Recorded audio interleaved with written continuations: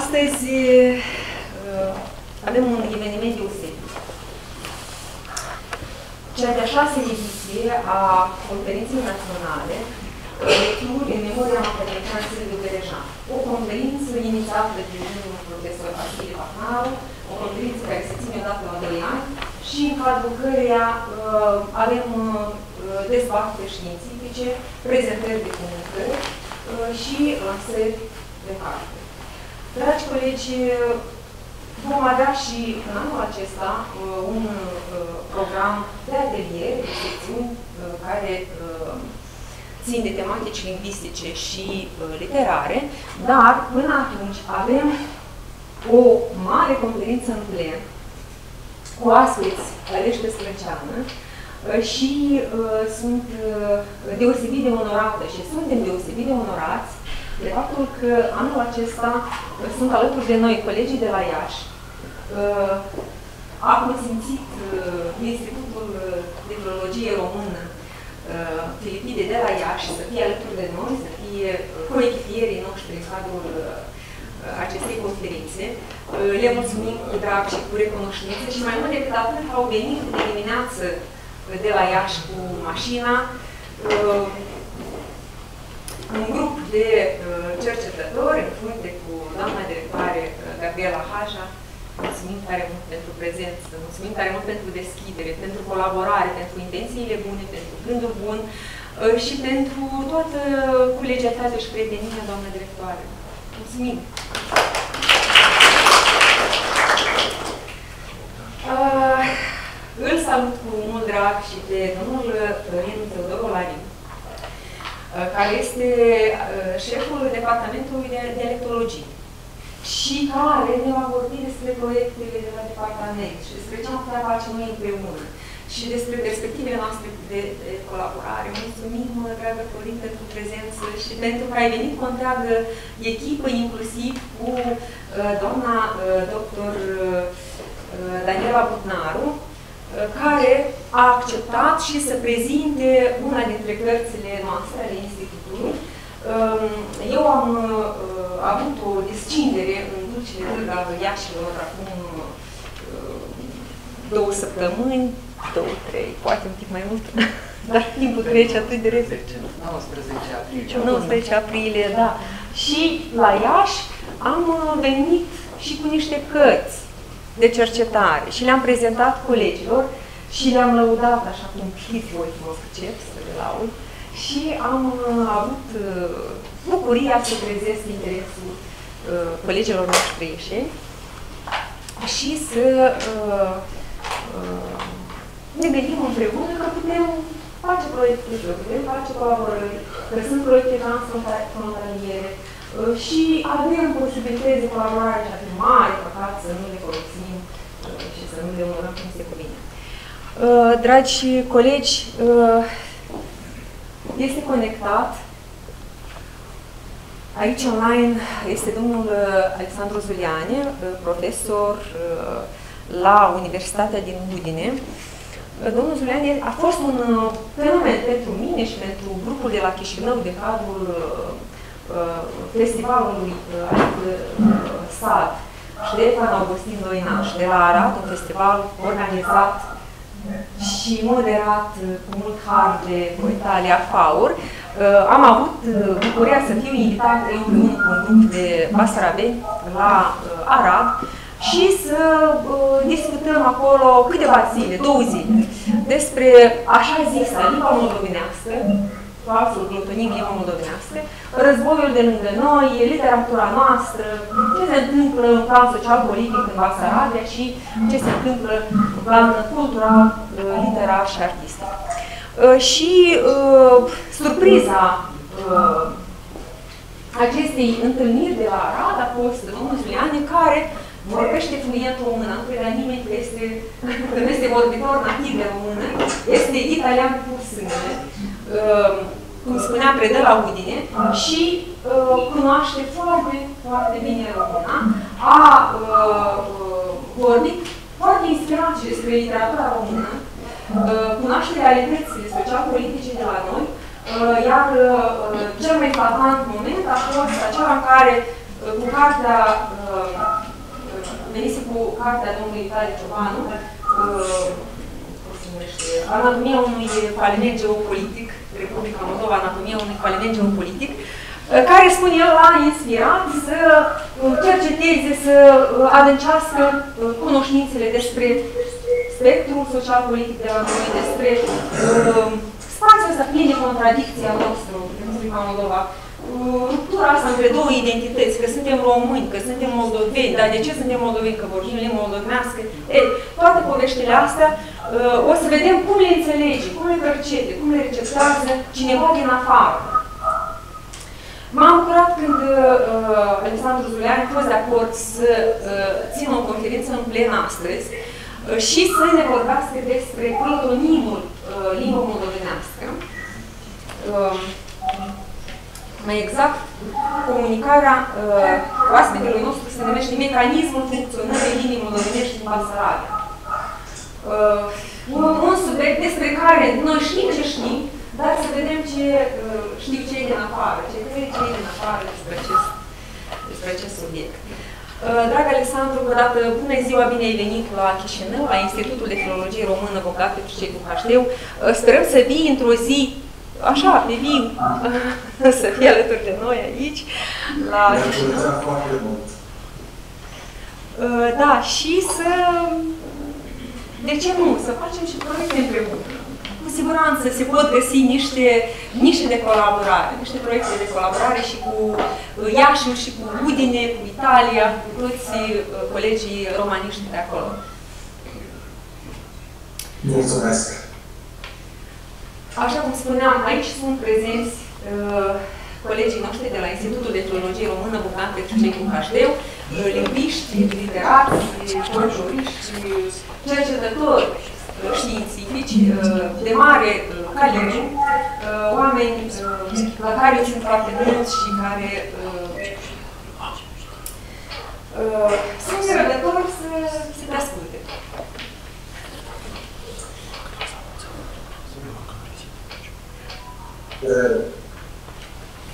Bună ziua! Bună ziua! Doresc în primul rând să le mulțumesc organizatorilor acestei importante conferințe care mi-au oferit posibilitatea să particip. În, în special, doamne profesoare Lina Kucinski, care m-a invitat și pe care am avut uh, uh, urmarea și mai ales plăcerea să o întâlnesc la, uh, recent la Arad.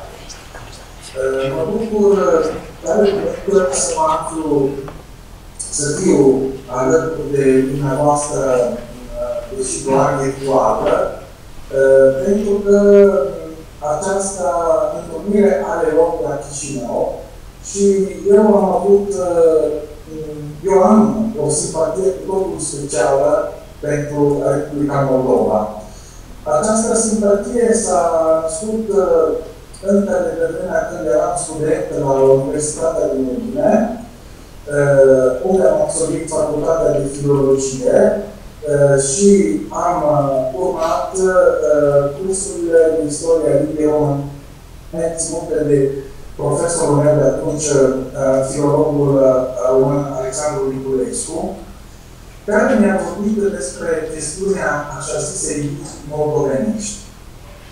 Uh, dânsul participase, de fapt, la Congresul Internațional de Filologie Romanică, care s-a ținut în anul 1956 în Italia, la Florența, în orașul Florența, Eh, atunci când mm, marele lingvist italian Carlo Tagliatini a prezentat o prelegere uh, intitulată Una nouă limba romană în Europa, traduc în, în România, o nouă limba romană în Europa, privește referirea la, era la așa numită limba moldovenească.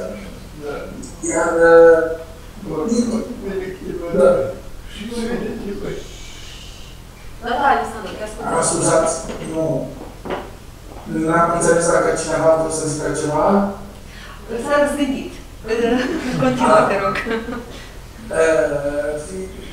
După cum spuneam, referirea la așa numită limba moldovenească, iar cititul al puținii italienii era evident ironic, pentru că, de fapt, el contesta existența unei limbi moldovenești diferite de limba română, vorbită în România. La ședința plenară au fost prezenți și Iorgu Iordan, Alexandru Rosetti,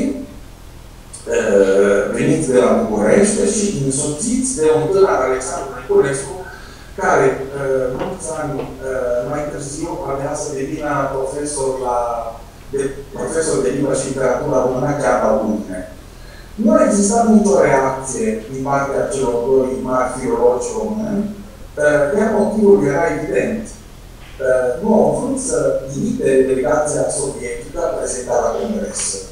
Această poveste m-a impresionat foarte mult și a fost și începutul interesului pe care l-am dezvoltat mai târziu pentru istorie și cultura uh, românească din, uh, din Basarabia. Uh, mai târziu, în timpul doctoratului, am cercetat, am studiat politicile lingvistice în spațiul dintre Prut și Nistru și, în special, fenomenul moldovinismului, ca ideologie lingvistică atât din epoca țaristă, cât și din Moldova sovietică.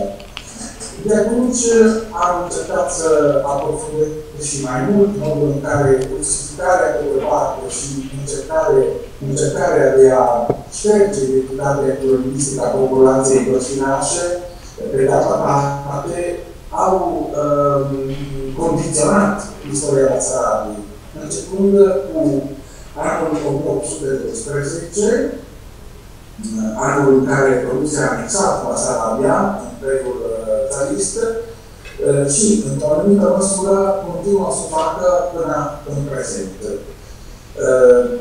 Iată de ce mă bucur în mod deosebit să particip această conferință științifică dedicată memoriei academicianului Silviu Berecean, care a știut să conteste științific existența unei limbi moldovenești cu o luciditate pe măsură doar a unui alt Basarabean celebru, marele lingvistă Eugen Nicoșelu.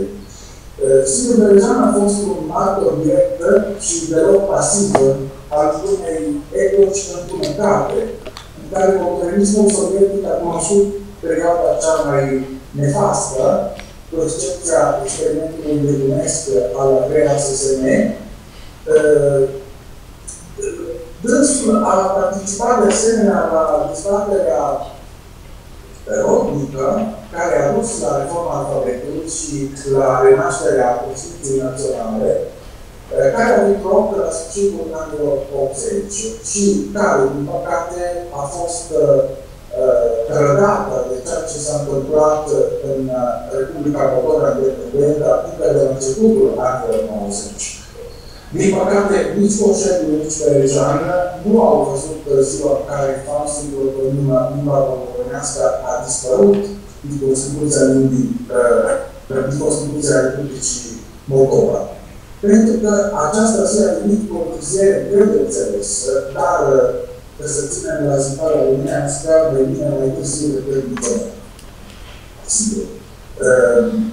În ultimele luni, sau mai bine zis, când Federația Rusă și-a declanșat ofensiva militară în Ucraina, Republica Moldova a devenit ea însăși protagonistă pe prima pagina ziarelor din Italia și, mai în general, din Occident.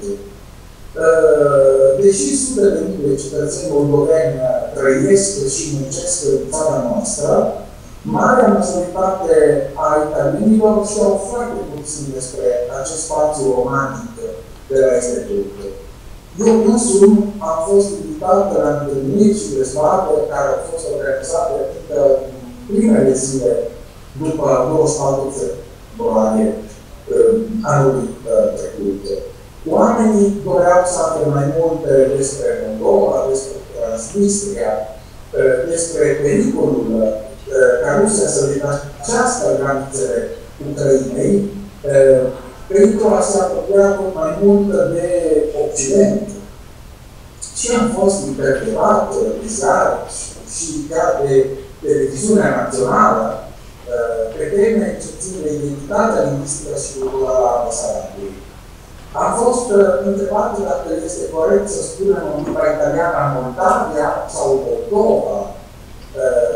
Uh, am fost întrebat dacă există sau nu limba moldovenească și dacă, și asta mi s-a spus, dacă uh, nu cumva decizia Parlamentului de la Chișinău de a modifica articolul 13 din Constituție nu a fost cumva una timpul limită, condițiile în care, date fiind circunstanțele, Rusia s-ar fi putut irita și mutam, cu consecințe greu de imaginat. Cred și sper că mi-a adus uh, modesta mea contribuție la cauza adevărului într-o țară, Italia, care această țară, țara mea, este, din păcate, victima nevozitei propagandei rusăți și care simpatizează cu Rusia încă din cele mai vechi timpuri. Cu privire la toponimul Moldova și a toponimului moldovean Moldoveni, am intrat în polemică și cu istoricul american Charles King, pe care sunt sigur că cunoașteți cu toții, fiind autorul unei uh, celebre monografii despre istoria Basarabiei. Uh, poate, nu știu dacă știți, dar în italian, precum și în engleză și în franceză, forma contatia, în franceza Moldavii, a existat întotdeauna. Dar în ultimii ani, în special în țările anglofone și în Italia, s-a impus forma Moldova. Încercările de a face să fie folosită forma corectă au fost zadarnice, deoarece occidentalii au mușcat momeala moldovenistilor, care au avansat ideea ca Moldova de la Est Republică nu are nimic de face cu regiunea istorică din România, numită tot Moldova, românește, dar în italiana, Moldavia, în engleza Moldavia, în franceza Moldavia. Cu alte cuvinte, Moldavia nu are nimic de a face cu Republica Moldova. Așa cum limba moldovenească este diferită de limba română. Orice italian care se uită la o harta spațiului românesc, va observa că la dreapta trupului se află o regiune numită Moldavia, Moldavia, în timp ce de cealaltă parte a râului se află o republică numită Moldova. Concluzia logică este că aceastea, acestea sunt doar um, sunt două realități total diferite. Și tocmai asta a fost Sfânta Politice de la Moldoveni, care au luptat pentru afirmarea formei Moldova în străinătate. Pentru a înțelege motivele care au dus la adoptarea anumitor politici lingvistice în regiunea pe care o numim convențional Basarabia, dar care discuteam asupra acestui polima, trebuie neapărat să ne referim la istoria acestei regiuni. Sunt evenimente, e vorba de evenimente care au avut ca protagoniste Rusia și România în diferitele forme politice și statale pe care le-au luat în ultimele două secole, care au creat condițiile și uh, circunstanțele pentru ca uh, inimile română și rusa să intre în contact și, un, și ulterior în competiție. După cum se știe, competiția dintre aceste două limbi, în actuala Republica Moldova, este încă atât de acerbă, cât releva necesitatea imensa de a rezolva diatriba din utilizarea limbilor cu un sistem juridic care să finalizeze procesul de democratizare început odată cu proclamarea independenței față de Uniunea Sovietică în anul 1991 și continuată într-o manieră, din păcate, liniară în următoarele trei decenii. Astăzi, majoritatea societății moldovenești este convinsă de această necesitate și, din fericire, și majoritatea clasei politice și administrative, ehm, care a propus totuși soluții diferite de-a lungul timpului. Principala problemă se referă la ceea ce am putea numi uh, aspectul extrinsec al limbii, și anume reglementarea limbii ca un juridic legat de o cultură care exprimă istorie. De aici, uh, legătura inevitabilă cu problema națiunii și mai precis a statului națiunii. În Republica Moldova, politicile lingvistice din ultimele 900 de ani nu au făcut decât să opună vorbitorii de limba rusă celor de limba română din motive de ordine eminamente politic. După cum se știe, în perioada imediat următoare a anexării Basarabiei de către Imperiul Rus, situația sociolingvistică este caracterizată de un lingvism uh, rus-român de tip orizontal, în care relațiile dintre cele două poporuri uh, nu prevăd distribuții funcționale specifice. Limba rusă este limba imperiului și a puterii politice centrale, cu consecința poziției privilegiate pe care acest statut o garantează. Dar uh, limba română continuă să fie folosită în administrația publică, uh, în învățământ, în sfera religioasă și culturală. Cu trecerea anilor, relațiile dintre cele două culturi lingvistice s-a schimbat, iar lingvismul inițial a suferit un, un proces de verticalizare impusă, care încă din anii 1830 s-a concretizat prin interzicerea folosirii române în administrația publică. În următoarele decenii ale secolului al XIX-lea, procesul de rustificare, pe de parte, și scuzați, au un comod. Mă auziți? Da, da, auzim, da. Deci, ziceam, procesul de rusificare, pe de o parte, și îndepărtarea constantă a limbii române din sferele instituționale și de prestigiu, pe de altă parte, au condus la o situație lingvistică de diglosie. La începutul secolului al XX-lea, odată cu trezirea conștiinței naționale, Basarabenii au reluat publicarea de reviste în limba română și au obținut, spre exemplu, permisiunea de a-și folosi limba în cadrul slujbelor religioase. În anul 1924, Comisia Puterea Sovietică a creat Republica Autonomă Sovietică Socialistă Românească pe malul estic al Purului Nistru. Limba oficială a acestui nou stat care este un, dacă vreți, un rezultat al manevrelor geopolitice ale stalinismului, este limba moldovenească.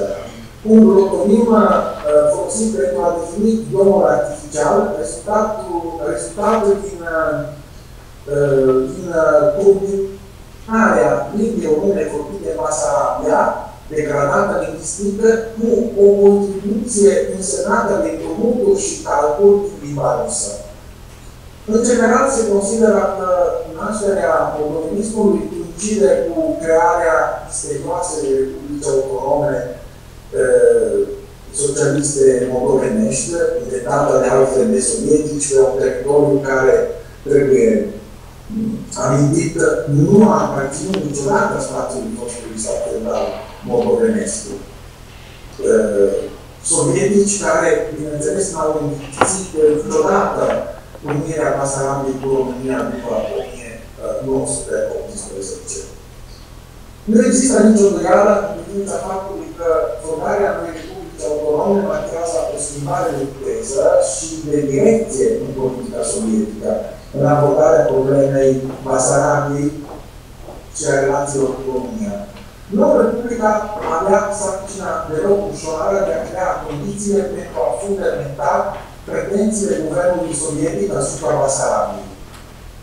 Din acest punct de vedere, actuala Transnistrie ar putea fi considerată moștenitoarea acestei republici autonome din perioada stalinistă.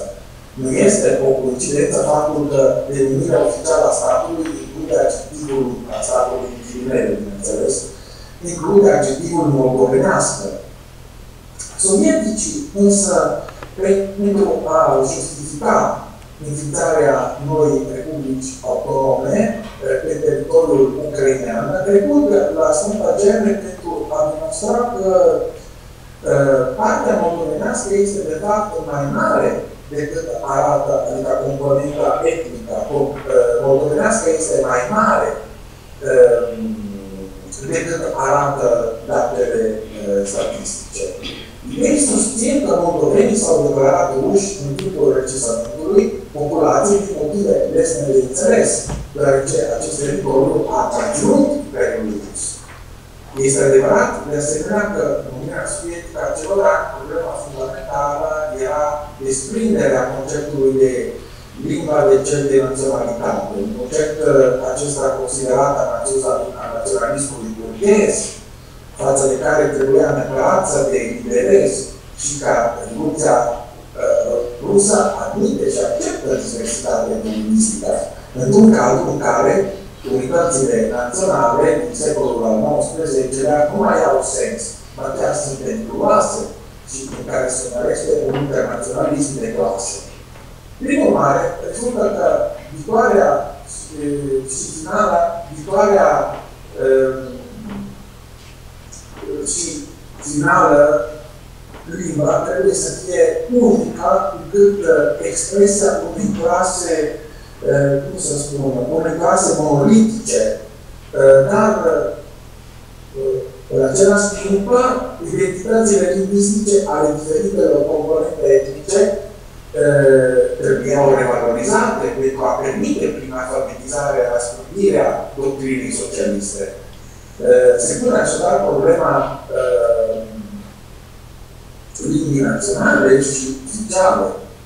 Limbile statului sunt limbile poporului, deoarece acesta din urma deține puterea suverană, dar, de fapt, diferitele limbi ale poporului devenite oficiale sunt instrumente de pătrundere a doctrinei revoluționare, un fel de vernaculare legitimare sancționate, fost sancționate de vremuri, dar în fond acceptate, deoarece erau utile pentru a răspândi cuvântul creștin în rândul populației atunci în alfabete. Astfel, statul și viața politică și administrativă, în virtutea anumit puterii acordate realităților lingvistice de bază, trebuie să se adapteze la situația lingvistică reală. Dar asta cu prețul ideologizării tuturor varietăților prezente în teritoriu, al transformării fiecare, fiecare idee într-un instrument de propagandă. Ideologia socialistă devine atunci liantul social și instrumentul de legitimare a noului stat multietnic și multietnic. Uh, multietnic care pune popor, adică comunist, iar poporul trebuie să se recunească, să se recunească într-o astfel de ideologie, diferent de limba care o vehiculează. În cazul uh, RASSM, sovietici, sovieticii sunt conștienți de faptul că menținerea alfabetului latin în noua Republica Autonomă este în contrast cu politica lor. Ca să nu mai vorbim de riscul ca moldovenii din Transnistria să se simtă mai apropiați din punct de vedere spiritual de moldovenii care trăiesc în Basarabia. Prin urmare, trebuie să se evite posibilitatea ca politicile lingvistice de rusificare ale Imperiului Țarist, care a durat zeci de ani, să fie să permicite noțiunea pentru un alfabet în detrimentul altului. Alfabetul chirilic este așadar una dintre opțiunile pentru crearea limbii naționale a moldovenilor, cu care, cu alte cuvinte,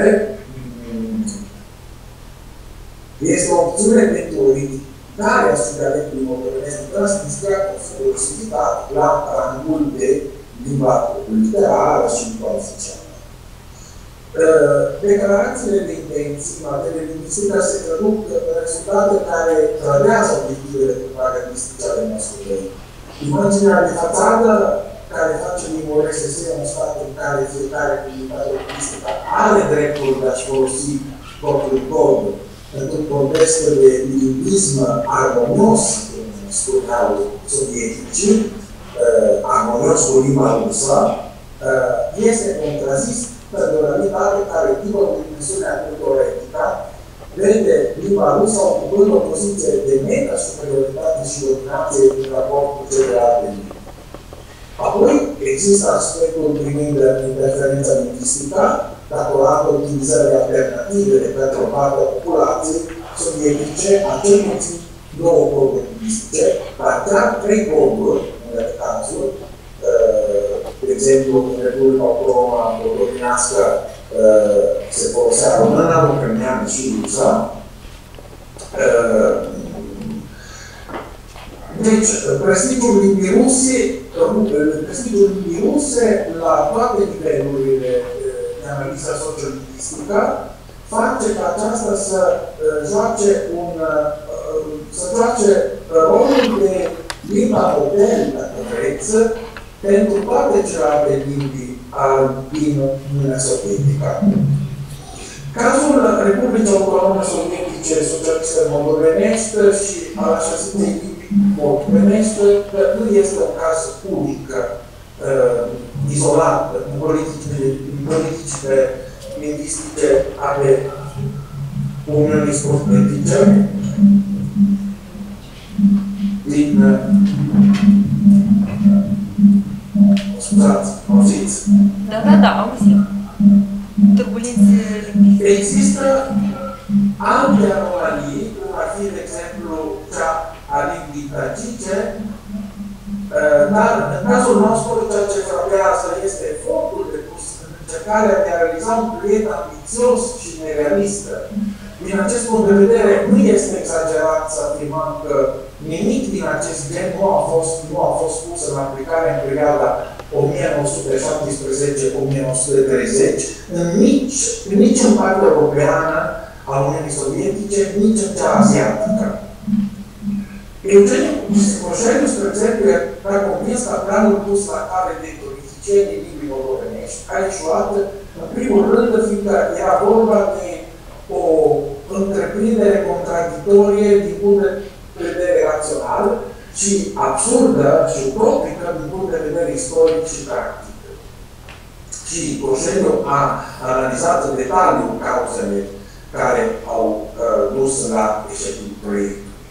Uh, eșecul proiectului, în primul rând, își confinează la poziție economică națională, adică una corespunzătoare identității etnice și tradițiilor poporului, în ghilimele moldovenesc, dar în același timp deosebită de limba și română și deci necorespunzătoare aceleiași identități etnice și acelorași tradiții. De asemenea, proiectul aspira la o limba populară, adică fără neologisme latinești și romanice occidentale, așa cum și nu au să spună lingviștii Comitetului Științific Moldovenesc de la Mata și cum scria ziarul Bulgarul Roșu, dar în același timp nepopulară, adică neologisme luate din limba rusă sau create acolo. Așadar, există în aceste însemnări și un element cultural, deși implicit. Trebuie, prin urmare, să depășim dimensiunea lingvistică și să abordăm problema dintr-o perspectivă politică și culturală. Lucru pe care Coșerul a știut să-l facă foarte bine. Dar Sigur Berejan l-a făcut la fel de bine. Să ne gândim de pildă la faptul că însul a evidențiat în mod exemplar particularitățile provincialismului masaradean, care a capătat o conotație de ceva ce se opune romanismului. La baza acestei atitudini ar sta, în opinia, în opinia academicianului Berejan, înstrăinarea etnică intrat și mai târziu națională, care este rezultatul unei lungi perioade istorice în care populația românească din Masarabia s-a aflat în condiții nefavorabile. Acest lucru ar fi produs superior la ceea ce Berejan definește lipsa sentimentului de întregă etnică și a conștiinței naționale publice. Am, am citat, uh, sunt uh, exact limbele folosite de uh, Silviu Berejan.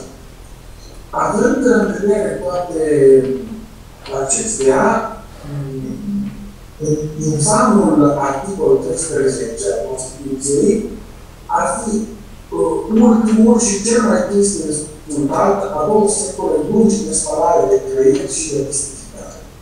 Astfel, situația Basarabiei este doar parțial comparabilă cu ca a altor foste republici sovietice, deoarece contextul moldovenesc prezintă uh, trăsături uh, care uh, nu prea se regăsesc în altă parte. Uh, spre deosebire, de, de exemplu, de țările baltice, Moldova pare să se fie angajat abia acum pe calea rezolvării problemei identității sale naționale.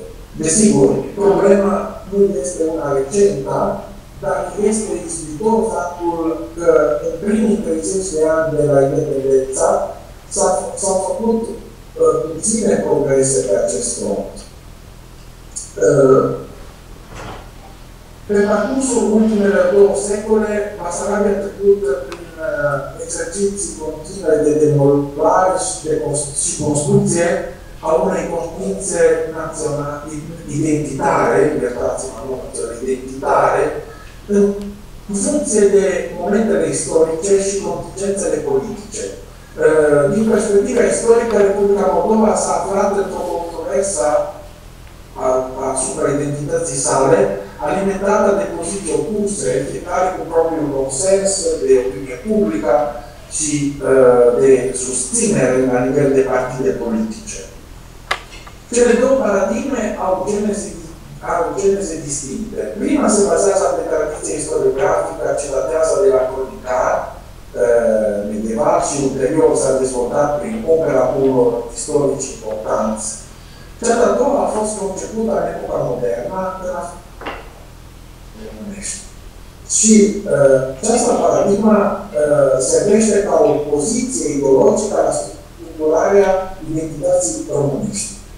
Cu toate acestea, trebuie subliniat faptul că expansiunea teritorială a Rusiei în epoca țaristă a fost dictată de esența de motive politice și religioase, și anume panslavismul și ortodoxia, în timp ce naționalismul atât etnic cât și lingvistic s-a manifestat abia mai târziu, în secolul 20. Influența administrației imperiale rusești a dat cele mai bune rezultate în ceea ce privește rusificarea, în special în centrele urbane. Pe parcursul secolului al 90, al 19-lea, uh, activitățile economice, uh, politice și culturale au contribuit la transformarea orașelor din Basarabia în orașe foarte asemănătoare cu cele din restul Rusiei. Uh, păstrând în același timp aspectele tipice ale satelor moldovenești, și, de fapt, la data anexării Basarabia nu existau orașe adevărate, să zicem așa, ci mai degrabă așezări urbane strâns legate de împrejurimile lor rurale. Autoritățile puse fac tot posibilul pentru a transforma aceste sate în centre urbane de dimensiuni și importanța mai mare, cu un aspect similar cu cel al altor orașe din Rusia. Pentru a realiza acest lucru era necesar să se stimuleze un flux migrator din celelalte regiuni ale Imperiului spre Masarabia. Refugiaților ucraineni și polonezi li se acorda imunitate, comercianților evrei li se acorda subieri fiscale importante și creștinilor locuințe și activități economice în condiții absolut avantajoase, dar nu chiar gratuite.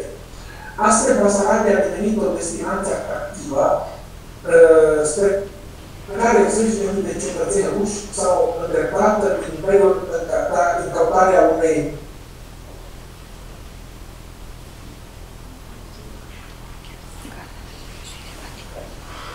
La momentul anexării sale la Imperiul Rus, în 1812, Basarabia era un teritoriu în care nu exista o comunitate națională reală, ci o populație cu o limba proprie și cu tradiții culturale și spirituale adânc rădăcinate, capabilă să reziste în mod spontan politicilor de asimilare ale rușilor. Contextul geopolitic, subdezvoltarea generală a provinciei, analfabetismul aproape total al populației, lipsa unei clase conducătoare și a unei elite politice și culturale capabile să reprezinte revindicările văștinașilor, sunt factorii care responsabili de vulnerabilitatea extremă a Basarabia secolului al XIX-lea. Regretatul lingvist moldovean Gheorghe Moldovanu considera că rusificarea populației autohtone s-a produs prin însuflarea în mintea casaravenilor a unei atitudini negative și discriminatorii față de limba română, reușind astfel să diminueze statutul social al acesteia și să amorțească sentimentele moldovenilor față de propria lor limbă. Este un fenomen pe care Gheorghe Moldovan îl numește autorusificare spontană. De asemenea, are perfect, perfectă dreptate colega Liliana Bogdanaru atunci când spune că Republica Moldova nu este un conflict lingvistic, ci mai degrabă unul etnic sau clar politic. Pentru a conchide, moldovenismul nu este o ideologie a afirmării, ci una a negării, adică negarea identității lingvistice și culturale a unui popor. Mulțumesc!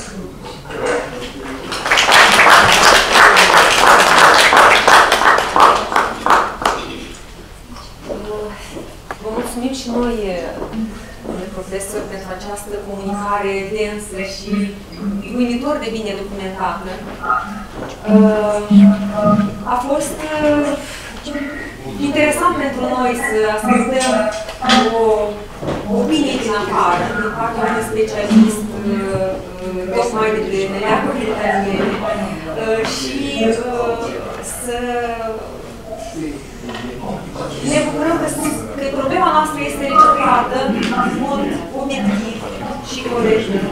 Și că manipularea uh, rusească uh, nu trece așa cu una, cu două pentru cărturari și uh, lucrurile sunt clare pentru cei care se documentează, pentru cei care pot să cunoască adevărul, cei cu această limbă moldovenească, cei cu această identitate uh, fracturată și, și scindată uh, între adevăr și minciună. Uh, mulțumim și uh, ne vom bucura să avem textul dumneavoastră în volumul uh, cu lucrările conferinței. Uh, va fi uh, o onoare pentru noi să uh, deschidem volumul cu această prezentare, cu acest text uh, și vă invităm să rămâneți și pe mai departe conectat pe acest link. Dragi colegi, dacă aveți cumva întrebări pe care să le adresăm domnului profesor, nu ezitați, este un subiect acut pentru noi, un subiect pregnant, așa, sensibil pentru noi toți. Dacă aveți întrebări, acum e momentul să le adresați profesor.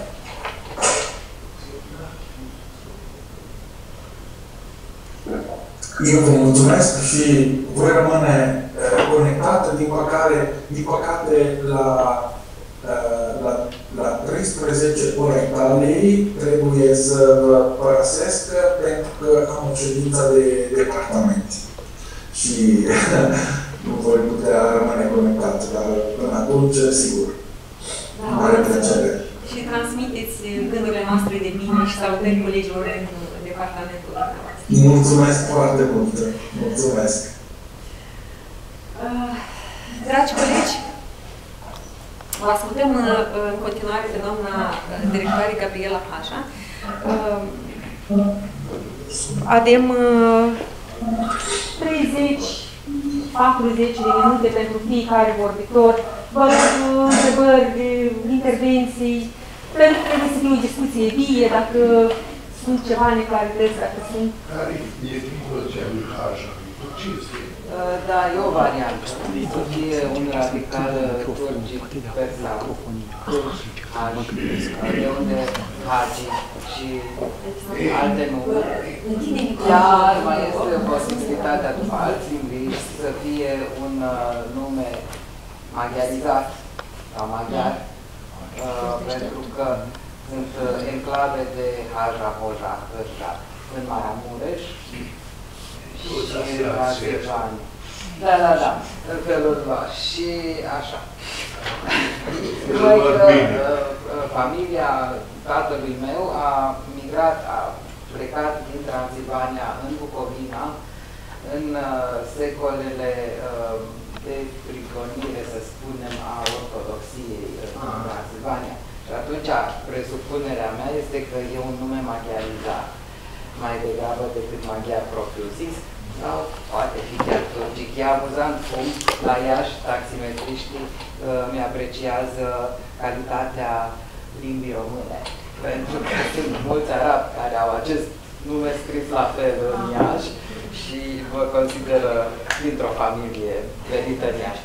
Drept care eu nu spun nimic și yes, uh, le spun ce frumoasă e limba dumneavoastră.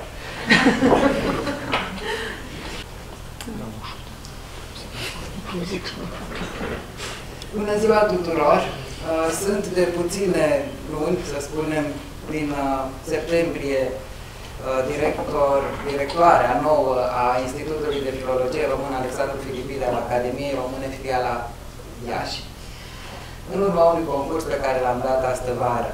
De ce nu mai este domnul Bogdan Crețu, care sigur vă este foarte drag și care de asemenea vă îndrăgește, vă transmite salutările sale, pentru că uh, el nu a mai dorit să fie, spunând că două mandate uh, au fost de ajuns și că are proiecte personale pe care dorește să le uh, continue sau să le finalizeze. Asta nu înseamnă că am întrerupt colaborarea cu el, uh, coordonează împreună cu doamna Kim unul dintre cele mai importante proiecte ale Institutului, respectiv Enciclopedia Scrierilor Memorialistice Românești și este uh, revizorul acestei lucrări. Uh, eu am avut o strânsă colaborare cu Bogdan Crețu pentru că am fost uh, mulți ani și în timpul mandatelor lui secretarul științific cu delegație al Institutului. Și atunci cam așa se explică lucrurile de acum. Astăzi am venit să vă prezint o lucrare cu un titlu foarte, să spun, ambițios, și uh, uh, de unde mi-a venit această idee? În luna ianuarie, la invitația filialei din Iașa Academiei Române, am ținut o prelegere care avea ca temă întrebarea implicită, îmi place acest cuvânt, văd azi, întrebarea dacă dicționarele sunt importante în era digitală și ce rol au ele. Astăzi, când uh, informația, uh, comunicarea se transferă încet, încet de pe formatul cu care suntem noi obișnuiți de pe hârtie într-un format digital. În epoca în care încet, încet ne întoarcem la o era a oralității, pentru că observăm cum cei foarte tineri de astăzi citesc mai puțin, dar ascultă mai mult observăm cum uh, uh, dialogurile filosofice uh, publicate în uh, tomuri uh, solide uh, devin astăzi uh, podcasturi, da? Sau uh, întâlniri uh, în care cel mai important personaj este uh, moderatorul. Trăim o schimbare de paradigmă. Și atunci mi-a pus întrebarea uh, retorică, în fond, dacă sunt sau nu dicționarele importante. Uh, și sunt. Sunt foarte importante pentru că uh, noțiunea însăși de dicționar uh, și-a amplificat semantismul uh, în contextul uh, cercetărilor, al studiilor și al aplicațiilor pe care o știință precum procesarea limbajului natural uh, o provoacă în, în realitatea virtuală. Și uh, atunci noi avem dicționarele pe care le cunoaștem cu toții, uh, tipărite sau digitalizate, dar lecturate, vizibile pe ecranele telefonului, calculatorului, etc. Dar sunt așa numitele dicționare ascunse, acelea care se deschid în momentul în care redactăm un text uh, online și vedem că o aplicație ne spune aici uh, e un cuvânt greșit, îl introduci în dicționar sau găsește, tu ai scris un cuvânt nou pe care programul nu știe și îți propune să introduci acel cuvânt în dicționarul programului. Deci programele din spatele a ceea ce vedem pe ecran au dicționare proprii care uh, înseamnă liste de cuvinte, dar nu doar atât, ci un cuvânt în diverse tipuri de contexte. E, e o altă uh, perspectivă asupra limbajului. Și, de fapt, din această din acest domeniu al uh, procesării limbajului natural, am privit uh, dicționarul ca pe o ontologie. Uh, am plecat de la, mă rog, de la definițiile date de dicționarele generale, câteva uh, ale limbii române. Cea mai completă este aici uh, definiția dată de micul dicționar al Academiei, micul dicționar al Academiei, care este mai mult sau mai puțin iubit astăzi, are merite, are și scăderi, inerente date de viteza cu care a fost uh, redactat și publicat, presiunea timpului extraordinară, dar are și merite. Adică față de uh, prima ediție a dicționarului limbii române, dicționarul Tezaur, uh, cu cele două serii ale sale, micul dicționar al limbii române are mult mai multe cuvinte titlu și, desigur, completări uh, semantice la multe dintre cuvinte pentru că prima definiție dată în uh, litera O din Delere în 1969 este cea pe care o vedeți, foarte concisă, neutră politic, de fapt, și asta e admirabil, dar foarte, foarte uh, redusă. Pentru ca în 2010, iată, să avem trei sensuri uh, principale. Sigur, cuvântul este lucrat în dicționare uh, înainte de dicționarul Tezaur, nu am trecut în revistă toate dicționarele, nu ăsta era scopul, doar voiam să aveți o perspectivă asupra evoluției uh, perspective lexicografice asupra cuvântului, pe de o parte, și să vedem că în română dominante rămân sensurile legate de filozofie. Ontologia ca termen filozofic. În ultimele decenii uh, și, de fapt, mai ales în ultimul deceniu, se dezvoltă tot mai mult un domeniu care se numește ontologia limbajului natural. El a funcționat uh, multă vreme ca subdomeniu al filozofiei și al uh, lingvisticii totodată. Abia în ultimii ani își capătă identitatea ca domeniu științific de sine stătător.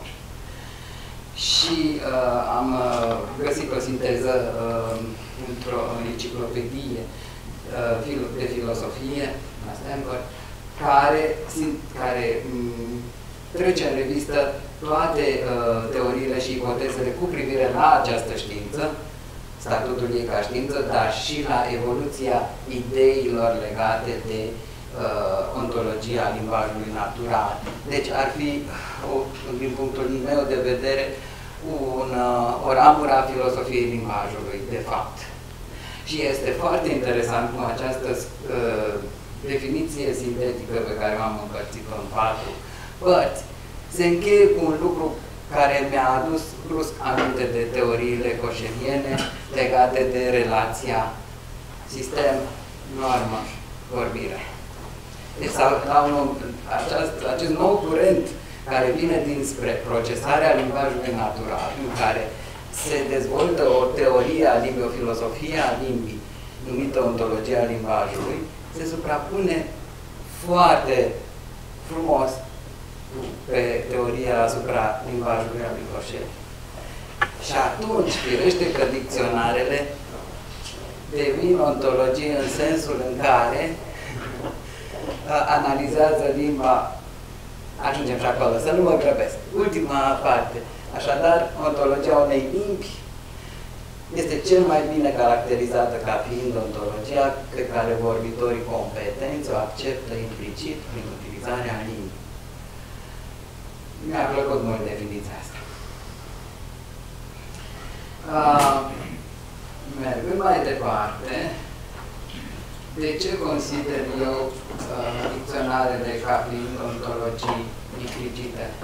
Pentru că, plecând de la un dicționar precum Tezaurul Limbii Române, la el mă refer mereu, pentru că acest dicționar, uh, încheiat în 2010, uh, a fost uh, locul în acest, acest proiect, a fost locul în care m-am format ca lexicograf și la care lucrez de aproape 30 de ani.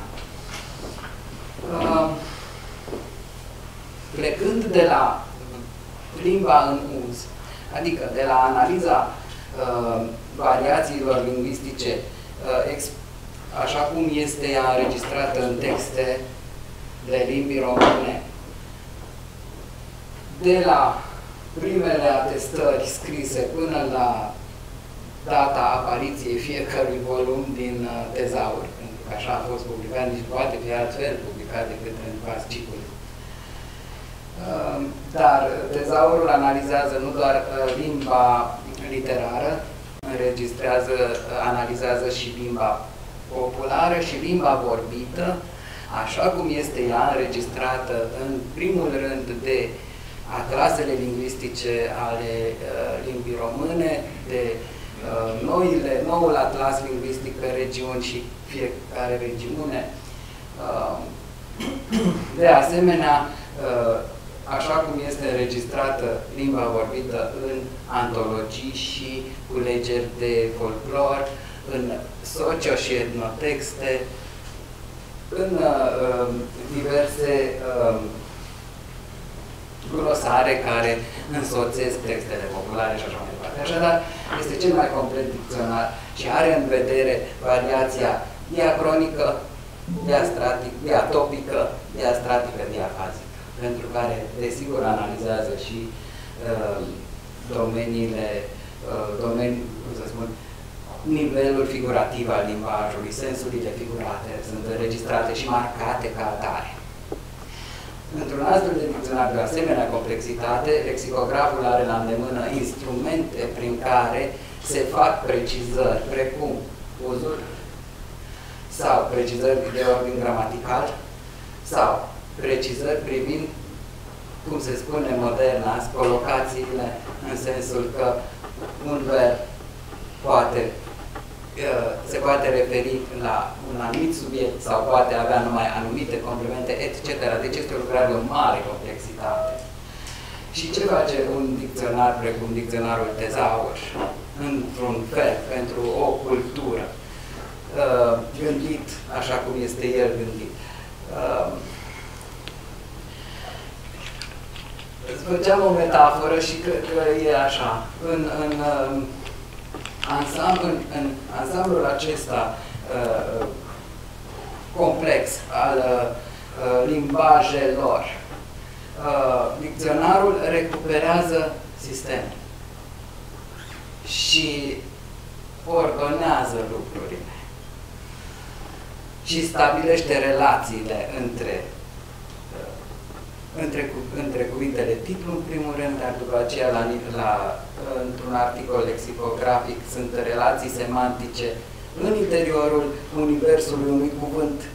Și apoi, la nivelul întregului lexic, asta încă nu s-a făcut, pentru că asta înseamnă uh, procesare, procesarea sau analiza unei cantități foarte mari de informație, se, pot, uh, se, poate, se poate extrage din DLR ceea ce înțeleg eu prin ontologia limbajului, ontologia limbii române. Deci din DLR, pe baza indicilor care există deja, se poate extrage o, o, o hartă, o, o schemă generală a ceea ce crede românul despre lume, de fapt, despre existență. Ca să intrăm, să ne apropiem cumva de filozofie. Se poate extrage lucrul ăsta. Totodată se pot vedea imperfecțiunile dicționarului sau uh, zonele în care nu a fost închis cercul. Un dicționar perfect nu are, este fără rest, este complet. Bun.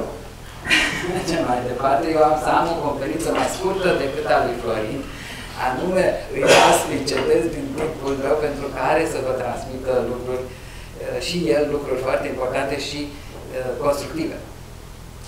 Bun. Um, așa arată uh, o ontologie informatică. Și asta vă va face să înțelegeți mult mai ușor cam cum s-ar putea extrage dintr-un dicționar o astfel de schemă. E vorba despre ontologia uh, bunurilor uh, uh, culturale. E un uh, exemplu dat de un profesor de la Universitatea de Studii din Salerno, uh, predând el, făcând un curs de informatică pentru, pentru design. Și uh, îmi închipui că uh, studenții respectivi aveau să uh, aveau o bază mare de date, de imagini, să spunem, care aveau și nume, da? uh, și trebuiau uh, ordonate după un criteriu uh, uh, logic și după o ierarhie uh, corectă. Și atunci au, uh, au construit această, acest model, această ontologie, uh, spun ei, bazată pe cadre, pe ramă, și au clase și instanțe și relații, de fapt. Pe verticală e vorba despre uh, relația de, uh,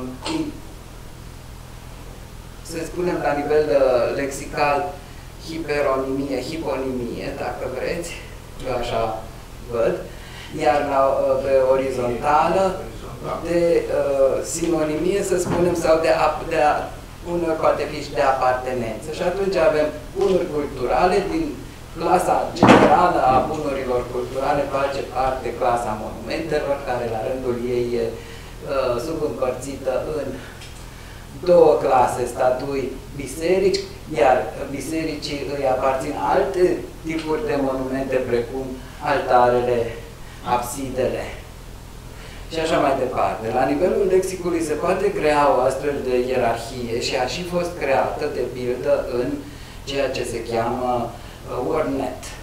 Nu știu dacă ați auzit, WordNet este în fond tot o ontologie. Pentru, dar ace, și pleacă de la o ontologie mai aproape de sensul filozofic, fiindcă ierarhizează concepte acestor concepte care sunt uh, așezate într-o ordine, ele spuse alfabetic, dar sunt stabilite relațiile de sinonimie, hiperonimie, hiponimie între aceste concepte.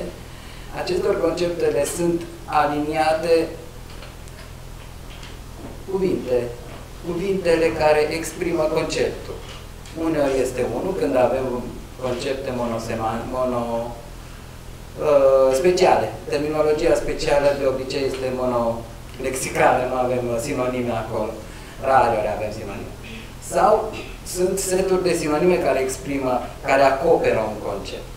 Și a fost construită această arhitectură pentru limba engleză din Statele Unite, imediat și în Anglia a fost realizat uh, WordNet-ul, și în prezent uh, sunt aliniate la acest WordNet peste 340, uh, 350 de limbi.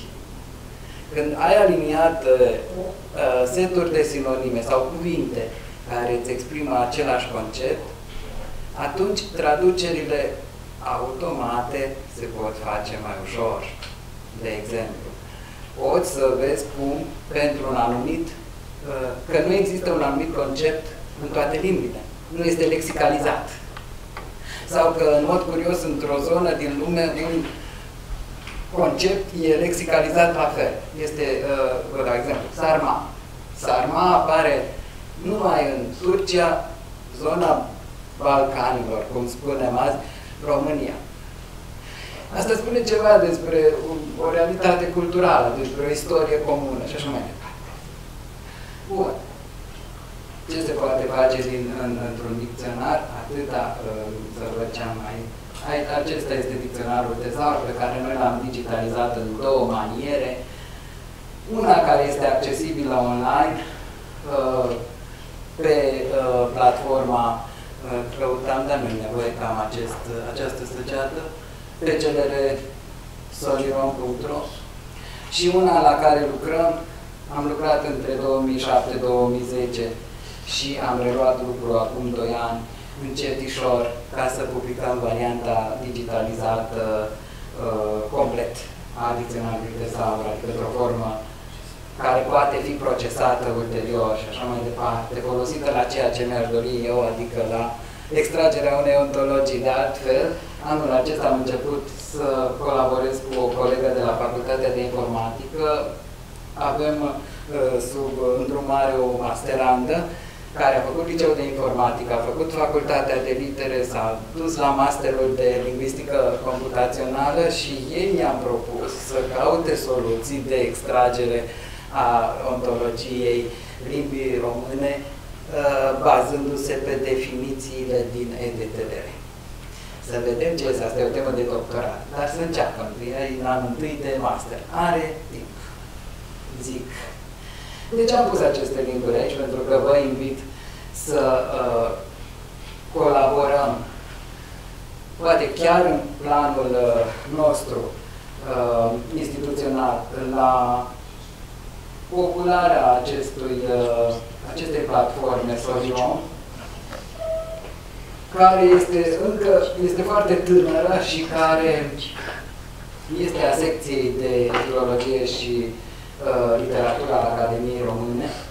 Aici noi vrem să adunăm resursele uh, pentru limba și literatura română, pentru limba și cultura română, adică în principiu cam ceea ce realizează cercetătorii secției să poată fi consultat oricând, de oriunde din lume, liber, pe această platformă.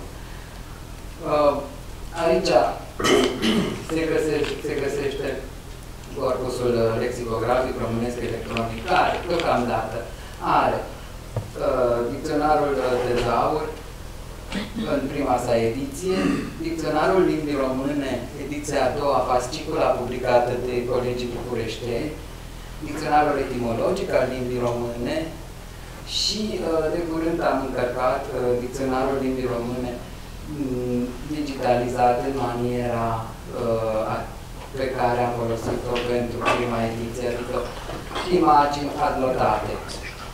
Deschid dicționarul limbii române ca să vedeți cum uh, avem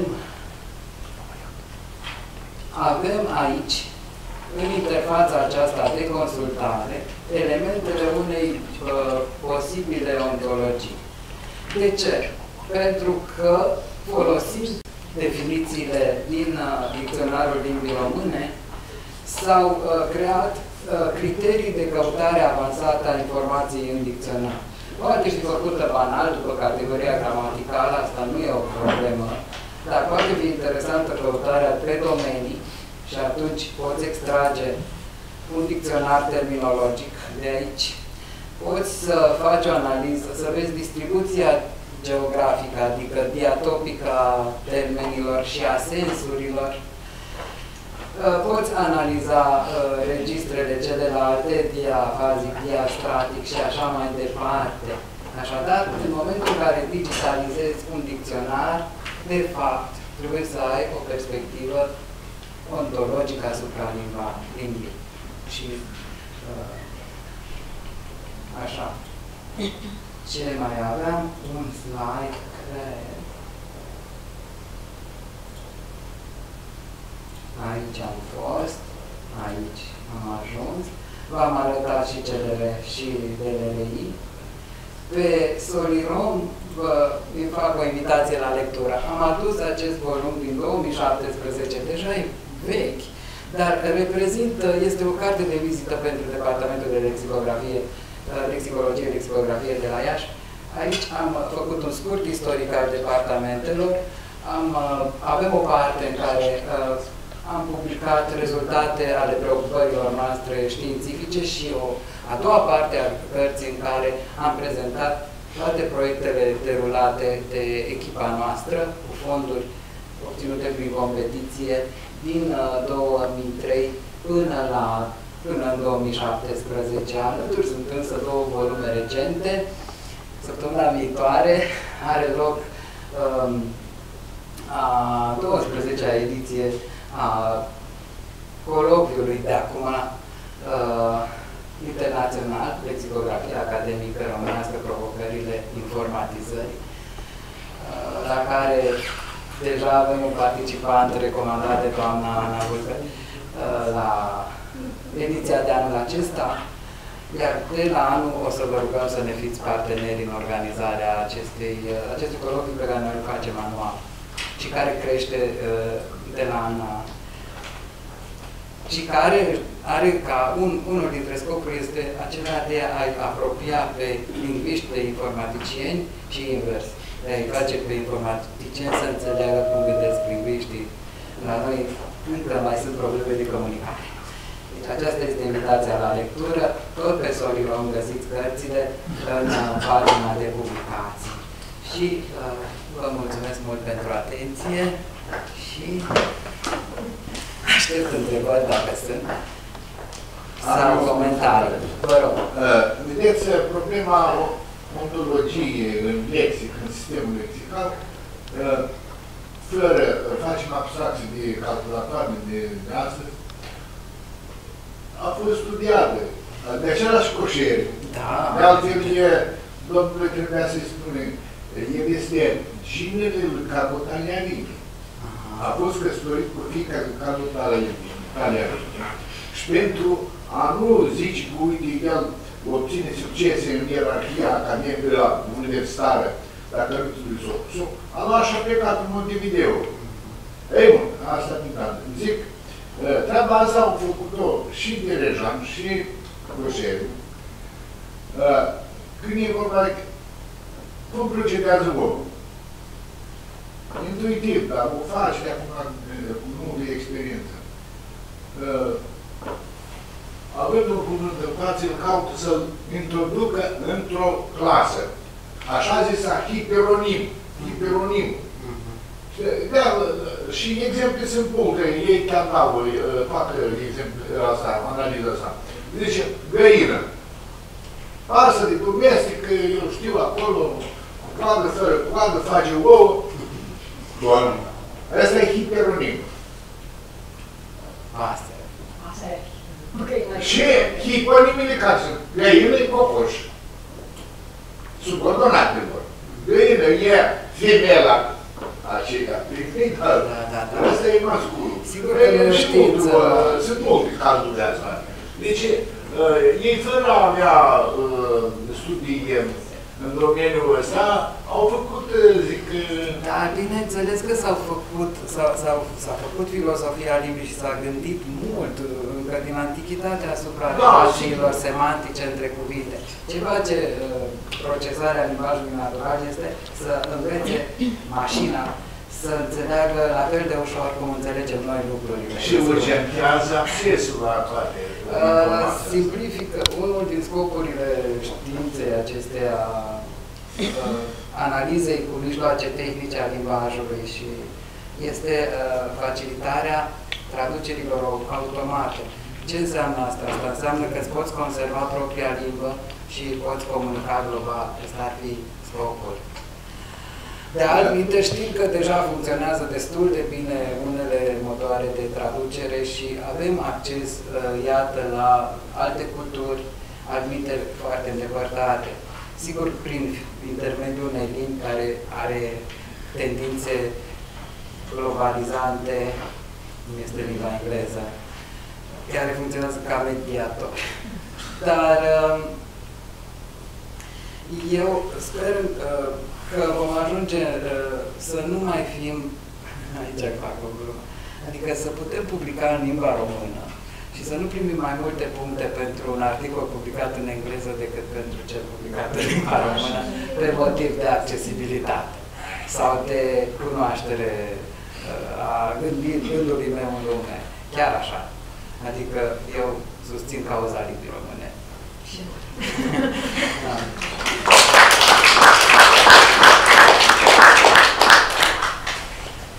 Mulțumesc tare mult! Mulțumim și noi, foarte interesantă prezentare. Pentru mulți,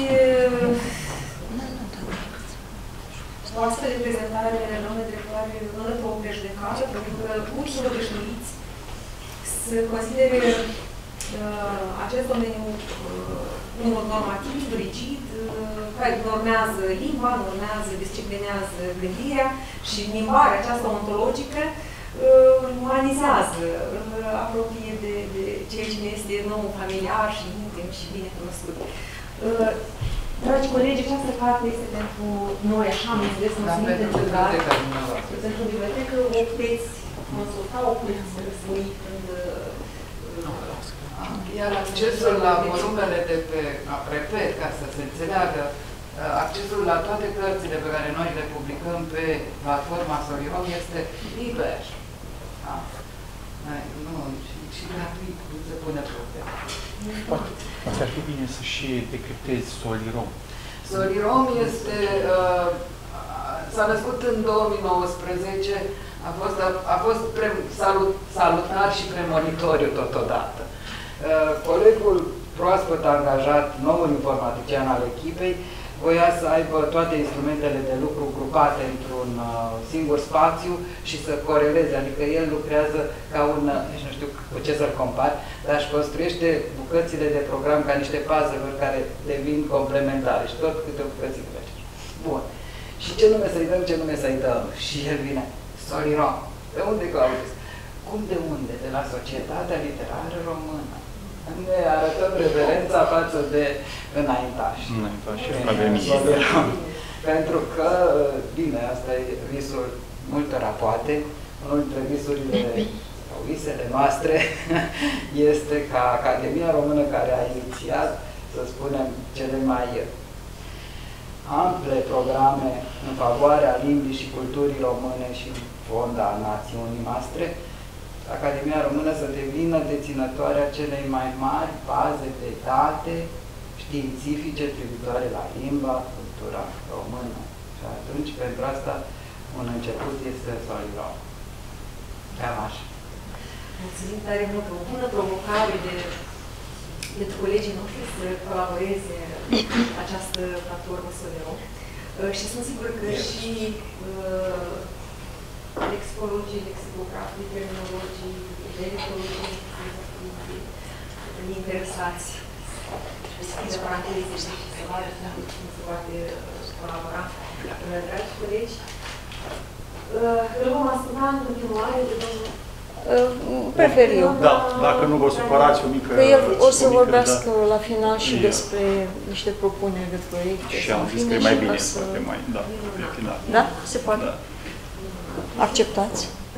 Păi cum să nu, că oricum nu scapă Nu, uh, da, nu da. scapă nimeni. Astăzi, astăzi niște mâine. Dar am vorbit mult. Nu, foarte interesant, a fost foarte bine. Doamna Daniela Butnaru, uh, Institutul de Filologie Română Alexandru Chitine, un titlu provocator, de când Plutul nu era potar, mărturii toponimice ale unității românilor. Da, din păcate nu se vede prea bine, nu știu. Ba da, se vede, da, se se vede, vede, se vede. mi se pare, uh, Da, cum să spun, contrastul cam, dar um, această intervenție este, de fapt, o urmare a altor două comunicări pe care le-am ținut pe această temă. Uh, am pus și un mic uh, moto, trăind Moldova drept prin mijloc, Prutul ar fi putut deveni cea mai frumoasă arteră de comunicație, dacă nu făcea votare între frați mai bine de un secol. Um,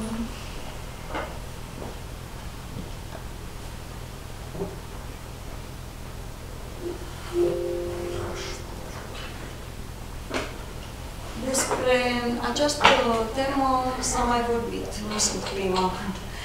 V-am spus, am avut deja două comunicări, acum am mai încercat să găsesc câteva toponime care vor sublinia din nou această unitate a românilor, despărțită de tot uh, politic. Am pus aici uh, lucrările domnului profesor Anatole Lumia, uh, pe care le-am consultat. Uh, L-am uh, pus și pe domnul uh, regretatul domnul profesor Stelian Dumistrăcel, care a abordat subiectul în, uh, într-un volum uh, din 1995. Sigur, subiectul a fost abordat și în multe alte lucrări, dar am ales doar, uh, doar câteva să, să nu exagerăm cu um,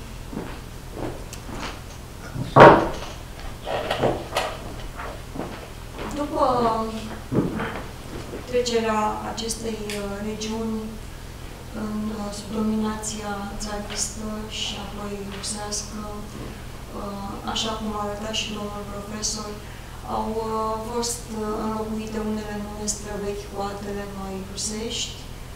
Am dat acolo un exemplu pe care l-am găsit în dicționarul lui Arbore din 1904.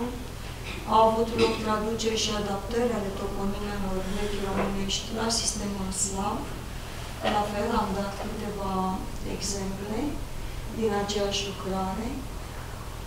A avut loc înlocuirea unor termene topici românești cu echivalenți rusești pentru a continua procesul de rusificare.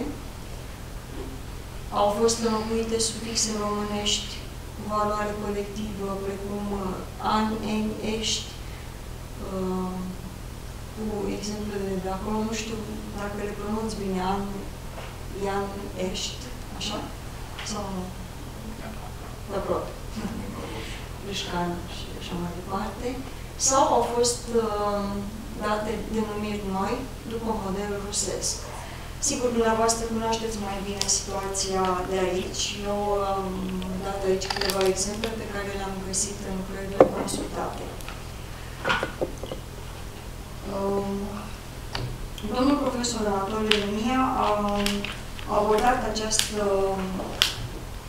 uh, acest subiect în uh, câteva lucrări și uh, chiar am extras un, o secvență dintr-o lucrare publicată de dumneavoastră, prezentată cred la Baia Mare și publicată în volumul simpoziumului de acolo. Domnul profesor a găsit omonime Uh, le-a numit sate gemene, denumiri gemene, da, sate gemene, ale unor uh, denumiri omonime ale localităților de pe dreapta și de pe stânga Putului. Și avem aici și din Soroca și din Iași Alexandru cel Bun. Acesta este o denumire, clar, o denumire recentă, dată arbitrar pentru a elogia un domnitor. Avem nume vechi ca Vrămești, și în Rășcani și în Botoșani sau Harita, uh, Balabanu și Bălăbănești sunt formate de la aceeași bază, Băcioi, Bălănești, vedeți și în Isporeni și în multe părți ale României. Uh, după cum puteți observa, sunt formate cam după aceleași tipare. Ori oficiale date în cinstea unui, uh, unui voievod sau unei, unei personalități ori cu sufixele colective ești, uh, ori uh, de la un uh, toponim descriptiv sau un nume de grup biserican, cei care trăiau pe lângă biserică, sau bălțata, probabil de la, cred eu, de la un nume de baltă, care părea bălțată, dar nu avem pentru toate toponimele explicații, din păcate.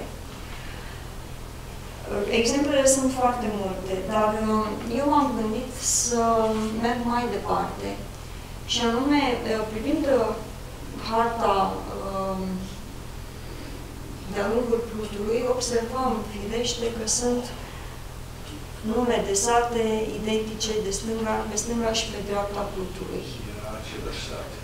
Da, este vorba despre moșii, care altădată erau traversate de râul Plut, așa cum alte sate sunt traversate de un râu oarecare, de un curiaș. Ele erau traversate de râul Plut, uh, familii erau, uh, se vizitau trecând Plutul cu barca uh, fără nicio problemă. Da? Unele documente vechi chiar atestă că moșia cutare venea de pe stânga până pe dreapta Plutului, erau moșii mari, și în unele cazuri am identificat doar toponime minore, nu au rămas satele de ambele părți ale Plutului, au rămas doar de o parte și pe partea cealaltă a Plutului au rămas nume de locuri, de bălți, de uh, tarlale, care amintesc de moșia de atunci. Știți că în 1812, cred, a fost uh, dată o, a fost dată o hotărâre, în fine, s-a dat hotărârea ca um, posesorii de moșii să aleagă de ce parte a Plutului vor să stea. În România sau pe partea stângă a Plutului. Nu era România. Uh, da, scuzați de partea stângă sau de partea dreaptă a Plutului. Și atunci uh, unii au hotărât să stea doar pe stânga sau doar pe dreapta Plutului. Dar uh, în, uh, în amintirea moșilor au rămas unele toponime minore. Aici am pus o hartă care arată, dar nu se vede foarte bine E vorba de Medeleni, care se vede de o parte și de alta.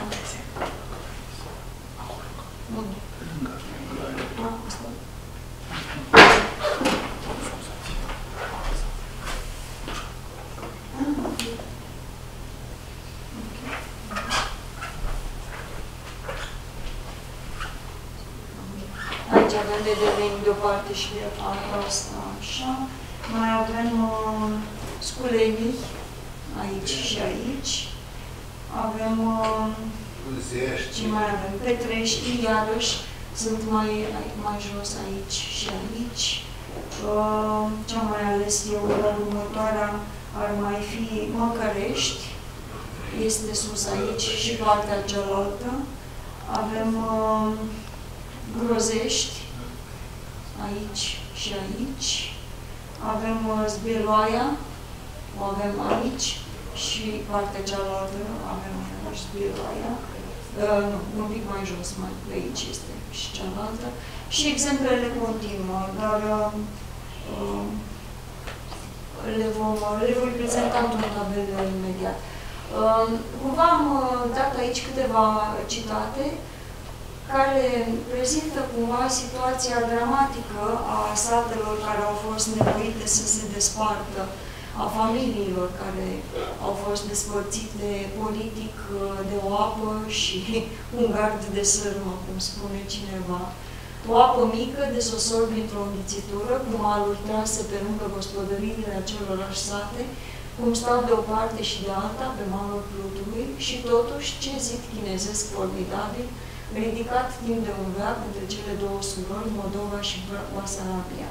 Postule mici, postule dincolo, Prisăcani, Ungureni, Măcărești, atâtea comune care se administrau odată la oaltă, din coace și dincolo de Prut, și care, într-o bună zi, se rup unele de altele. Uh, scuzați, la oaltă, așa era scris în textul inițial, de la 1923, nu am adus la formă, la uh, normele actuale. Uh, un alt citat din regretatul profesor Dimistrăcel, uh, care a făcut niște anchete de-a lungul Prutului și uh, unul din, uh, din uh, subiecții. anchetelor, mulțumesc, Uh, spunea, localnicii au trăit strâns legați de apa Prutului, de când se știu. Peste râu se află sate perechi, este zberoaia pe dincoace de Prut, zberoaia dincolo de Prut, unde trăiește o verișoară interlocutorului nostru, completează domnul profesor. Brozești dincoace de Prut, brozești dincolo de Prut, măcărești dincoace de Prut, măcărești dincolo. Și uh, mai recent uh, am găsit uh, un articol uh, uh, din care am citat un paragraf uh, Până la 1812, când Basarabia a trecut în Imperiul Rus, era un singur sat Costureni, care avea case pe ambele maluri ale Prutului. Așa zic cel puțin istoricii basarabeni. Se mai spune că desele revărsări au mutat casele tot mai departe de râu, de altfel pe hartă se și vede că există uneori distanțe mari între cele satele omonime, împrăștiindu-le pe ambele uh, maluri. O parte dintre cei mutați ar fi înființat după aceea satul românesc de azi, ceilalți s-au dus în stânga, Basarabia. Pentru că nu avea timp de mărunțișul, Uniunea Sovietică a ridicat 360 de kilometri de sârmă ghimpată la granița cu România. De după gard, peste apa Prutului, neamurile s-au strigat o vreme, s-au mai căutat. Au trebuit însă să-și vadă și de viața lor, să facă nunți, să crească mulți copii și să moară. Da. Și în continuare, tabelul promis, am uh, pus tot ce am găsit eu, acum nu știu, posibil să mai fie, și alte exemple de moșii și sate cu moșiile lor împărțite de această apă purgătoare. Berești, fost stat astăzi parte a localității, a fost inclus în Bosia, în județul Iași, pe cealaltă parte, în stânga Plutului, Berești, cartier al orașului Ungheni. Îmi cer scuze dacă există vreo discordanță la raioane sau am făcut și documentarea cât am putut-o. Dacă identificațiilor, vă rog să mi le spuneți. Uh, Populești este un sat în județul Bodoșani și unul în raionul Florești, de partea cealaltă a Plutului. Broscosești, sat în Vaslui, iar uh, pe teritoriul satului Tochile Răducani uh, există un loc numit Cotul Broscosești. Costuleni, sat în județul Iași, Costuleni, sat în raionul Ungheni, Uh, Drujinești este, a fost un sat în vecinătatea localității Bivolar, de pe malul Prutului, malul drept al Prutului, iar uh, în raionul Pălești avem un sat Drujinei. Gotești, în partea de sud a localității Făciu, Gotești, sat în raionul Cantemir. Grozești, sat în județul Iași și un sat pe partea stângă a Prutului, în Misporeni, Hănășeni, fost sat lângă Murgeni, județul Vaslui. Pe partea cealaltă, stângă, avem mai multe hănăsenii mari și hănăsenii noi, a fost și hănăsenii de, hănăsenii de pădure. Uh, Le, Leova, îi spunem noi, nu știu, aici la pronunțați. Leova. Dar noi spunem Leova. Uh, fost sat lângă Bumbăta, pardon, în Vaslui, nu știu de ce am pus în engleză, în franceză acolo. Așa, iar pe partea moldovenească avem iarăși un oraș cu acest nume. Leușeni, fostă moșie lângă satul Drângeni, din județul Vaslui, iar în raionul Gâncești avem satul Leușeni. Manta sau uh, Vadul Isaac. Uh, Manta este sat în raionul Capul, vom vedea mai jos că avem și Vadul Isaac. Măcărești, sat în județul Iași, Măcărești în raionul Ungheni, Mărzătești în județul Iași, Mărzătești vechi, cartier în orașul Ungheni, Medeleni, sat în județul Iași, Medeleni în raionul Ungheni, Moreni, poftim? Da, da, așa este.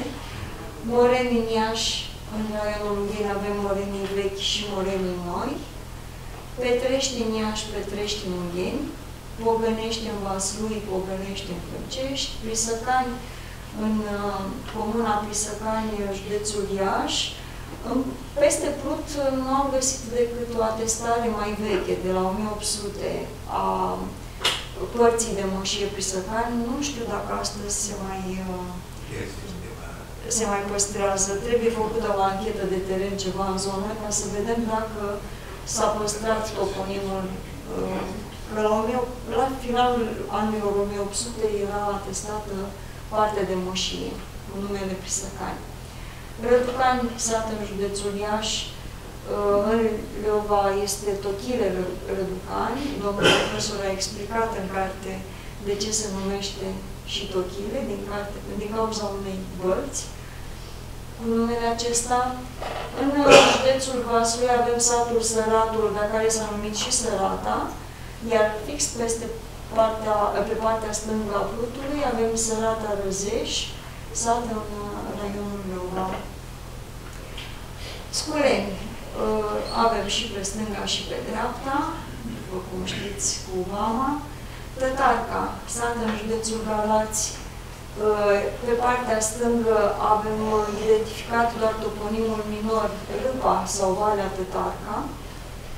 Toceni, uh, atestat într-un document în sintagma Berezeni Ot Toceni, adică Berezenii Moșiei Toceni, în uh, Leova este satul Toceni astăzi.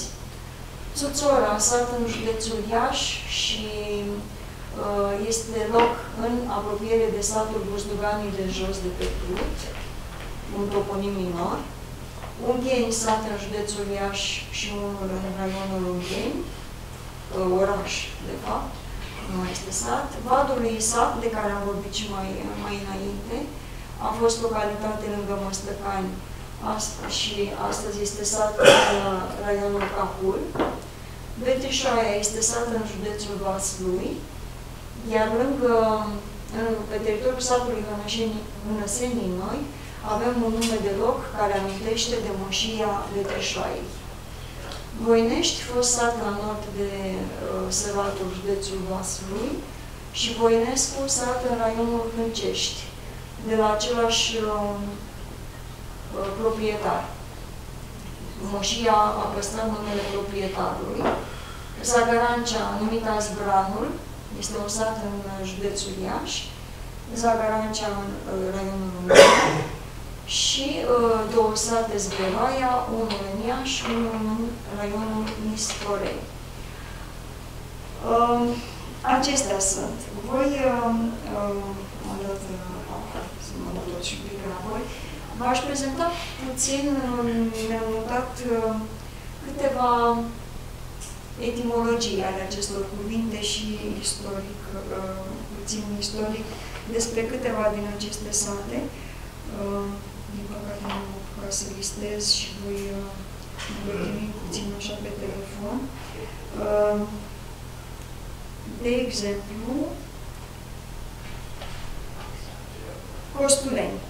Moșia Costuleni a fost întinsă, a fost mare.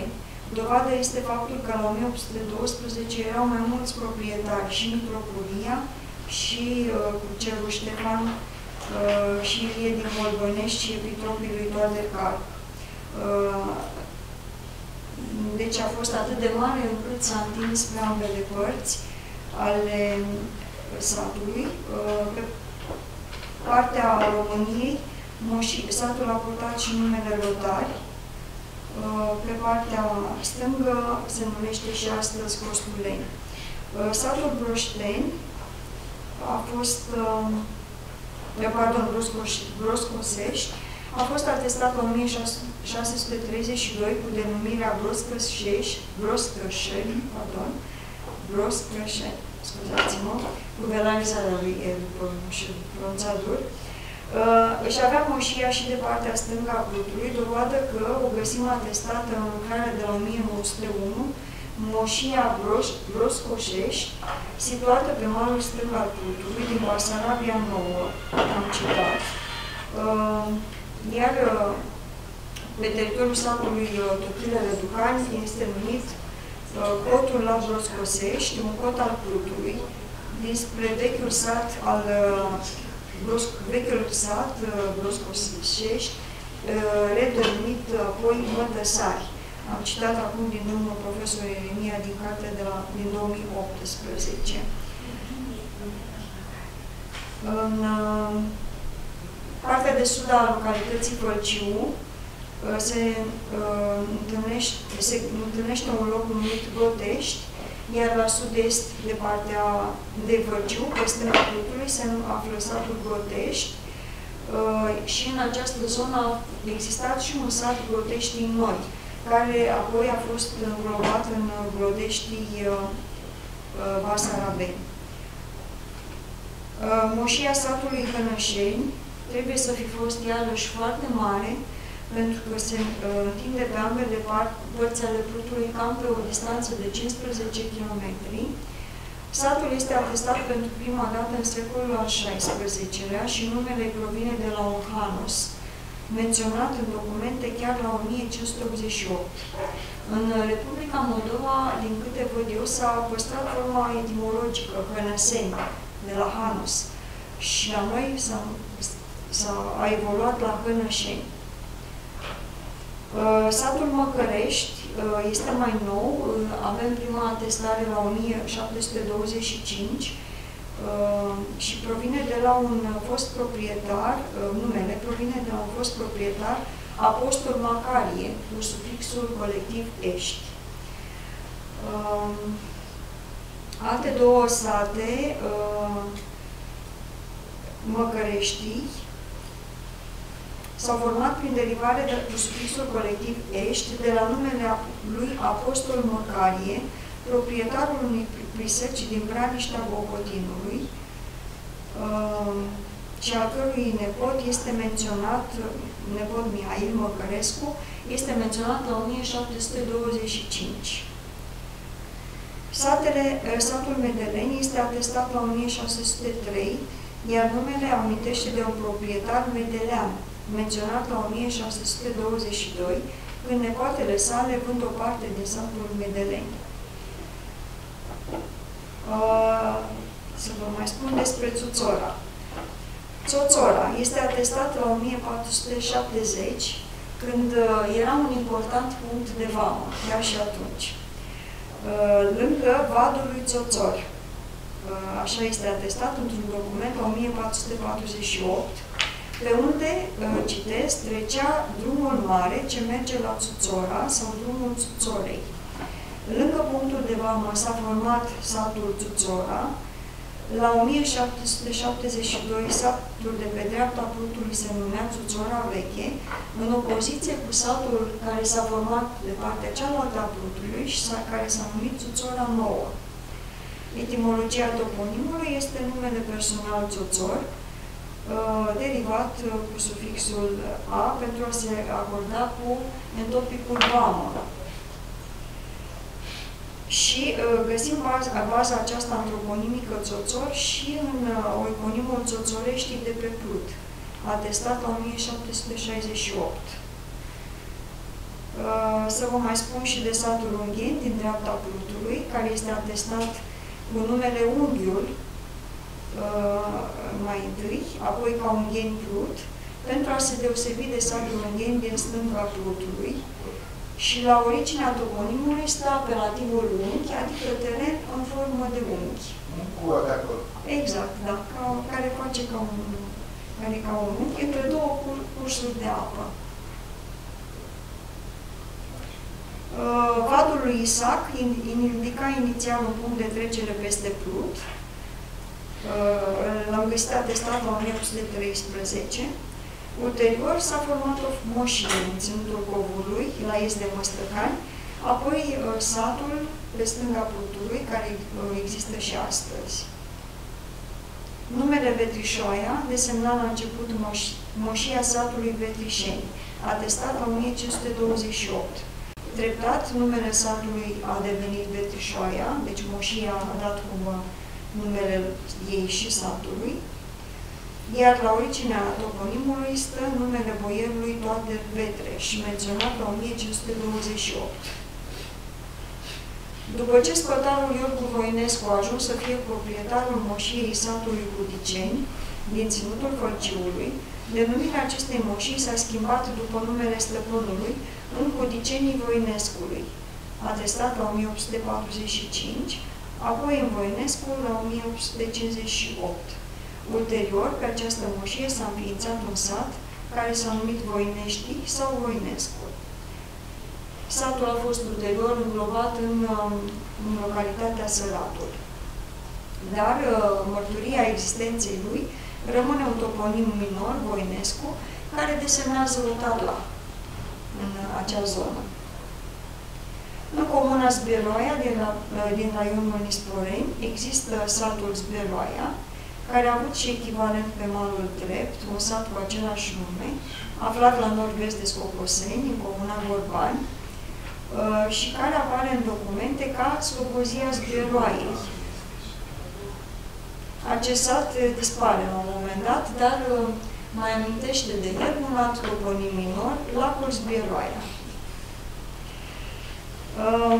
Da, acestea sunt câteva, sunt exemplele pe care le-am găsit eu de moșii care erau odată pe aceeași,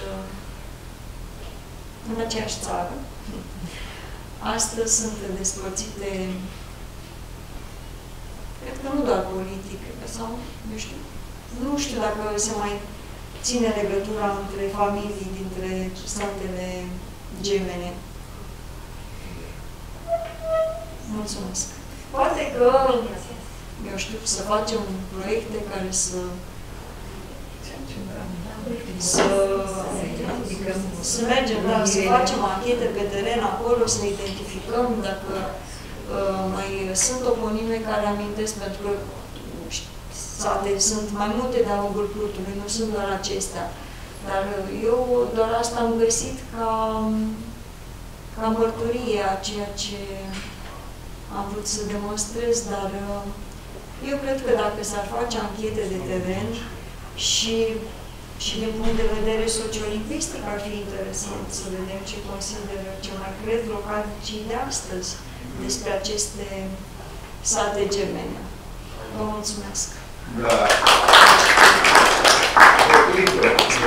Vedeți, toate satele astea gemene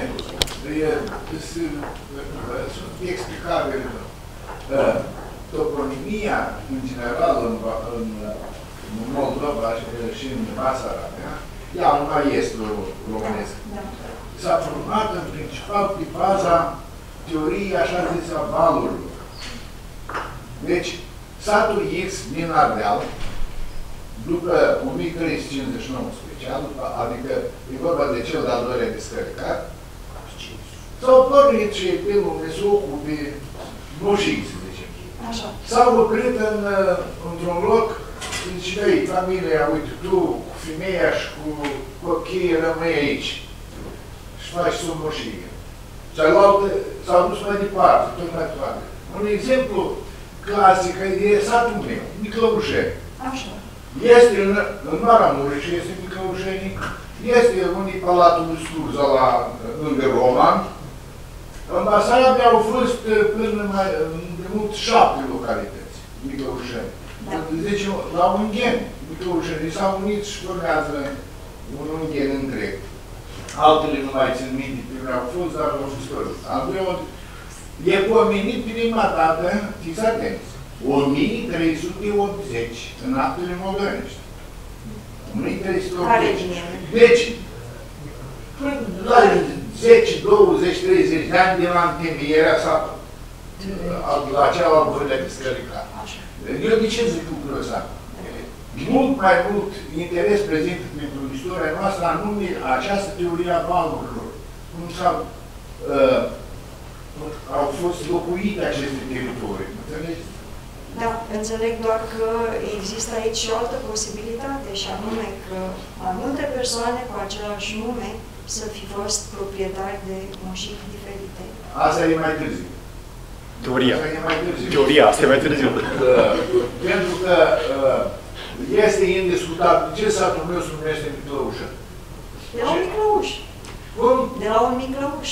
Miclăuș, da, care este, este în Ardeal, este în Moldova, dincolo, Basarabia. Da. Înțelegeți? Uh, Dar e pomenit la 1380. Vă vă dați seama ce înseamnă asta. Păi, Eu, eu cred că multe sate erau, Și existau atunci, doar că noi nu avem dovezi Și scrise. că atunci mănăstirea Căpriana deja era. Satul a, a fost dăruit, sau cum să zic eu, uh, era moșia Căprienii. Așa. Mănăstiri vechi, foarte vechi. Deci istoria noastră, cultura noastră și prin toponimie poate fi studiată. Sigur. De acolo, dacă îți beroaia, îți beroaia, aia mare prânză. Doar bani dincolo, bani dincolo și... E, Asta e clar ca bună ziua. Sigur că fluturul nu e, e mai mare ca răutul, dar primarul răutului e răuiețul ăsta. Câte sate sunt și toate același nume și de parte își dau, dar nu e nicio problemă. Mai e până, dar și până este. Și târzieni este. E una cea mai bună pledoarie științifică pentru unitatea noastră de neam. Deci o țărmă de fată în poate Doar doamne de acord. moștenirea noastră comună și istoria noastră comună. Deci, uitați-vă, apropo, spunea doamna director de unitate de neam. De ce sovieticii, sovieticii, luau basarabenii interpreți de română? Cine nu știam, știe tare bine de ce, că, ce limbă vorbesc. Sau, uh, eu, de exemplu, am fost, uh, am susținut teza la Moscova, la Institutul de Lingvistică. Și mi-au dat acolo uh, niște uh, cristomații, niște românești, sigur că. Nu și-au pus problema că e limbă moldovenească, că e limbă română. Știau tare, tare bine. Cine știa, știa. Uh, Politicienii își făceau interesele lor. Asta e. Am avut grupe din uh, Baia Mare, din București, din Iași, din unde nu mai nu am avut. Și ceva. Avem probleme de traducere sau ceva. Cu intervenții din partea unui profesor în mine, care a fost uh, ceva Da. în generozitate. bucuros, foarte bucuros că această simplă listă de denumiri, denumiri a satelor gemene românești a servit și cred că va servi și mai departe ca obiect de studiu.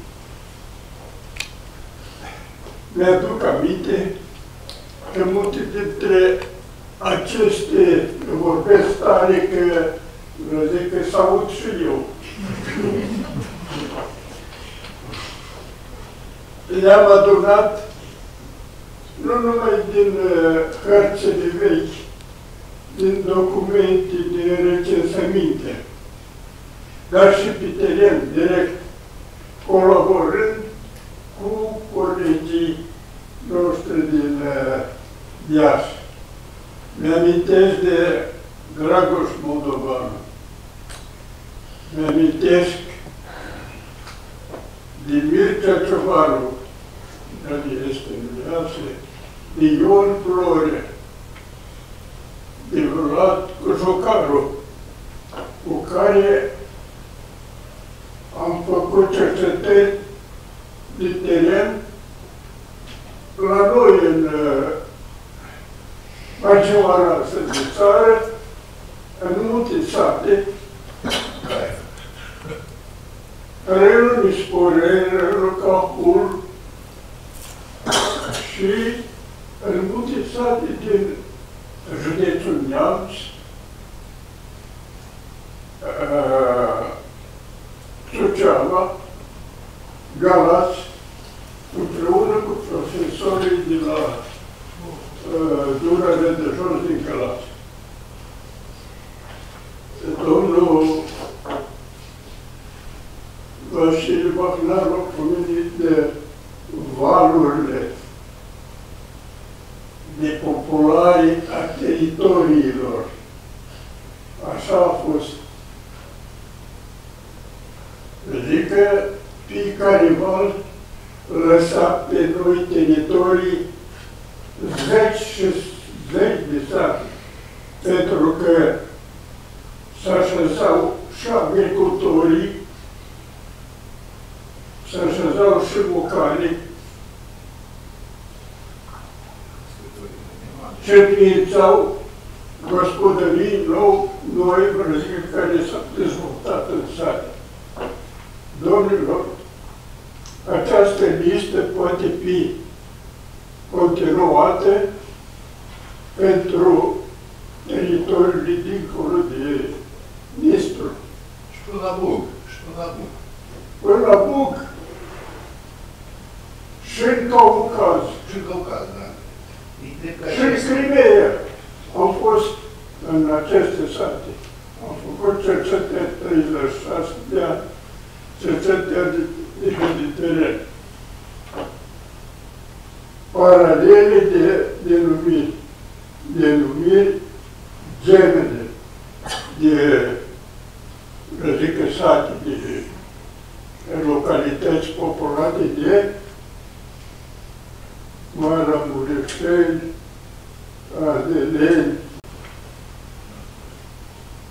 Lucrul trebuie continuat. Am rămas fără ajutor, fără colegii care au crescut pe lângă mine, acum sunt în Italia, Portugalia sau departe. Îmi pare rău.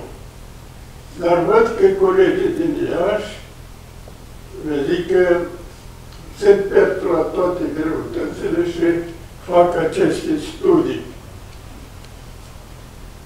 Ce înseamnă toponimia?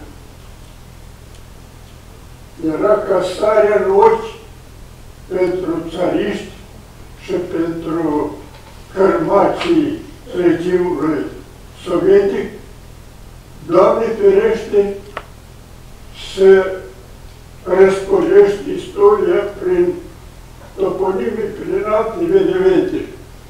Am susținut teza de doctor, candidat cum era, cu mare greutăți.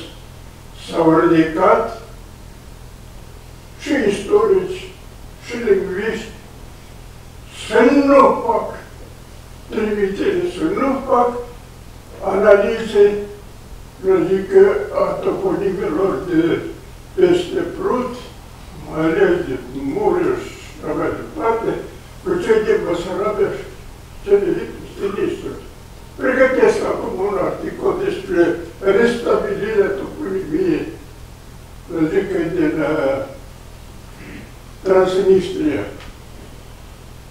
Ce înseamnă toponimie? Iorgu Iordan spunea, e graiul nevorbit al pământului. Este istorie descrisă a poporului nostru. Am să mai fac ceva ce pot, dar să știți că știința onomastică trebuie să trăiască, să crească și să susține. Și la institutul nostru, pe bază de noi angajați. Și sunt sigur că și în România lucrul ăsta se face cu ajutorul tinerilor cercetători. Eu vă mulțumesc că ați participat la un eveniment cum este colaborarea noastră cu domnul de România. Am colaborat și cu domnul din Cluj, din Timișoara, din București, din Galați. Eu vă mulțumesc pentru participare și mulțumesc doamnei Daniela, care este un suflet nou, un meu suflet de om, dar și un suflet puternic al națiunii. Să trăiți cu toți! Eram la o conferință la Kirovohrad, din Ucraina. Că era un domn, nu scapă numele, are cărți, dar a fost profesor pe la Blăț, dar i s-a venit acolo la șef de catedră. Zic, băi, hai să vă duc eu într-un sat, din Moldoveni de voștri. Trei sate.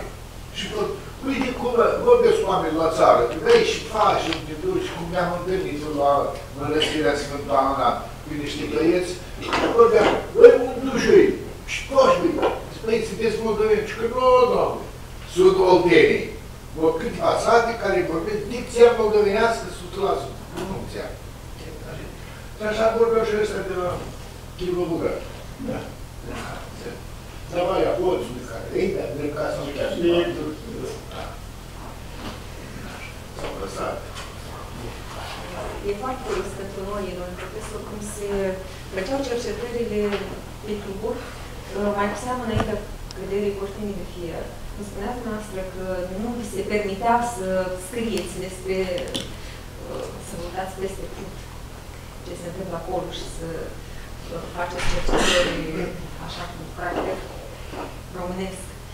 De-aia am vrut să uh, elaborăm această carte colectivă uh, cu interviuri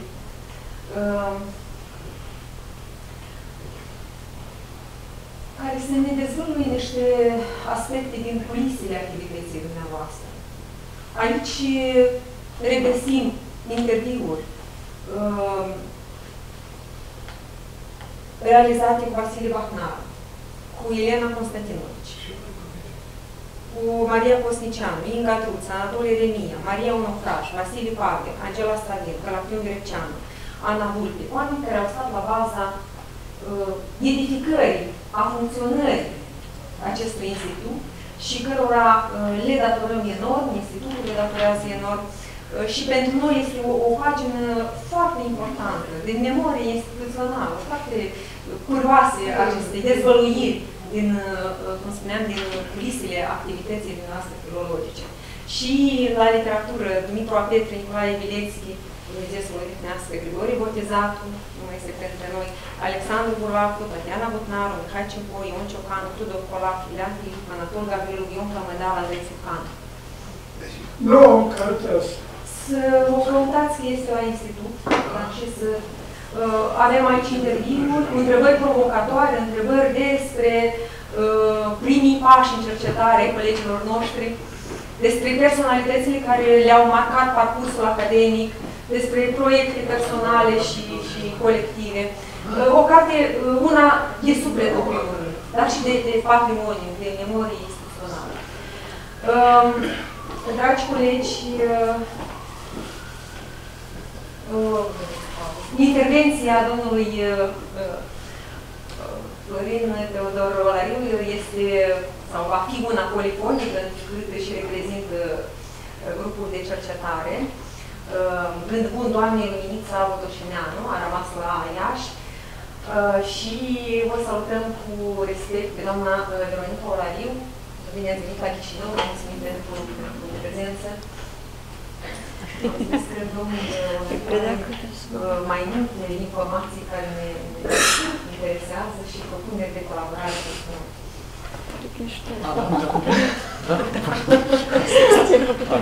Aveți ceva tip, da? Da. Mulțumesc. Mulțumesc pentru uh, invitația de a participa. Uh, eu programul la Universitatea aici, pentru dumneavoastră, program, vreau să fim mai aproape de public și mai departe de propria comunicare ca să fim obiectivă. Se pare că nu se poate. Voi încerca să fiu aici, în pușca mea să stau aici. Da. Cum spuneam, mulțumesc pentru invitație care mă onorează și vreau să fac o paranteză. Spunea doamna director Corcinski despre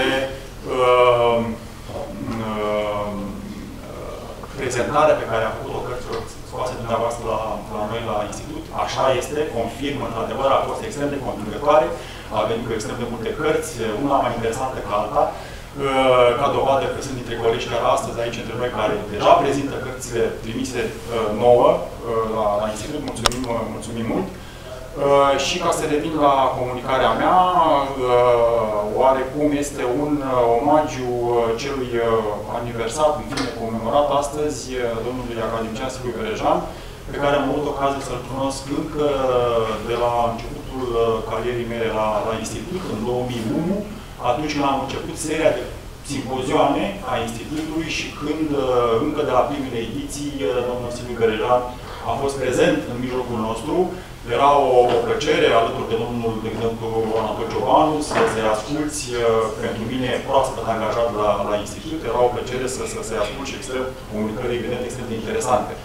Așa încât încerc să, să-mi plasez și uh, uh, comunicarea mea într-o bună amintire a domnului Silviu Berejan, care evident a avut preocupări și de uh, și de dialectologie și de practic de, de uh, diatopie și așa mai departe.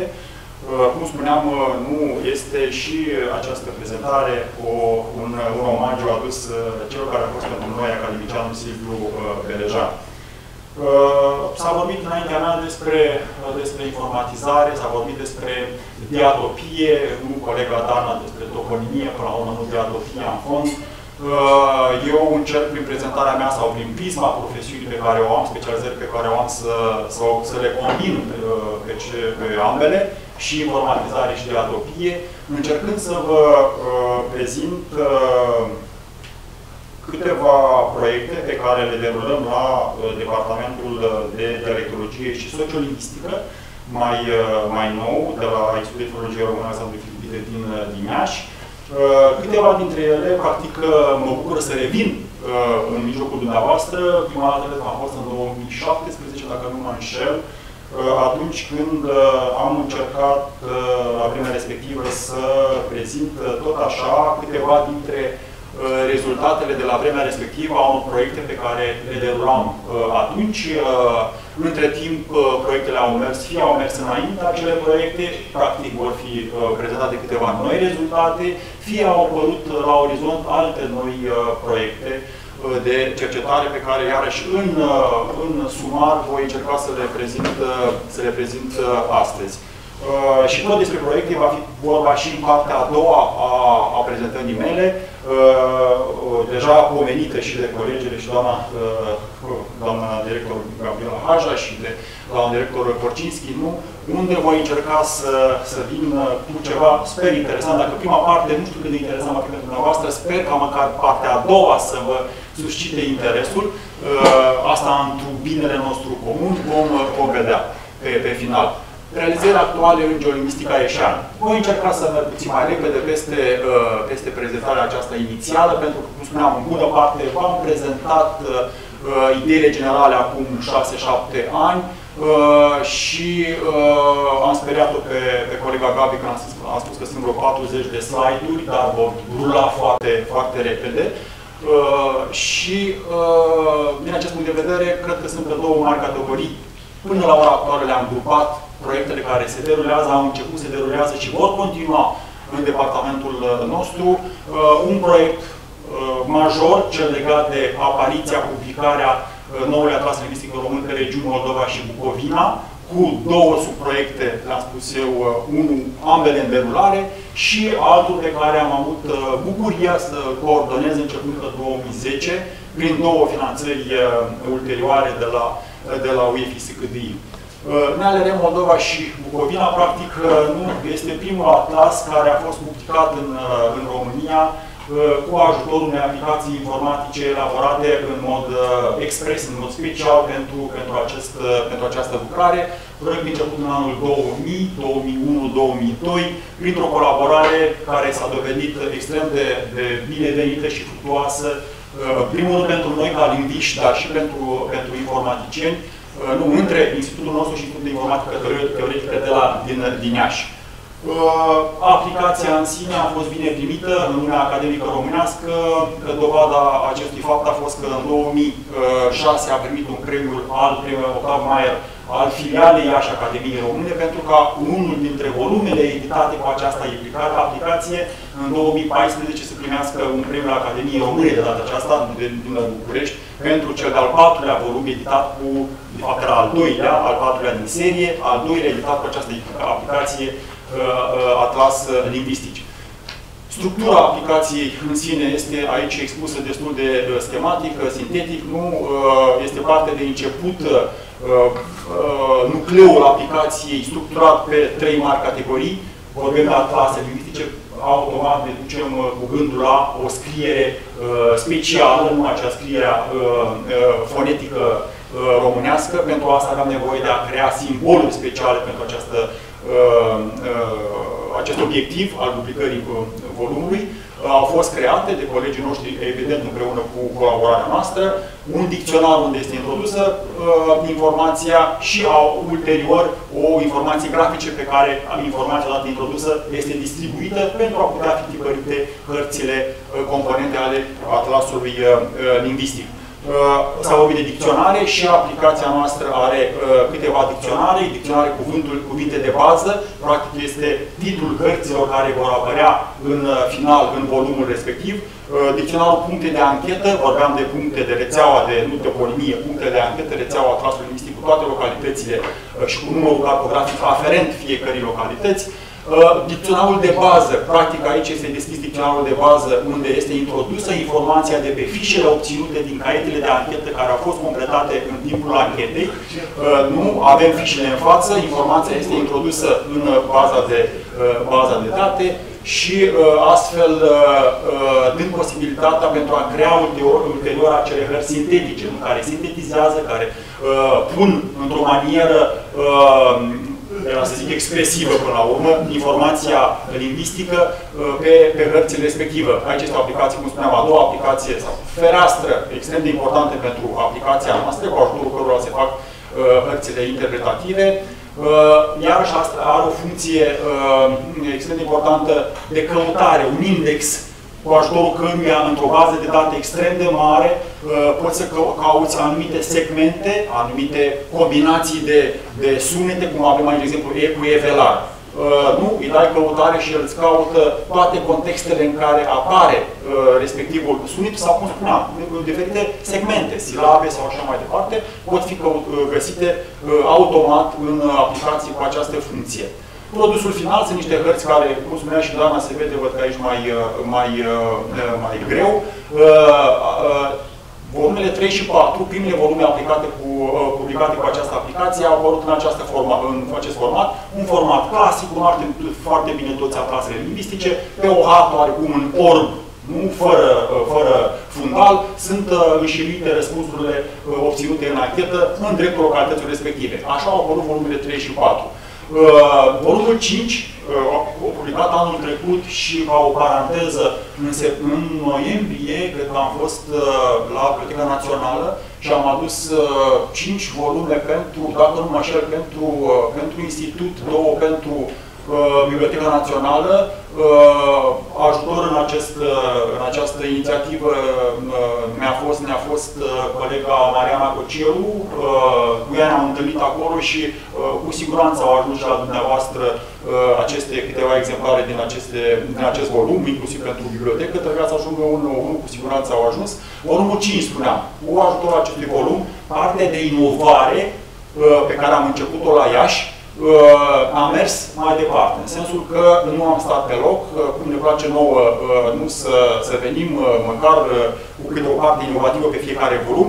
De data aceasta, partea inovativă a fost pe partea de grafică. În sensul că am început, am, încercat, am încercat să introducem policromia, de data aceasta, respectiv să introducem fundalul hartă fizică pentru, uh, uh, pentru uh, harta cea nord pe care v-am arătat-o inițial, Uh, motivul, rezonul, uh, este dincolo de aspectul estetic, aici se vede mai dificil, nu, nu este o rezoluție prea bună, într-adevăr, dincolo de partea estetică, există și o, și o componentă științifică sau o rațiune științifică la această, pentru această opțiune pe care am avut-o.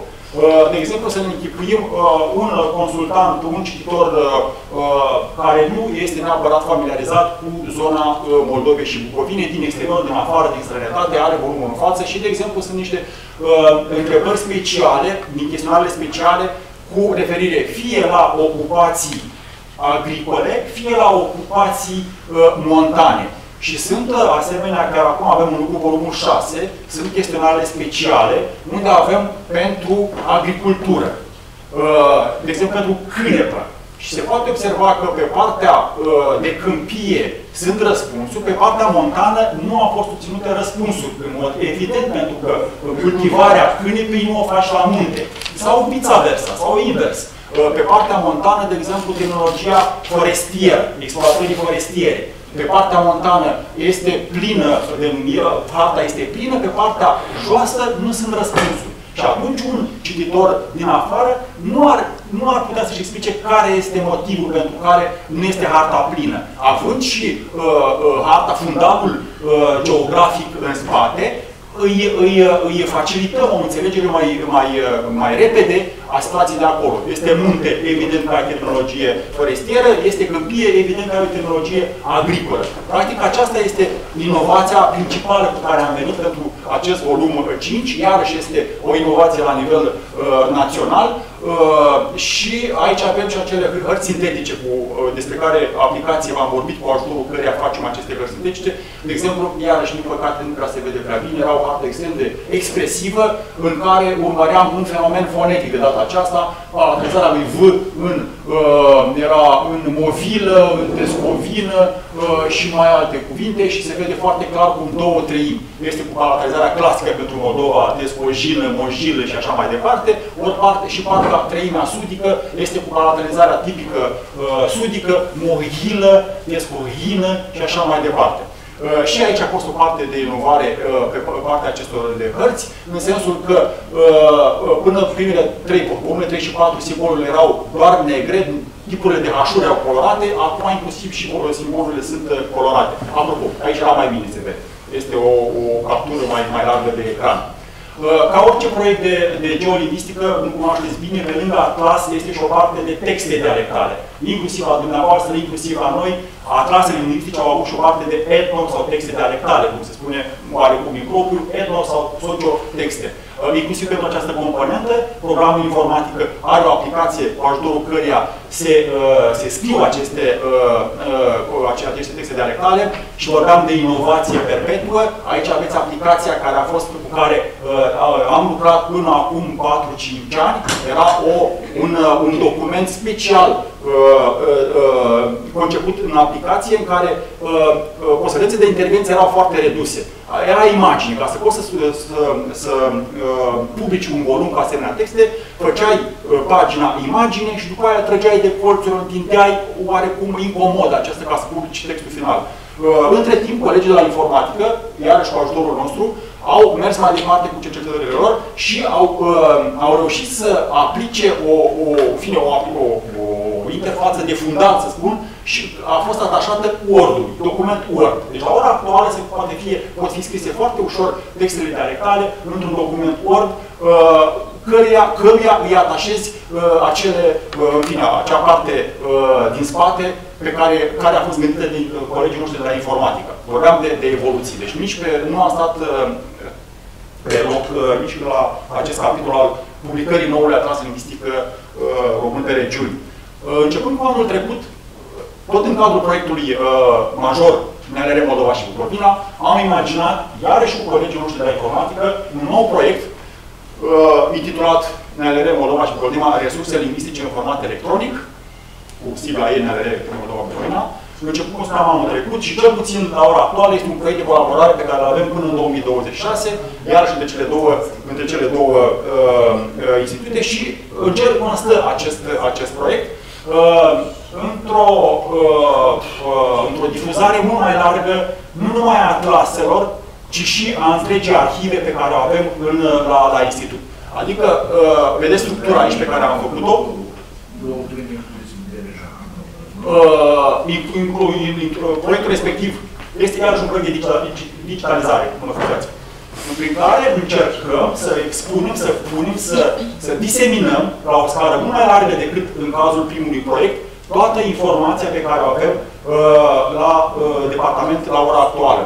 Și aici asta, această informație constă în atlasele care au fost publicate până la ora actuală și pe care încercăm să le punem pe platforma ENALR, Etno și sociotextele, uh, din care până la ora actuală au fost publicate trei volume și vor fi, uh, vorba și de o hartă sonoră, voi spuneți pe ce este vorba în continuare, și un capitol varia, în care încercăm să, să, să dăm publicului larg și câteva momente din istoria departamentului, istoria NLR Moldova și Bucovina, prin fotografii de teren, note pe marginea chestionarului și așa mai departe. Uh, cum spuneam, uh, apropo, este, este arhiva de uh, caiete de anchetă, avem aici arhiva de audio cu benzi de magnetofon, în care, pe, sau, pe care suntem în curs să le informatizăm, să le digitalizăm. Atrase, vorbeam de atrasele pe care încercăm să le punem pe platformă de la volumul 1, volumul 5, din fericire, volumele 3, 4, 5 le avem deja în format digital. Problema va fi volumele 1 și 2, care sunt doar în format clasic și pe care va trebui să le scanăm pentru a le pune pe platforma respectivă, clase și texte dialectale.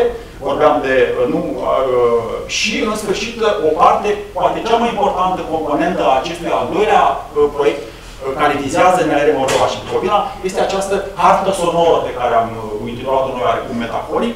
Despre ce este vorba?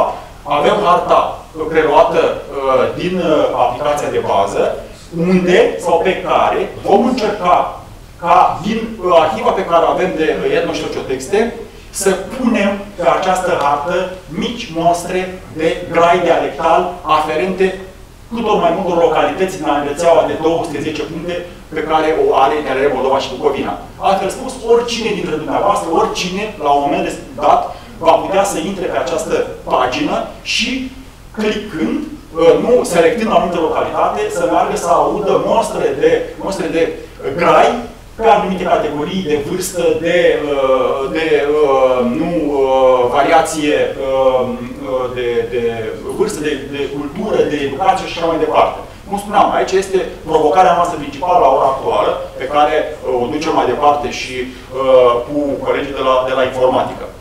Uh, și vorbeam de capitolul Varia al acestui, uh, al acestui proiect, unde, fără de a intra în prea mari detalii, vom încerca iarăși să, să nu să dăm publicului larg, uh, nu din, din bucătăria proiectului nostru, aceste fie imagini, fie alte documente pe care, de exemplu, aici sunt documente de arhivă, cum erau transcrise textele dialectale înainte de a apărea aplicația consacrată. Avem aici o pagină transcrisă de domnul Uh, colegul nostru, uh, profesor uh, Vasile Arinte, aici o altă pagină transcrisă de colegul nostru și profesor Adrian Turculeț, nu, momente instantanee din istoria departamentului și a proiectului în sine în ARN Moldova și Bucovina. Practic, iarăși nu se vede bine, nu? din această perspectivă puteți spune că proiectul NLR Moldova și Bucovina are o componentă științifică și o componentă de tezaurizare, astfel încât putem spune că va fi pe final un muzeu virtual al proiectului NALR Moldova și Bucovina. Uh, ultimul proiect pe care vreau să vi-l prezint și pe care am început să-l prezint și uh, acum, cum spuneam, câțiva, câțiva ani, este uh, iarăși un proiect de digitalizare a geolingvisticii românești, este vorba de primul atlas lingvistic audiovizual conceput pe terenul limbii române și unul dintre primele de acest gen la nivel uh, european. Colaborarea iarăși cu informatică. Uh, în acest sens, au avut până la ora actuală două etape, 2010, 2013, 2015, 2017, uh, și uh, ca obiective ne-am propus urmărirea variației diatopice diastratice formată din vârstă și Uh, și uh, generație, inclusiv etnice, veți vedea despre ce este vorba, și, practic, în final, constituirea unei arhive cu documente scrise în registru dialectal. Aceasta este iarăși o parte uh, novativă, inovatoare, pe care vrem să o punem în aplicare de acum încolo, să mergem pe teren și să culegem de la informatorii noștri, de la subiecții noștri, pe cât posibil, documente scrise de ei înșiși în registru dialectal. Uh, pe care ulterior să le scanăm, să le punem pe, pe site. Aceasta este componenta de, de noutate a clasului pe care vrem să, să o ducem uh, pe, în anii următori, mai, să o dezvoltăm în anii următori mai, mai, mai departe. Acesta este proiectul, este pagina de start a, a proiectului. Uh, până la ora actuală, doar 10 localități am reușit să le, să le acoperim și sunt puse răspunsurile pe, pe hartă.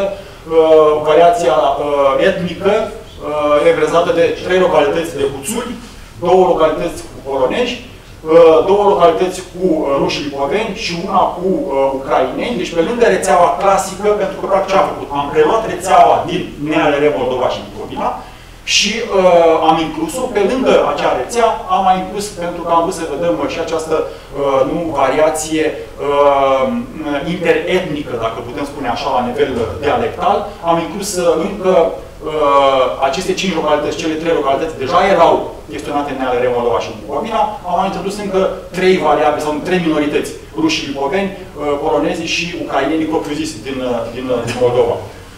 Uh, harta, cum spuneam, uh, propriu-zisă a proiectului, harta principală, selectăm, selectăm întrebarea, selectăm variația, femeie tânără, femeie vârstnică, bărbat tânăr, bărbat vârstnic uh, și mergem pe atras și obținem răspunsul în format video nu pus pe site-ul pe site-ul proiectului. Ca perspectivă vrem să avem și varianta clasică, deși este audiovizual, intenționăm să, să și tipărim această, acest atlas când va fi posibil, adică cu răspunsurile clasice, în, sau în manieră clasică, tipărită, vorbeam de această parte inovativă, acea arhivă de documente scrise în registrul dialectal.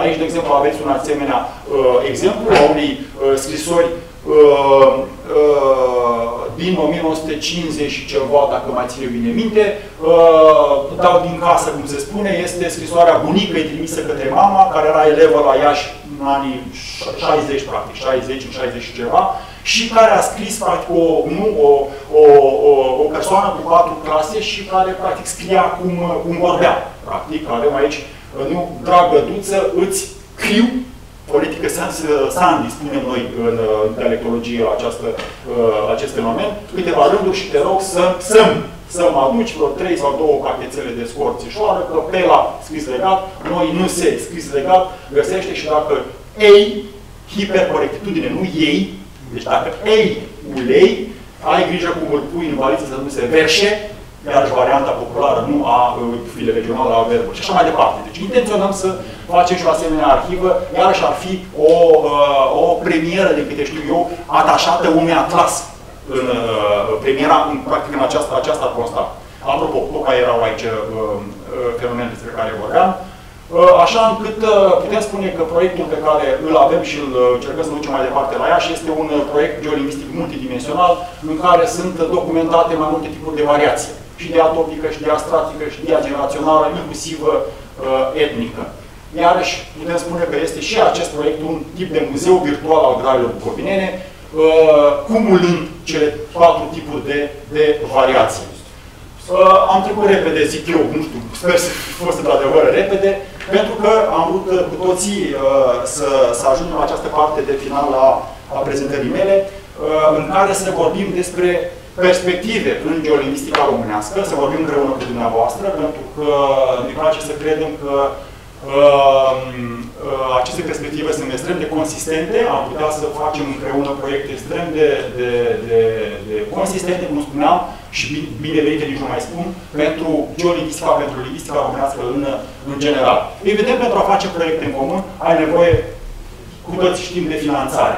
Uh, fără finanțare și din ce în ce mai mult, fără finanțare nu vom face uh, nimic, pentru că nu cred că doamna uh, directoare Kocinski ne-a prezentat situația dumneavoastră uh, nu tocmai roz, nu de la ora actuală pe finanțare, Uh, și, la, și la noi, în România, uh, nu, uh, partea de filologie, partea de, uh, de științe umaniste, uh, practic uh, este supusă unei presiuni, inclusiv în această perspectivă a finanțării, obținerii unor finanțări pentru proiecte din această, uh, acest domeniu, așa încât uh, este bine să vorbim, să ne unim forțele și să vorbim împreună despre proiecte, proiecte comune. Despre asta voi încerca să vorbesc și eu în minutele următoare, despre perspective comune Iași Chișinău, putem extinde și București Cluj, evident că nu este o problemă, dar pentru moment, pentru că avem acest background, acest fundal al proiectelor pe care le avem dezvoltate la Iași și uh, pe care putem foarte ușor să le dezvoltăm printr-o colaborare cu dumneavoastră, m-am limitat pentru uh, moment pentru Iași Chișinău,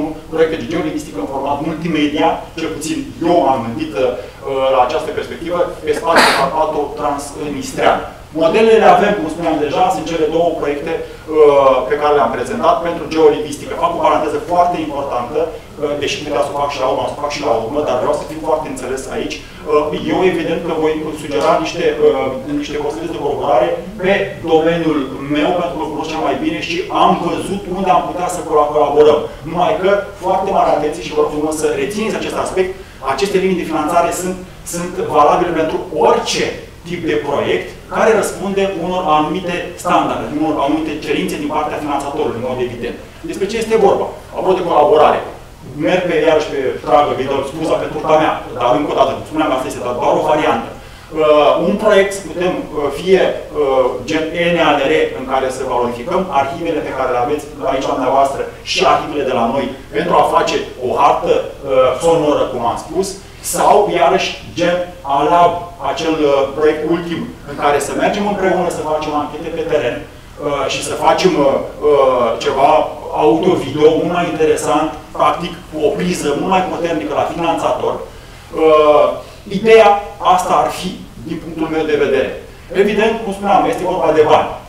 Întâmplarea fericită, aș putea spune eu, face că săptămâna trecută a fost lansat linia de finanțare care era în dezbatere prin toamna trecută. Pe 11 mai 2023 a fost lansată linia de finanțare programul Interreg Next România Republica Moldova, lansat oficial pe 11 mai 2023 și tot întâmplător face că astăzi vorbim în fața dumneavoastră. Mâine la ora 10 acest program va fi lansat și la Iași, la hotelul Unirea, de către reprezentanții, de către oficialitățile care uh, coordonează această linie de finanțare de la minister, de la alte agenții de monitorizare a cercetării până, până la urmă. Uitați și nu și uh, imaginea este foarte uh, expresivă, foarte concludentă, Soroca și Iașul de o parte și de alta uh, aici. În ce constă această linie de finanțare? Am încercat să mă documentez. Uh, bani, uh, bani sunt, adică vorbim de uh, zeci de milioane de euro, uh, la această categorie. Uh, bani sunt uh, și din ce mă în schimb este o, o, ar fi o mică problemă pe care nu trebuie să ne impedimenteze să mergem mai, mai departe, în sensul că sunt alocați pe anumite direcții de finanțare, cum ar fi comunități verzi, Aici, din păcate, nu prea avem ce, ce, ce căuta noi, pentru că vă dați seama ce înseamnă, nu pe dezvoltarea, pe industrii verzi și așa mai departe, pe cooperare transfrontalieră. Din păcate este un, un titlu care este promițător, dar când intri să citești despre ce este vorba, este doar pentru dezvoltarea sectorului frontalier, în sens de poliție de frontieră și așa mai departe. Unde am intrat noi este pe această dezvoltare socială și transfrontalieră, deci la capitolul 2. Interesant că aici sunt, este și finanțarea cea mai mare, vreo 30 și ceva de, de milioane de, de euro. Prioritatea 2, cum spuneam, dezvoltare socială transfrontalieră, în cadrul căreia, în general, aceste proiecte mari cu bani mulți sunt acolo de, de direcția în care merge finanțarea pentru științe socio-umane. Văd tot timpul impact, sau din ce în ce mai mult impact la nivel social. Adică trebuie să ne orientăm după ei până la urmă dacă vrem să obținem o finanțare. De exemplu, aici ar fi, eu cel puțin am, am identificat două, două subpuncte unde am putea să ne încadrăm, încă o dată, repet, cu orice tip de proiect pe care am putea să dezvoltăm împreună între cele două institute, nu numai pe cele geolingvistică, încă o dată repet, și o să mai repet, ar fi pentru că, iarăși, o paranteză, de obicei asemenea proiecte, când, spun, când merg pe partea culturală, de obicei sume mari merg pe partea de reabilitare a patrimoniului cultural. Cetatea Soroca, alte fel de monumente, unde noi, din păcate, nu avem cum să intrăm pe asemenea, pe asemenea linii de finanțare. Uh, în schimb, uh, sunt două subpuncte, cum spuneam, uh, unde am putea să ne gândim la, la un posibil proiect, la un posibil proiect de colaborare, și anume promovarea și accesibilitatea patrimoniului cultural. Adică, cum spuneam, acea, acele arhive pe care le avem. Promovarea și accesibilitatea patrimoniului cultural.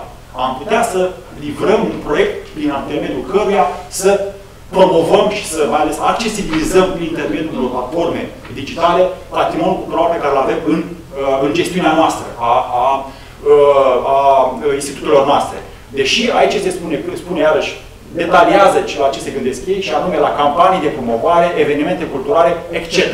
Noi vom încerca să exploatăm acest etc. Adică să vedem dacă un proiect de genul ăsta am putea să, să, să, să îi sensibilizăm pe finanțator. Și a doua linie este proiectarea și promovarea produselor și instrumentelor inovatoare legate de turism. Și aici vine, asta nu ne, de la, nu ne convine legate de turism, ce ne convine este că sunt inclusiv platforme digitale. Deci iarăși am putea să gândim, să imaginăm o platformă digitală care se corespundă nu, acestei, acestei dorințe de promovare culturală până la urmă. Aici este, este, este o linie de finanțare pe care v-am prezentat-o până acum. Sunt bani mai mulți uh, sunt oare, oare, oareșcare restricție pe parte de, de, de temă, tematică. Vom vedea, voi merge și mâine dimineață, poate unii și colegii vom merge împreună să vedem, uh, vom pune întrebări, pentru că pentru asta este și ședința de mâine. Să o lanseze și să, uh, să răspundă unor întrebări. Vom pune întrebări în sensul ăsta, dacă noi, ca patrimoniu cultural imaterial, putem fi uh, uh, uh, interesați, interesanți pentru, pentru ei. Vom vedea și ținem legătura. A doua linie de finanțare, care este mai, uh, vine mai bine pe, pe, ca o mănușă pe ceea ce facem noi, pentru că este pe cercetare, este promovată la ora actuală, pachetul de informații este în dezbatere până pe 6 iunie, adică iarăși urmează să vină. Este o linie de finanțare numită Proiecte de colaborare cu Republica Moldova, care a fost recent deschisă, încă o dată cum spuneam. Deci nu este deschisă din fericire, avem timp să ne mai gândim la proiecte, dar uh, este în dezbatere la ora actuală. Uh, lansată pe de UE Fizică de I, deci practic este unitatea care finanțează cercetarea la noi în, în, în România și uh, uh, care se numește nu sub programul bilateral Proiecte de colaborare cu Republica Moldova în care spune, apropo, am uh, făcut uh, câteva capturi de ecran pentru a vă prezenta în mare, atât aici avem deja principalele informații care ar putea să ne intereseze. În primul rând, nu, UEFSCD cercetarea asta finanțează cercetarea fundamentală, unde ne-am înscrie noi. Deci aici chiar nu am avea nicio problemă pe parte de specific al instituțiilor noastre. Sunt de cercetare fundamentală, este dedicat pentru cercetare fundamentală. Ideea este să avem idei, să venim cu proiecte și să evident să participăm în competiție, să mai și câștigăm. Mai trebuie nimic la toată să mai câștigăm și proiecte. Este, este clar, pe final. Bugetul este evident mult mai mic ca partea cea respectivă acolo, ca celălalt interreg. Bugetul este mult mai mic, este pentru 2003, 3, 3, 3, 3 milioane pentru 2023. Uh, ne dau și structura, structura unor proiecte. Uh, unor proiecte este pentru o unitate din România, o unitate din uh, Republica Moldova, 500.000 de lei, 250 Moldova, 250 România. Și tot poate, se poate să meargă până la o unitate din România și 3 din Republica Moldova. Asta este structura proiectului a organizațiilor care pot intra în, în asemenea proiecte. Este stabilită și structura echipei de proiect, uh, ei sugerează. Structura recomandată a echipei de proiect este o poziție de cercetător senior, una de cercetător postdoctoral, ce înseamnă până la 8 ani de la susținerea doctoratului. Și două poziții de doctoranți, cetățenii Republica Moldova. Sau multiplu de această schemă. Deci 1, 1, 2, 2, 2, 4, 3, 3, 6, nu, dacă mai calculez eu bine, deci multiplu de această schemă. Practica aia de bază este 1 Uh, senior, unul postdoctoral și doi doctoranți. Uh, și în ce constă, practic, este, mai degrabă, este un proiect de mobilități pentru Republica Moldova.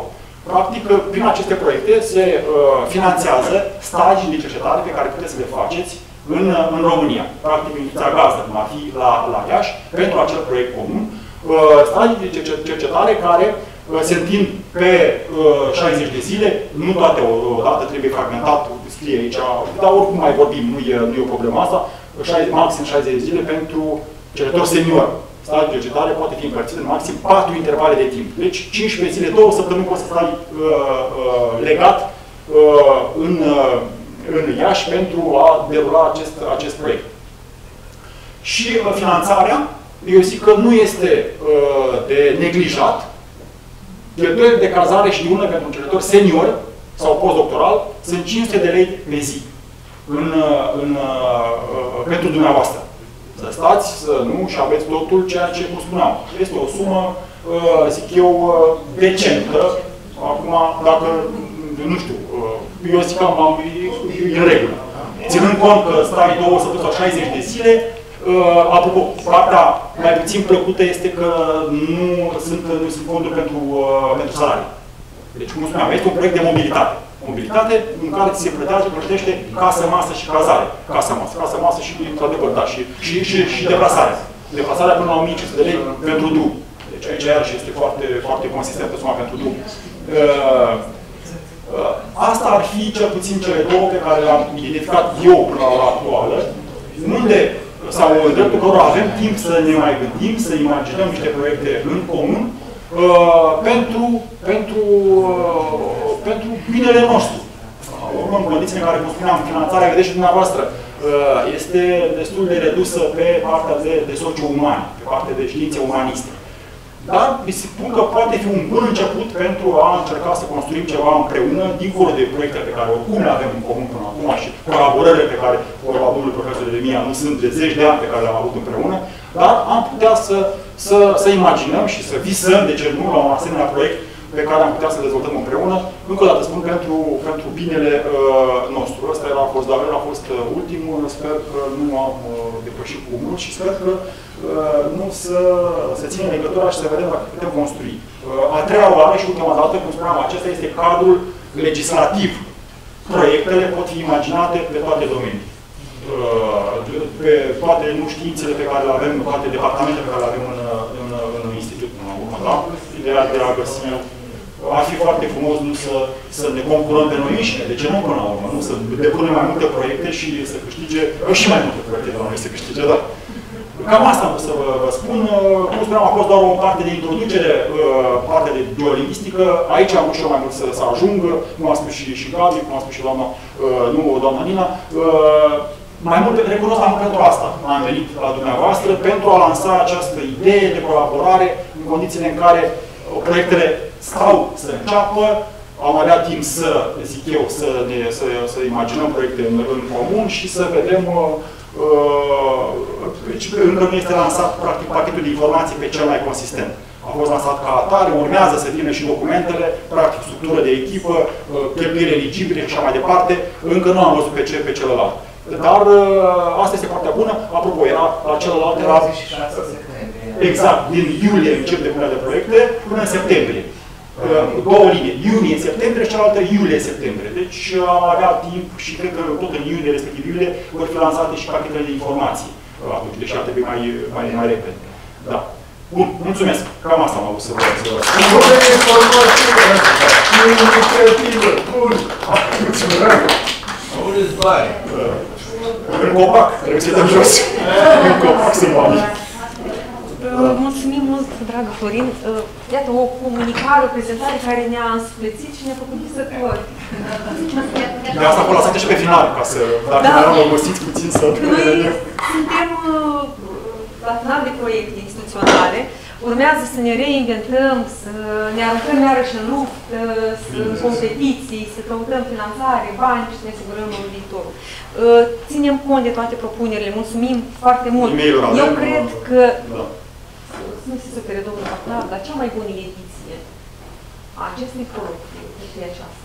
Datorită colegilor noștri din România, de la Iași, mulțumim foarte mult, mulțumim de suflet pentru mm, o, o prezență deosebit de onorantă și de uh, proteică pentru noi. Că, Uitați, ne-ați, ne-ați prezentat atâtea opțiuni de colaborare, de uh, dialog, de, de uh, parteneriat, încât uh, chiar ar fi păcat să ratăm, să nu uh, dăm curs acestor propuneri și să nu... Și tare aș vrea cât mai curând, mă scuze, mă scuze, Lina, să, să poți răspunde și domnul Bahnar unde sunt bani. Adică nouă trebuie să spunem, uitați domnule Bahnar, banii, banii, să putem spune, aici sunt banii dumneavoastră, vorba unui președinte de-al nostru. Aici sunt banii dumneavoastră. Ai ușor a vorbit. Da, evident, evident. Dar toate lucrurile încep cu, cu o idee, până la urmă. Ori toate proiectele încep cu o idee. Și evident cu răbăița colaborării. Așa este, Doamne ajută, mulțumim tare mult. E, plăcere. Și revenim la acest dialog, revenim la acest dialog. Cu siguranță. Uh, Dragi colegi, o invităm în continuare pe doamna Ana Bute, uh, unul dintre lingviștii noștri de forță, uh, coordonatoarea unui mega proiect de selecționare explicativ a limbii române actuale. O să vorbim și despre acest dicționar, uh, dar la capitolul lansări de carte. Acum ascultăm pe doamna uh, Multe, uh, o comunicare care se intitulează felul următor. Revalorificarea concepțiilor lexicografice inovatoare uh, berăjaniene. Vă rog, doamna. respectivul. Dorat Vaschiț, dragi colegi, se zice că sunt oameni care mor înainte de a se naște. Dar sunt oameni care se nasc spre a nu muri niciodată. Bănuiesc sau cred, sunt sigur că academicianul să deja face parte din cele două categorii. Ori drept dovadă Mai este, tai și- un pic, rog. drept dovadă este și această conferință Pentru asta. uh, care se organizează de acum de Anișoară, vă Mai- rog mai mai mult de tare, 10 ani. nu auziți domnul Elimia. Da, uh, trebuie dovadă uh, a faptului că uh, Silviu Berejan face parte din cea de-a doua categorie a oamenilor, adică cei care se nasc spre a nu muri niciodată, este și această conferință pe care, care o organizăm noi și care a fost la, de fapt, inițiativa, într-adevăr, cum am menționat ce doamna directoare, la inițiativa lui Vasile Bacnaru, pe atunci director al Institutului, și un, care este și un discipol fidel al academicianului Vasile Berejan. Și atât de acum suntem la ediția 6. Ca să vorbesc despre cele câteva principii inovatoare pe care le-a uh, emis academicianul, lingvistul, inclusiv lexicograful Silviu Berejan, am să încerc să uh, expun aceste idei, aceste concepții și ca să nu expunerea mea să nu fie prea așa uh, prea mare, decât suntem deja depășim programul, mi se pare. Am încerc să dau citire la aceste text pe care l-am elaborat, câteva pagini pe care le am aici. Silviu Birejan este savantul cu renume, ale cărui idei convinge strădanii ce l-au motivat continuu să denuiască. Ori meritele savantului Silviu Birejan în domeniul lingvisticii sunt incontestabile și unanim acceptabile în știința națională și internațională, afirma lingvistul de talie mondială Eugen Coșet. Lingvist de profil larg, cercetătorul Silviu Birejan s-a simțit atras în special de problemele de lexicologie, semantică și lexicografie. În acest domeniu a reușit să-și formeze o doctrină proprie, iar prin îndrumarea competentă a tinerilor specialiști lexicologi și lexicografi, prin coordonarea unor lucrări colective de proporții elaborate în cadrul sectorului de lexicologie și lexicografie, al Institutului de Limbă și Literatură al Academiei de Științe, de atunci a Republicii în Moldova, în fruntea căruia s-a aflat din 1978 până în 1987. Silviu Berejan a creat o școală lexicosemantică cu viziuni noi în tratarea lexicului și în redactarea dicționarelor. În ceea ce urmează, am să insist, în primul rând, și am să fac o succintă expunere a acestor concepții lexicografice elaborate și utilizate în mod practic de academicianul Silviu Berejan, în special la realizarea celor de-al doilea volum al dicționarului explicativ moldovenesc de atunci, editat în 1987. Deci aceste principii au fost deja implementate anume în acest al doilea volum al dicționarului. Și cred eu că aceste concepții sunt atât de valoroase încât merită să amintim de ele chiar cu riscul de a repeta acest lucru. În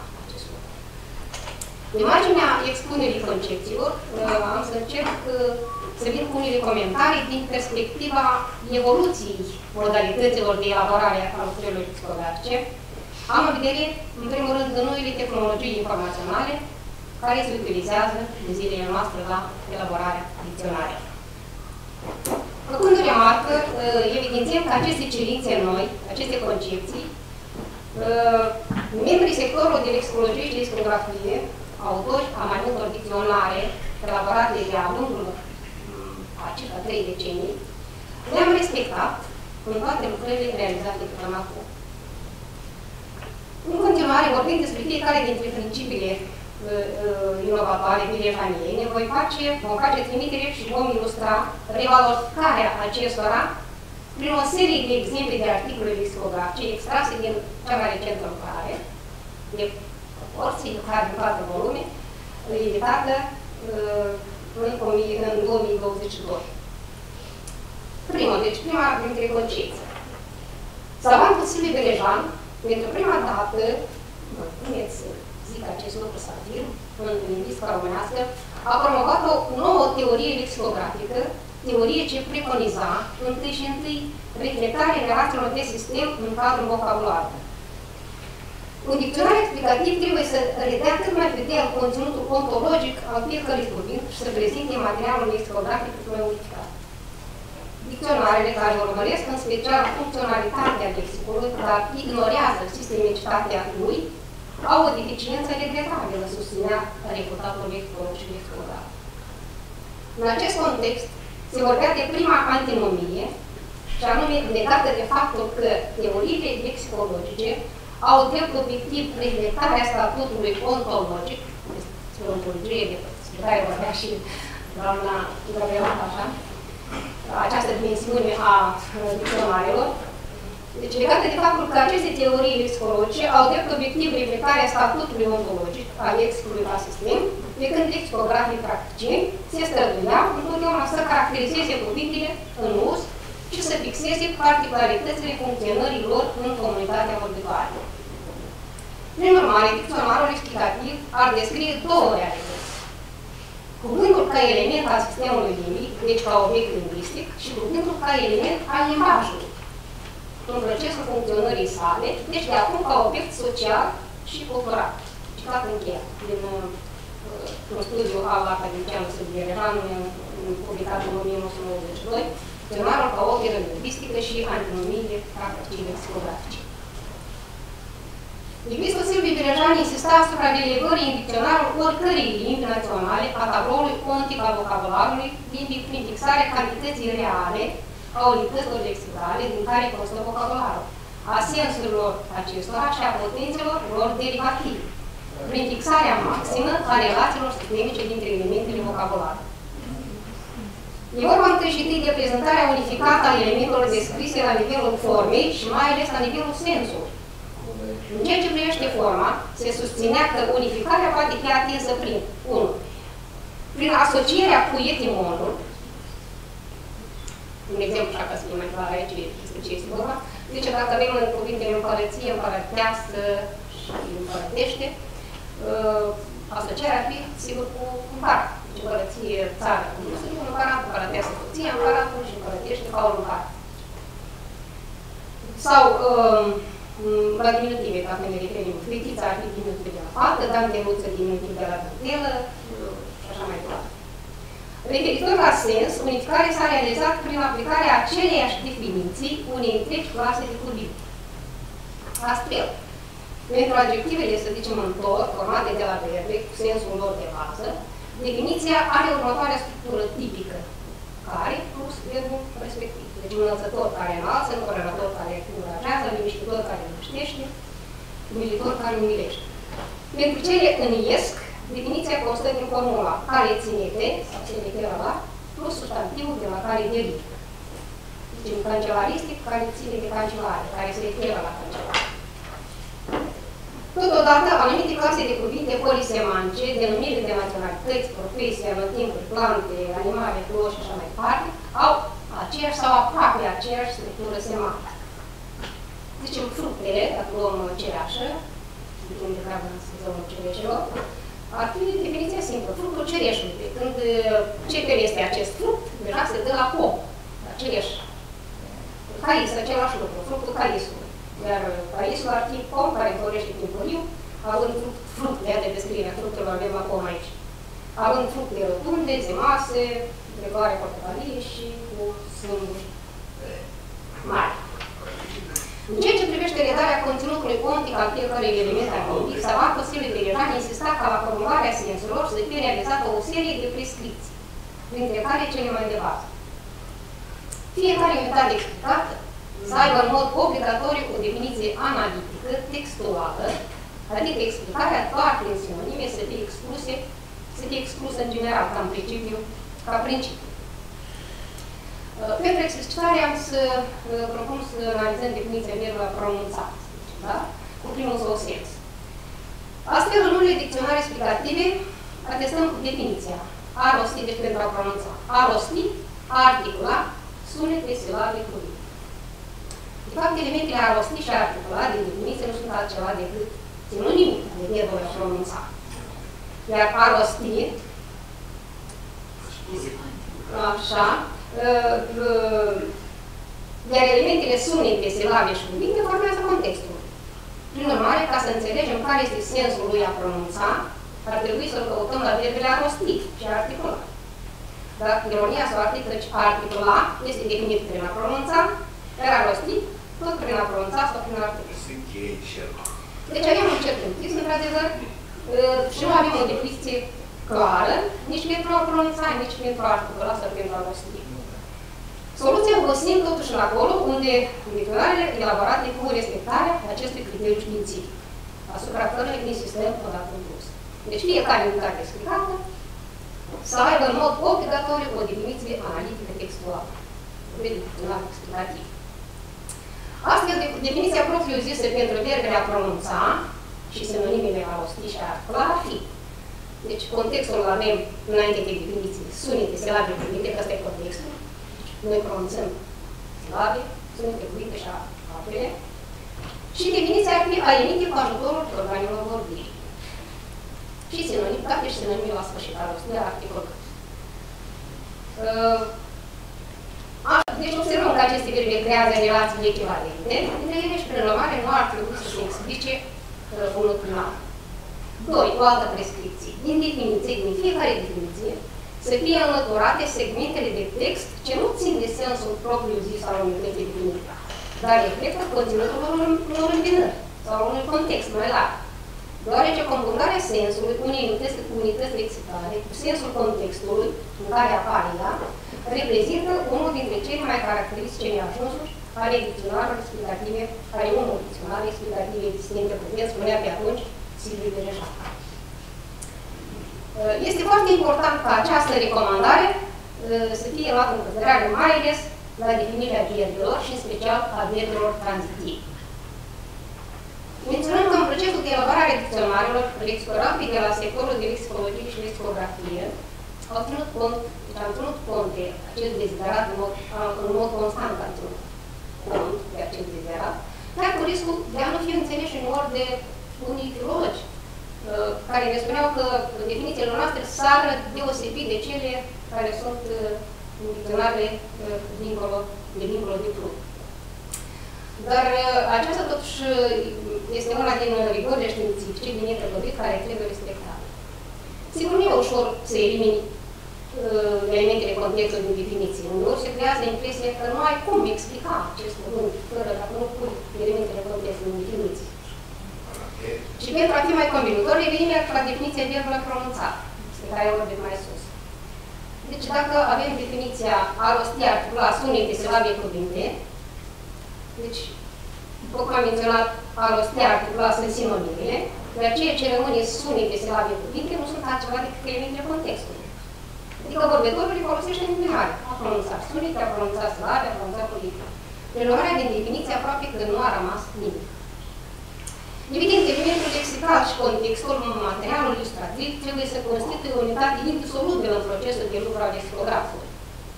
Contextul este o parte componentă a articolului lexicografic, care de foarte multe ori vine să comprimească o definiție, să o facă mai explicită și să ofere cititorului modele de utilizare cu vorbirea cuvântului explicat.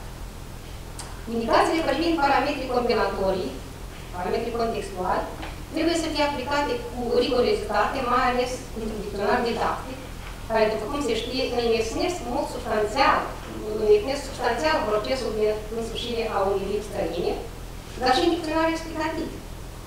Desebi atunci când alcătuitorii lui își pun scopul să includă în el maxim de, maximă informație. Remarcând că de atare indicație are nevoie mai întâi de toate verbul, inclusiv cel polisemantic, întrucât exprimarea lexicografică a combinatoricii acestuia facilitează mult tămăcia sensului sau a sensului. O altă antinomie inerentă practicii lexicografice despre care mai vorbea cercetătorul Silviu Derejan, constă în conflictul dintre postulatul, citez, în conflictul dintre postulatul teoretic de a cuprinde în dicționarul general al limbii naționale doar lexicul de uz comun și tendința practicii de a pune la dispoziția consumatorului pe lângă acesta un masiv mereu mai extins de elemente preluate din sistemele speciale terminologice. Includerea masivă a denumirilor folosite în exclusivitate în diferite limbaje profesionale, continuă Iusuf Salant, duce la estomparea specificului național a dicționarului și implicit al lexicului limbii și a limbii întregime. Ne permite să venim cu anumite precizări în acest sens. Despre toate acestea, psihologul și psihograful Silviu Gherejan scria la începutul anilor 90. De atunci avea, începea perioada aceasta de declanșare a relațiilor sociale, culturale, economice și așa mai departe dintre popoarele statelor europene și, și odată cu aceasta se constata și o dinamică fără precedent uh, în general a, a, a limbii, a vocabularului. Așa, și apar mai ales aspectul împrumuturilor și dinamica la care asistăm și astăzi. Această dinamică, evoluție vertiginoasă a vocabularului. Și în condițiile actuale ale exploziei tehnologiilor informaționale, elementele lexicale, termenii noi, intră foarte rapid în uzul corect. Sunt asimilați cu ușurință de o bună parte a vorbitorilor, în special a celor tineri. Comparăm tehnologia din IT, care este foarte deja cunoscută și de la nivel mare. În aceste circunstanțe, considerăm justificată includerea în dicționarul general al limbii a termenilor și a împrumuturilor ce apar predmet literatura de presă, literatura de masă. Ori lexicologii, lexicografii sunt specialiștii cei mai interesați în cercetarea acestor modificări de vocabular pe care trebuie să le registreze, să le precizeze din perspectivă semantică și funcțională prezentându-le în dicționarele explicative de diferite tipuri, în funcție de destinatar. Astfel, în dicționarul explicativ al limbii române actuale, în patru volume, autorii au mers și pe această cale. Totodată, renumitul savant susținea că pentru dicționarele mari și relativ mari, ca noi, se consideră deosebit de prestigios faptul cuprinderii tuturor elementelor sociale acceptate, atestate în textele publicate. E vorba, în aceste cazuri, de concepția lor științifică prea uh, puțin pretențioasă, despre devierea de la sarcina teoretică și practica fundamentală a oricărui dicționar de liber. Din punctul de vedere larg reclamat al comodității consumatorului, însă, care, uh, adresându-se unui dicționar mare, va putea găsi Aici tot ce îi trebuie în momentul dat, alcătuitorii acestor dicționare sunt obligați să se supună tendințelor comerciale autocuprinzătoare a editorilor ce finanțează industria discografică. Și aici încercăm să venim cu o precizare. Vorba e că astăzi, în societatea evoluează vertiginos, accentul se deplasează. Ne referim la apariția dicționarelor variantă electronică în cazul cărora dispare deja inconvenientul acesta de lucrare variantă hârtie de proporții, și anume acela de a fi greu de unit. Ori, oportunitățile oferite astăzi de spațiul virtual, care pare a fi nelimitat, exclude problema economiei de spațiu fotografic. Astfel dispare și problema finanțării, a preferințelor editorilor, etc. și nu apare în prim plan nici problema volumului de informație cuprins. Important este să se respecte principiile rigorilor, principiile, rigorile tratamentului discografic la care sunt supuse unitățile lexicale incluse în dicționar. Astfel, încât acesta să fie o lucrare științifică normativă și în același timp o colecție relativ completă de cuvinte ale limbilor, limbii contemporane. La nivelul actual de dezvoltare teoriei, dicționarele ca și celelalte opere lingvistice trebuie elaborate ținând cont de toate cuceririle lingvistice moderne. Adică de nivel de dezvoltare a științei, susținea pe atunci savantul notorul Silviu Berejan. Din păcate, antinomiile între realizările lingvistice și practica lexicografică, de care vorbea în 30 de ani savantul, așa, mai pot suporta, deși pot suporta anumite precizări, totuși acestea încă nu persistă. Cert este că aceste teze, aceste principii ale savantului Silviu Berevan continuă să fie valoroase și de mare actualitate. Să o, am să închei cu o, o idee expusă de Sănii Ticării, care spunea că uh, cei plecați dintre cei vii sunt atâta timp vii, cât este vie memoria este ei. Cred că prin participarea noastră la acest, acest eveniment științific, la acest, această conferință, îi aducem un bios omagiu celor care a fost, este și va fi Silviu Bedoșa. Mulțumesc!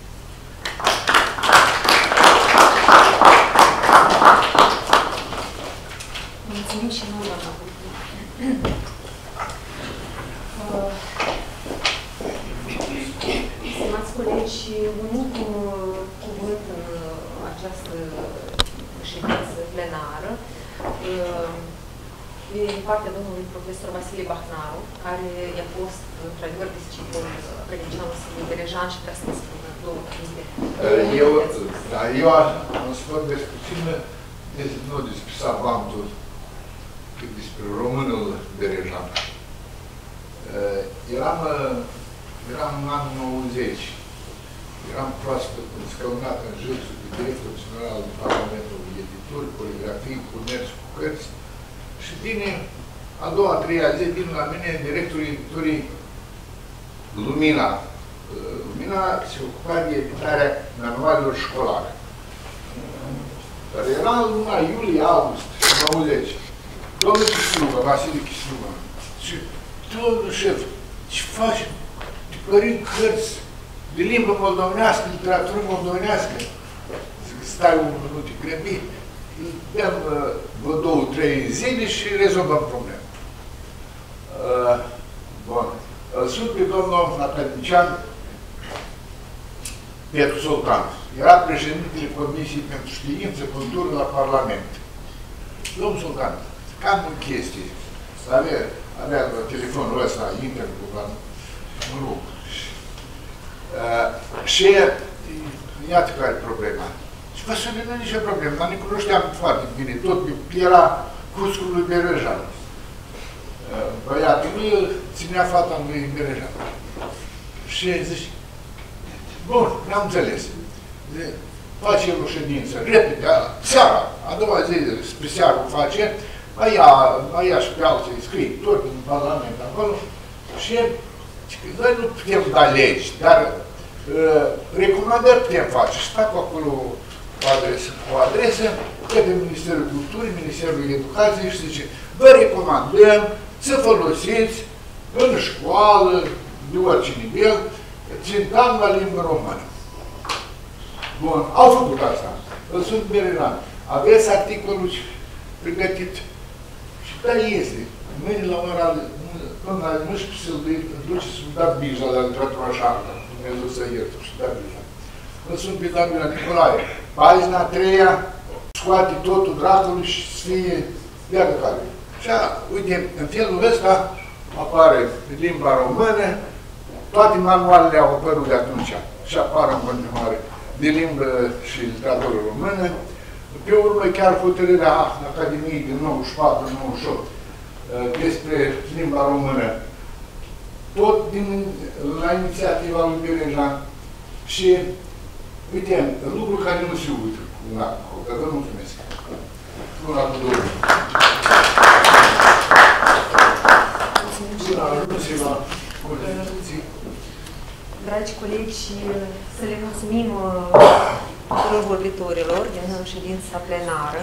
Au fost comunicări foarte dense, pertinente, foarte interesante, inclusiv pentru uh, cercetătorii de la Centrul de Literatură și Folclor. Uh, Cred că am uh, adus un pios omagiu memorii academicianului Silviu Berejan uh, și uh, mă bucur foarte mult că am reușit să organizăm acest eveniment cu ajutorul, cu susținerea, cu prezența colegilor uh, ieșeni, cărora le mulțumesc încă o dată în numele meu și în numele dumneavoastră pentru prezență și pentru implicarea atât de, uh, cum să zic, plină și de pasiune și uh, pe mine m-a sensibilizat și m-a emoționat în mod uh, deosebit toate, toate intervențiile.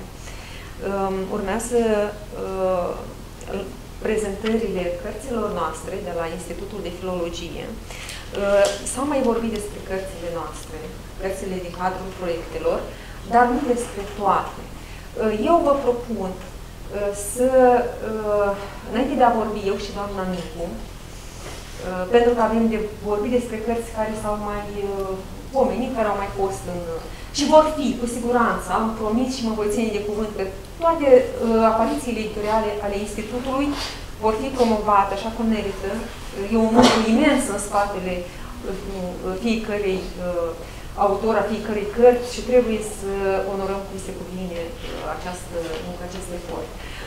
Uh, O carte despre care nu s-a vorbit până acum, dar ar fi trebuit să se vorbească, e cazul să se vorbească, este uh, cea a doamnei Viorica Răileanu. Uh, Un om pe cât de mm, serios și de temeinic în munca de cercetare și în munca de administrare a Institutului, uh, pe atât de bun meseriaș în ale scrisului, în ale cercetării și um, m-am bucurat când la Iași uh, cartea doamnei Răileanu a, a avut uh, parte de feedback, a fost ținută în mâini și a fost uh, comentată așa cu încântare și uh, colega uh, noastră de la Iași, Daniela, a fost de acord să o prezinte și să vină cu un punct de vedere din afară, să zic așa, asupra acestei apariții uh, din Basarabia.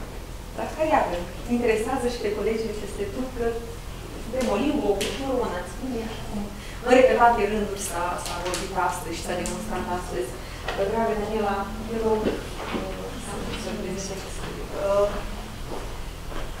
De fapt, cum spune doamna Viorica Leileanu, sunt trăsături uh, care definesc numele de familie și... Puțin mai tare, dacă se poate. Mai revenit. Da, uh, Microfon. Microfon, Este- microfon.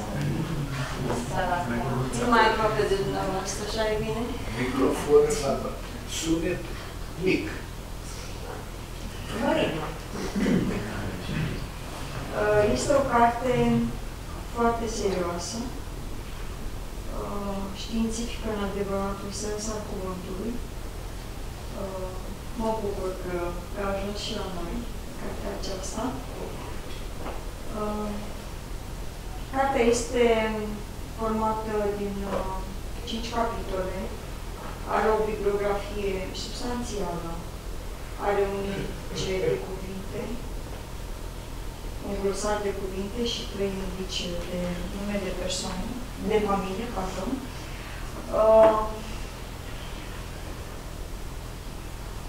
îmi place că doamna, prof- doamna Reinanu a început cartea cu un istoric, al- prezentarea istoricului cercetării onomastice din Republica Moldova.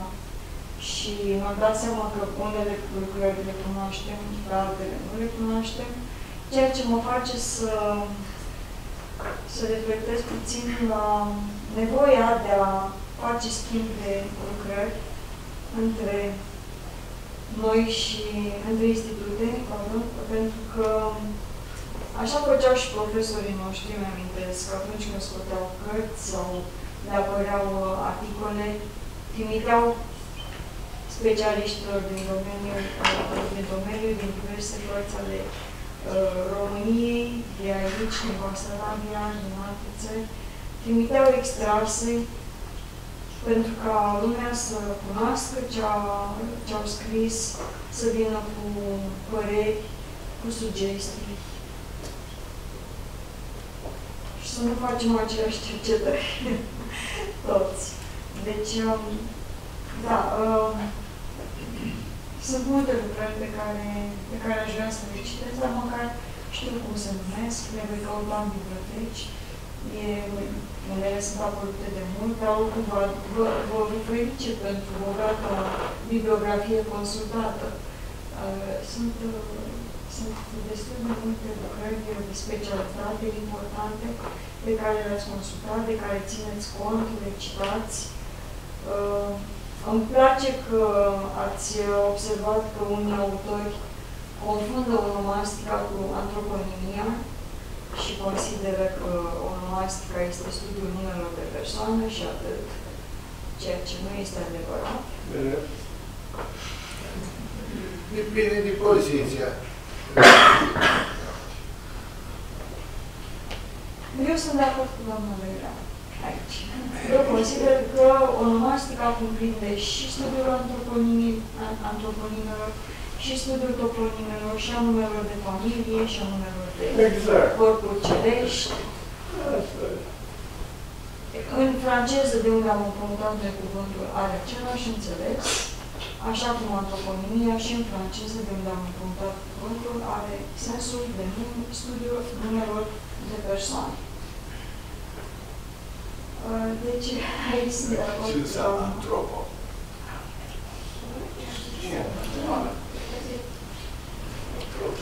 Aveți o directivă pe astăzi. Nu. Um, Împotriva tuturor. Ah, și mai da, din alții. înțeles. Noi suntem obișnuiți. Ah. E așa un umor mai uh, coace, da. Um, Doamna Gărica Reileanu prezintă frumos istoricul formării nume, numelor de familie, cum inițial era numele unic, apoi, uh, pentru că în localități mai multe persoane erau desemnate cu, cu un nume mai multe Marii, mai mulți Ioani, mai mulți Vasile și așa mai departe. S-a impus necesitatea uh, desemnării oamenilor cu un determinant pentru a face diferența între... Da. Și au apărut astfel uh, uh, determinanți care trimiteau la meseria respectivului om, la proveniența, că venea de, dintr-un anumit loc, dintr-o anumită localitate, la trăsături fizice sau psihice, și aici vin poreclele, uh, de la etnie, uh, sau la uh, proveniența, cum să spun, la filiație, fiul lui, fiica lui. Uh, Sunt foarte multe exemple. De exemplu, exemple cu nume de familie formate de la uh, nume feminine care sunt în general specifice Moldovei, a Mariei, a Ioanei și așa mai departe. Rădanici. Exact, da. Așa. Um, Pietria de la Exemplele, uh, exemplele sugerează mozaicul etnic care a fost aici, atât prin, uh, prin sufixele cu care s-au format numele de persoană, cât uh, numele de familie, pardon, cât uh, efectiv prin numele respective care provin din uh, greacă, din turcă, din uh, diverse limbi slave și românești, bineînțeles. Uh, Într-adevăr, foarte interesant, uh, surprinde doamna uh, Răileanu uh, aceste cuvinte compuse, cuvinte de nume, familie, nume de familie compuse, care surprind uh, imaginarul, spune imaginarul lingvistic al oamenilor. Și uneori surprind uh, trăsături negative, uneori trăsături pozitive, cum scrie și pe copertă, zamă neagră, chiar de vară, cântă bine, asta are ochii de bine. Curbat, curbet. Taie vorba,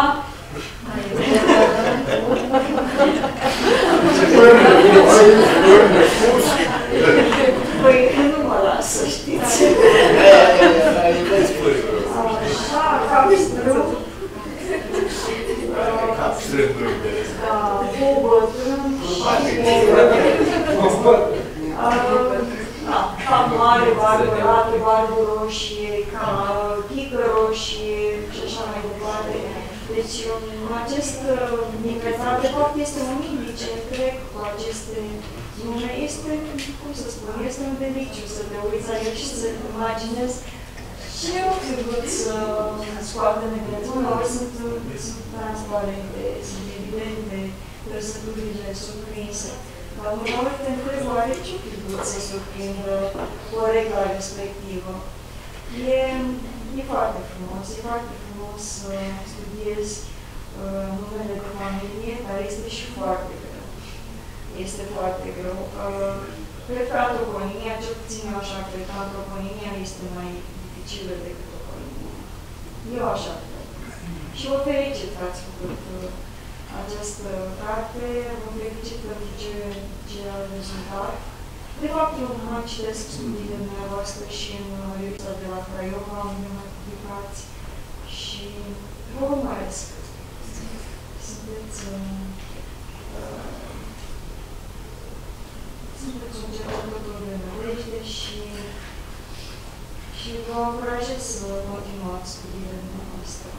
Bine, cartea mai are multe, de, de, cum să spun, are un capitol dedicat um, numelor substantivelor comune care provin din substantive proprii, cu explicații, cum, cum au ajuns să, să, să cum au ajuns la nume comun din nume propriu. Um, sunt studiate modalitățile de formare, prin sufixare, prin uh, compunere, prin alăturare, sintagme, perifraze. Este o, este o carte, o cercetare completă. Singurul lucru care, pe care mi-aș fi dorit să, să mai aibă este un indice exhaustiv. nu doar cele trei privind uh, nume formate de la Petru, nume compuse și patru cu sufixul ESCO. Dacă ar fi avut un indice exhaustiv, uh, ar fi fost... Uh, ar fi putut și mai Da, da, da. Uh, dar bine, asta cumva îndeamnă la studiu, la citirea cărții, nu te duci numai la final și îți cauți numele care te interesează. Așa citești toată cartea. Strategii. Da. Da, felicitări.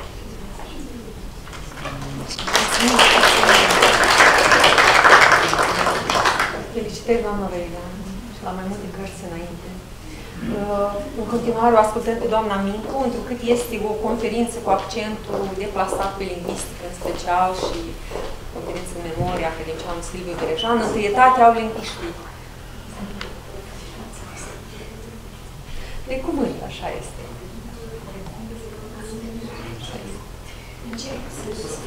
Dar noi, cum suntem reprezentanții a, doi, a două centre,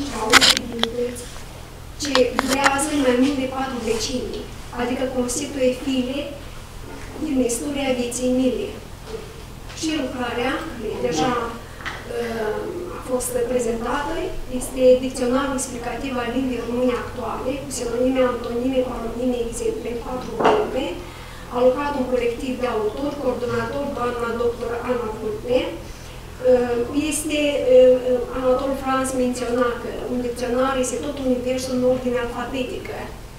Dicționarul, într-adevăr, ne propune în ordine alfabetică cuvinte ce definesc limba română și pune valoare cuvântul românesc. Spre deosebire de dicționare anterioare de acest tip, cuprinde o serie de completări, rectificări referitoare la lista de cuvinte, sub aspectul neologizării vocabularului, precizări de ordine semantic, la nivel de definiții și multe altele. Dicționarul poate fi considerat unul de tip bibliotecă, întrucât cuprinde informație variată. Pe lângă partea de bază, cea explicativă, articolul lexicografic mai cuprinde și recomandări de pronunție, de silabație, de ortografie, de corectitudine, dificultăți morfologice, variante, etimologie, etc. La sfârșitul articolului lexicografic se indică aronimul cuvântului, în cazul în care se atestă. Plasarea ulterioară a dicționarilor în spațiul digital va contribui la extinderea volumului de informație lingvistică disponibilă pe internet în limba română, aborizând astfel alinierea limbii române la standardele de circulație internațională. Destinatarul de bază este publicul obișnuit, neanalizat, adică orice cunoscător sau persoană interesată de vocabularul limbii române. Pagini de lingvistică basarabeană, autor, domnul doctor abilitat Vasile Bacnaru. Despre ce este această carte? Despre limba română, despre cea mai mare dreptate pe care poporul și-a făcut-o singursie și moralul vorbierul, despre un fi a cuvântului românesc în societatea istoriei basarabine, afirmarea statutului de limbă oficială a Republicii Moldova, modificarea atitudinii lingvistice a autorităților din Basarabia, trecerea la grafia latină. Este o carte despre o întoarcere lentă la izvoare. Titlul dureros, aș spune, al primului studiu inclus în această culegere. Mai lung îmi pare calea acum la întors acasă. De altfel, menționează profesorul Vasile Bacnaru într-un interviu. Revenirea la alfabetul latin, la limba română, s-a realizat în mare parte și cu contribuția savanțelor din cadrul Institutului, fiindcă aceștia scriau și publicau în presa periodică materiale despre necesitatea revenirii la scrisul românesc, fie că intrau în componența unor comisii guvernamentale sau parlamentare, care examinau această problemă. În categoria acestora am fost și eu. Am selectat acest citat deoarece l-am considerat esențial în aprecierea acestei colegi, care este de fapt o istorie a unui neam și a unei limbi care a rezistat timpului grație oamenilor, lingviști, scriitori și oameni de cultură și de știință onești. Variabilitatea limbii române în spațiu basarabean, în baza unor manuale de gramatică și a presii timpului, autor doamna doctor Ileana Botnar. Lucrarea pune în discuție situația limbii române de pe teritoriul Republicii Moldova din perspectiva teoriei variabilității, autoarea referându-se nu doar la statutul, la statul Republica Moldova, care și-a declarat independență, independența la 27 august 1991, după destrămarea Uniunii Sovietice, ci la întregul teritoriu basarabian din trecut și Nistru, incluzând și malul estic al fluviului Nistru, insistând mai cu seamă asupra perioadei sovietice urmărind evoluția limbii române, transpunerea forțată și artificială a acestea în limba moldovenească. Materialul faptic îl constituie în unele gramatici basarabene, inclusiv cele transnistrene publicate de-a lungul anilor până la 1989, precum și presa din perioada sovietică, evidențiind condițiile socioculturale în care funcționa limba noastră, dar și cauzele substituirii plutonimului limba română prin sintagma crotică limba moldovenească. Dicționar de antonime cu exemple din literatură. Autor, regretatul Gheorghe Druță, um, responsabil de ediție, doamna doctor Ana Vulpe, ediție electronică doar. Dicționarul de față își propune drept scop să satisfacă necesitățile mai întâi de toate ale elevilor, studenților, cadrelor didactice, constituind un sprijin important în procesul de utilizare corectă a antonimilor și contribuind totodată la lărgirea orizontului de cunoaștere a tezarului lexical românesc. Grupul antonimic reprezintă nu altceva decât un cuplu antonimic ale cărui componente se antonimizează în diferite sensuri. Deci, aceleași cuvinte pot varia ca antonime în diversele lor sensuri pe care unitatea antonimică începe cu acel cuvânt care, conform principiului alfabetic, ocupă locul anterior în raport cu celelalte cuvinte pe care le angajează ca antonimică. Tipologia numelui de familie, semantică și structură. Autor, doamna doctor Viorica Răileanu. Monografia prezintă, într-un format complex, numele de familie, etimologia, formarea, pregătița actuală, variantele care au existat în diferite etape de dezvoltare a limbii române, evidențiindu-se forma actuală și prevența ei azi.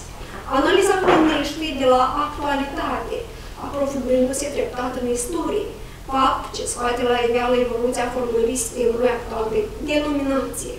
Drept exemple sunt folosite numele de familie, formate pe baza lexicului și a mijloacelor derivative ale limbii române și care, în prezent, alcătuie sistemul antroponimic al, al Republicii Moldova.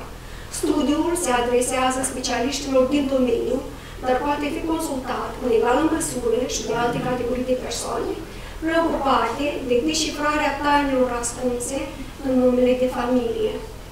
Dicționar poliglot de marketing, un colectiv de autor, coordonator, doamna doctor habilitat Lingadruță. În condițiile uh, actuale în care se constată o creștere a interesului pentru studiul unor limbi specializate, ce fac parte din familii diferite, se impune și necesitatea un dicționar poliglot de marketing, adunând un material bogat, care cuprinde un inventar de circa 3.000 de concepte definite în limba, în, limbile, în limba română și echivalate în limbile engleză, franceză și rusă. Dicționarul este o lucrare utilă pentru, atât pentru studenți, specialiști, profesori, cât și pentru traducători, traducătorii de texte specializate.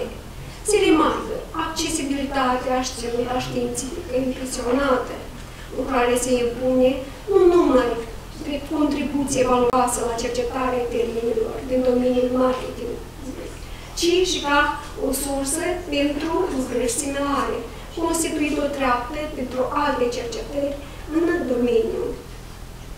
Este un citat, un fragment luat din prefață. Dicționarul poliglot de aforisme și expresii latine. Avem un colectiv de autor, coordonator, uh, Eugenia Milcu. Deci, uh, dicționarul propune aforisme și expresii latine echivalate în 8 limbi.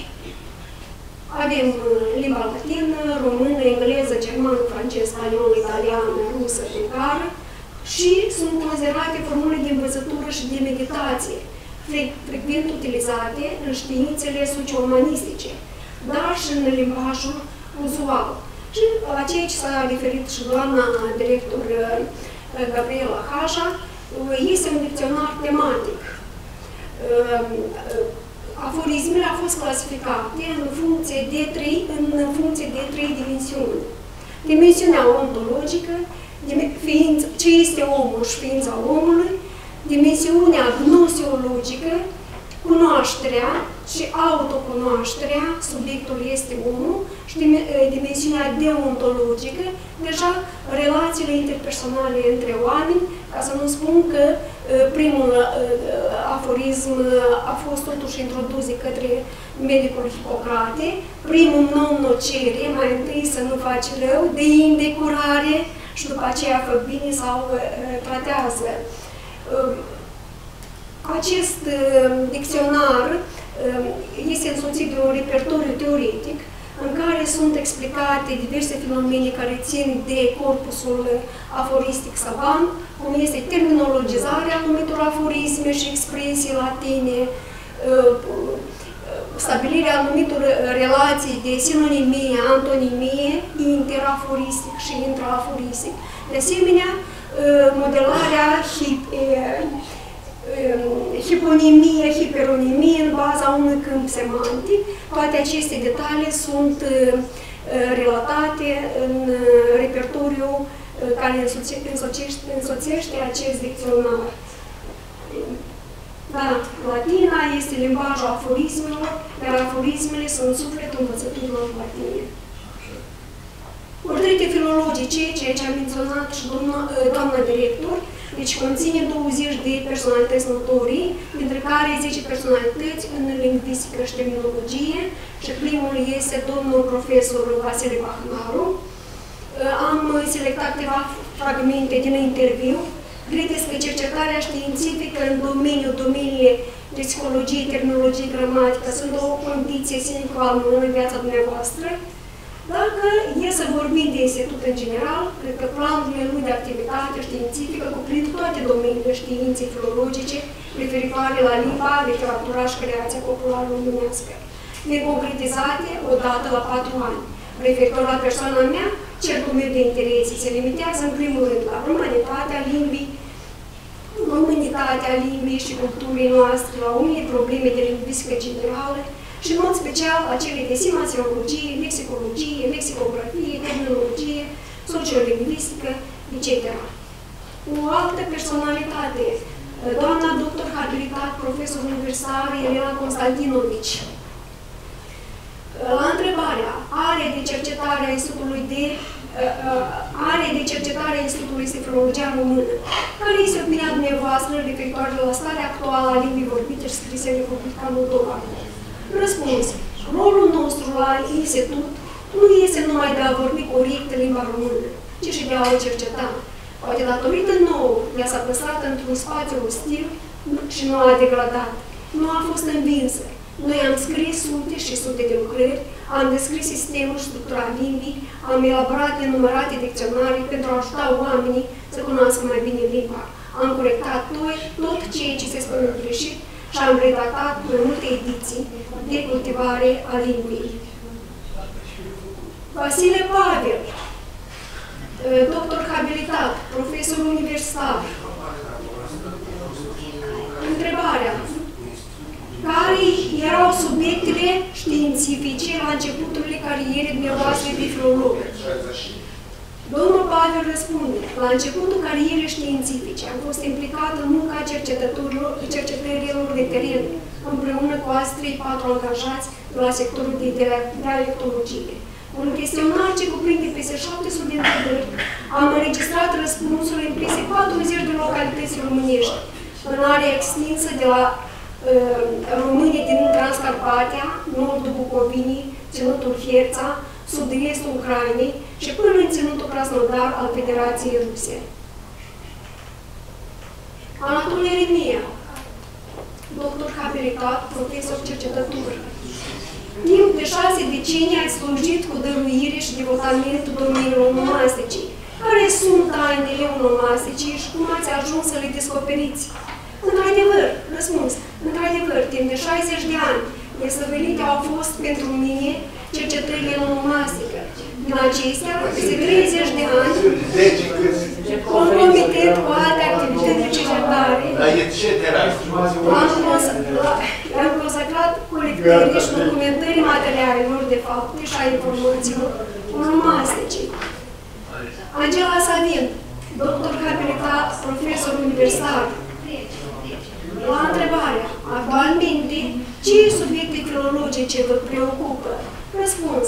În prezent mă preocupă problema motivației semnului dublu, care se situează tot mai mult în vizorul lingvisticii europene. Uite, mulțumim tare mult pentru prezentare. Totul este aici. Avem destule cărți la institut. Oricine poate lua, oricine se poate informa. Sigur că este uh, foarte bine să auzim, să ascultăm, să apreciem și uh, dar dacă mergem toată lista, ajungem până seara uh, la capăt. Hai, uh, uh, doamna Druță și prezentarea. Inga Druță și doamna Ana Vulpe. Da, Inga Druță, filolog, terminolog, traducător, așa, care sunt amintirile din primii ani de cercetare în cadrul institutului, am început activitatea de cercetare în cadrul Centrului Național de Terminologie, unde predominantă era activitatea aplicată, traducere specializată, elaborare de dicționari tehnologice, crearea bazei de date tehnologice, onomastice, etc. Galactiun Vereceanu și Ana Vulpe, un, un răspuns foarte frumos. Spre final de interviu, mi-aș autoadresa vreo două întrebări, spune doamna Vulpe.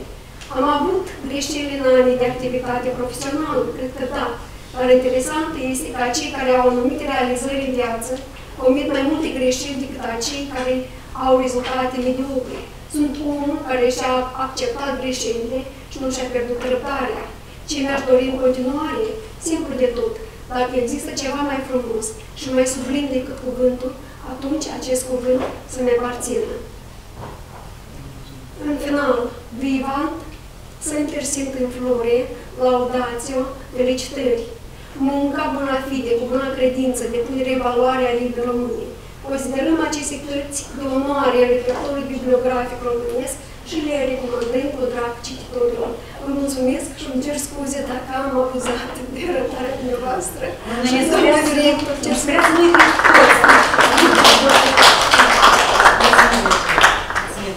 Uh, Am șușotit, dragi colegi, aici cu uh, doamna directoare, uh, Gabriela Pașa, despre cum munca noastră ne ordonează mintea. După la dicționar, cumva îți normează și te disciplinează și te ordonează mintea, nu așa? Eu observ cum se lucrează cu lingviștii, terminologii și cum se lucrează cu literații. E mare diferență.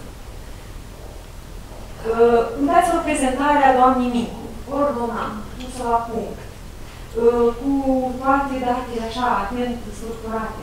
Ei, să vedeți cum o să improvizez eu de cărțile literaților. Uh, nu am nici răbdare, nici timp și probabil mintea mea e formatată altfel. Eu pornesc de la imaginație și de la percepție și ce este ce este, dar sper să vă plictisesc. Câteva minute doar, că urmează imediat după, să nu ne audă uh, camera, uh, o cafea, o plăcintă, așa încât. Dragi colegi, e fiind legit Gheorghe Asache, romanul vieții și al operistului monografic. Este o ediție îngrijită de coordonată și îngrijită de doamna Svetlana Colese și George Vieții. Uh, o carte la care s-a muncit foarte, foarte mult. Așa? Și care readuce în plan imagine și contribuție și rolul de fiind levit la studierea uh, literaturii noastre uh, românești, a literaturii vechi, cum zicem noi, a literaturii premoderne. Uh, eu nu știam, pare rău, uh, levit atât de bun cărturar. Am, l-am descoperit prin această carte și l-am descoperit cercetând uh, acum creația lui uh, Conache, al robotului Conache. Am scotocit, am căutat, am citit, sunt studii foarte bune despre Conache. Autor ne-a Eugen Simion și mulți alții. Dar atât de documentat că e tinerii, în ceea ce privește viața și activitatea și viața lui Conache, n-am văzut un studiu la fel de documentat, la fel de clarificator, la fel de bogat în detalii. Deci un nume foarte, foarte important în istoria literaturii române, limba sărată, în cercetarea filologică, de la noi este Timedi, pe care ne trebuie să readucem în discuție și să uh, valorizăm în contribuțiile lui așa cum merită. Uh, sunt încă multe de cercetat, sunt încă multe de spus uh, și uh, cinste oameni colecții care s-au plecat asupra creației, asupra exegezii uh, acestui cercetător uh, și nu l-au lăsat exact în uitare și a scos la lumină în tațele carte cu buna cu bine cunoscută acribie uh, a, a doamnei colecții, atenții pentru detalii, toate impecabile, toate punctele de vedere și a argumentației științifice uh, și a articulării uh, lingvistice și stilistice. O carte de care suntem deosebit onorați și mulțumim doamnei Colex pentru uh, efortul de test la realizarea acestui studiu. L-a cerut, l-au cerut și colegii de la Iași, l-a cerut și doamna uh, Carmen Șan de Operator Cultural. Uh, sunt foarte mulți interesați de acest studiu. Cum apare literatura, exegeza, cărțile de cercetare de la mine, institutul apar în condiții, uh, mă rog, cam, cam uh, modice, să, să, să spun lucrurilor pe nume. Să apară o carte la care se muncește ani de zile, în 60-70 de exemplare, este o rușine mare. Trebuie să rezolvăm cumva problema asta, să, să uh, propunem pentru, da, să căutăm finanțare, pentru că nu se poate așa, am văzut atâtea cărți pe mâinile mele, cărți finanțate de minister, așa, Ministerul Culturii, finanțează 500 de exemplare, niște sunt și cărți bune, bineînțeles, dar nu ies și atât de Doamna director, dar a fost curentul 1, niște, care făcea 16 și 18 și sigur e avangardiști. Cărțile trebuie să circule, cărțile trebuie să circule. Oricare și text de teorie literară modernă, eu promădau. Oameni buni, cartea asta merita să apară cel puțin la editura cartier, cel puțin la editura știință. Așa carte merita să apară numai până în 500 de exemplare în condițiile uh, Republicii Moldova și în condiții tipografice De ce? decente, ce să zic. Eu nu sunt uh, mulțumită de aceste uh, condiții tipografice în care a apărut uh, nu ești dumneavoastră știți cu cine colaborăm, de bani puțini, ne străduim și noi să apară cât mai multe titluri, dar um, nu suntem foarte uh, încântați de rezultatul final. Uh, Este cartea colegului nostru, uh, din Ocră Mădeală, un teoretician de forță, de temut. În institutul nostru și nu doar, vreau să știți cât de eruit este, cât de documentat este domnul Cămădală și uh, sunt de, de urmărit articolele domnii sale, le regăsiți în filologia, în volumele conferințelor și astăzi domnul Cămădală va prezenta o comunicare cu un titlu care ține de studiile culturale, care este preocupat, um, cultura anulării în viața academică occidentală. Foarte interesant, niște realități acute de care se vorbește în, în marile universități ale lumii, mai puțin la noi. Uh, Vă uh, propun spre lectura această carte, acest uh, studiu, foarte, foarte doc, foarte pertinent, intimidant de, de doc, și faceți abstracții de, de calitate fotografică, că mă dau, Doamne ajută să o reedităm în condiții onorabile, așa cum se cuvine.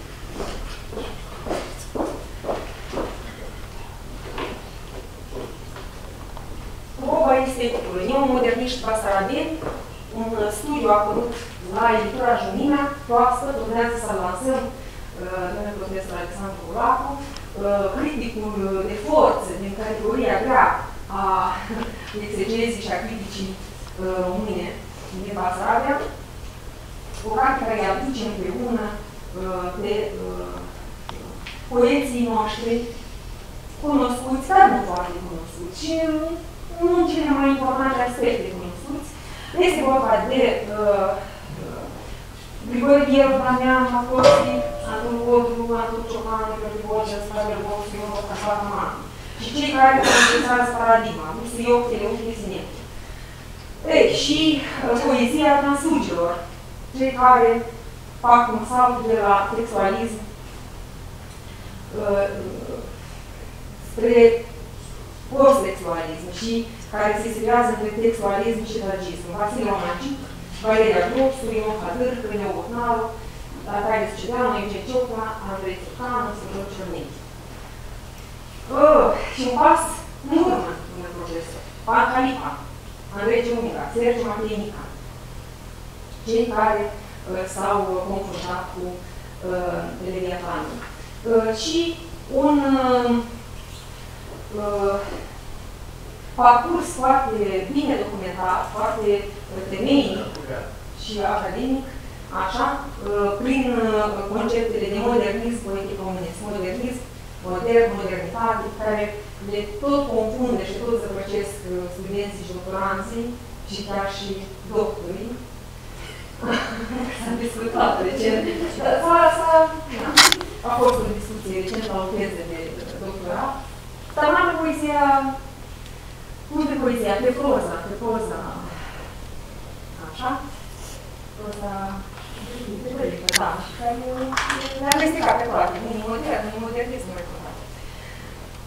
Bun, e de citit, e de urmărit, e un reper, domnul profesor Alexandru Vladu este unul dintre criticii noștri, unul dintre marii noștri cunoscători și chermeneuți ai poeziei române din Basarabia și nu doar din Basarabia, din întreg spațiul românesc.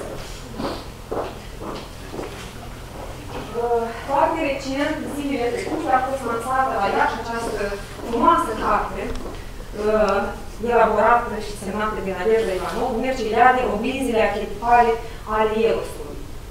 Parcă văzuți. Da. E un studiu iar este Constantin. o să transmit o reprezintă. Este un studiu um, la care am muncit Nadejda, cu multă dăruire, cu multă, uh, inclusiv uh, implicare emoțională, pentru că tânără, doctorandă, începătoare, era, uh, avea toate angoasele începătorului, știți bine cum este, și uh, domeniul nu era foarte accesibil grila aceasta arhetipală nu este la îndemâna oricui, permite niște plonjări uh, în profunzime în operă, în același timp uh, trebuie să fii foarte, foarte atent ca să nu ai razna. Cine știe, cunoaște. Uh, Și Nadejda pornește de la studiile marilor noștri specialiști în, în imaginar, în arhetipologie, structurile arhetipale de imaginarului, Cebler Duran, studiile lui Young, e plin de Young aici, Young, Young, Jung, nu, am obosit și eu, scuze, iertare, da, și Jung, și Duran, și Bachelard, și uh, mulți alți specialiști nume de rezonanță în domeniu, o carte acrimoasă, atentă, uh, foarte, foarte, uh, uh, cum să zic, uh, temeinic, atent la fiecare cuvânt, pentru că Nadejda este doctoranda domnului Andrei Țurcan. Și cu domnul Andrei Țurcan se glumește, că se uită la fiecare propoziție și te întoarce 10 ore înapoi dacă nu-i place și dacă nu-i bine. Asta este școala pe care am învățat-o noi. Așa, Constantin Ivanov, Răul interpretării literare, o carte inovatoare, un, un studiu uh, monografic realizat în urma uh, tezei de doctorat.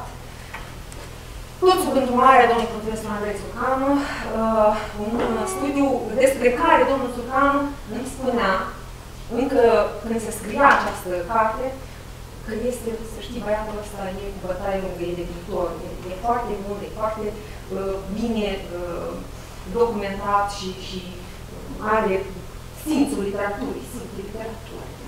Foc. Și uh, am crezut de cuvânt că domnul profesor știu că vorbește uh, cu face mod asumat. Cartea este o probă, o dovadă de rigurozitate științifică și de talent și de vocație hermeneutică. A fost uh, acceptată spre publicare la Iași, la editura uh, Universității Alexandru Acuza. Uh, noi am lansat-o la Chișinău anul trecut la institut, dar cred că merită uh, o bună lansare, să iasă și din cercul ăsta al, al institutului, întrucât e o, e o carte interesantă nu doar pentru filologi. E un eseu foarte uh, inspirat, așa, scris și cu pasiune și cred că și uh, oamenii de cultură din alte sfere, din alte uh, zone uh, ar putea să le uh, trezească atenție acest studiu despre uh, răul în literatură, în creația lui Baștovoi, în creația, hai zi repede, Constantin. da, sunt mulți autori uh, aici. Chiar, și atât. Duran, nume de frunte în uh, referințele uh, lui Constantin. Culeanu, Corindava, desigur, îl avem și aici, pe coperta patra, uh, Constantin și Nădejda sunt uh, într-un fel și discipolii lui Corin Draga, întrucât uh, au citit cu mare atenție cărțile lui Corin Draga și au adoptat această grilă de analiza literaturii pe care o propune Corin Draga și dânsul este foarte încântat de grupul de la Chișinău, cum spune el, prietenii de la Chișinău, Constantin și Nădejda. Galina Anițoi, personaj în Nierul Tranziție. O carte despre care merită să se vorbească mai mult. E un studiu la care Galina noastră a muncit mai mulți ani. Este, o cunoașteți bine, un cercetător foarte documentat, foarte um, acribios și cu mult, uh, cu mult echilibru și decență și bun simț, ăsta e cuvântul, bun simț.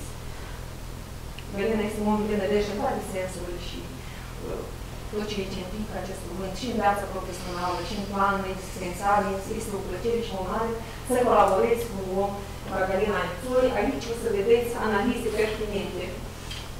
Galina a mai scris teze de doctorat pus despre personaje inadaptate, ăștia scindați, care nu, nu se regăsesc în niciun spațiu, dar cum Dumnezeu te regăsești într-un spațiu ca al nostru, trebuie să le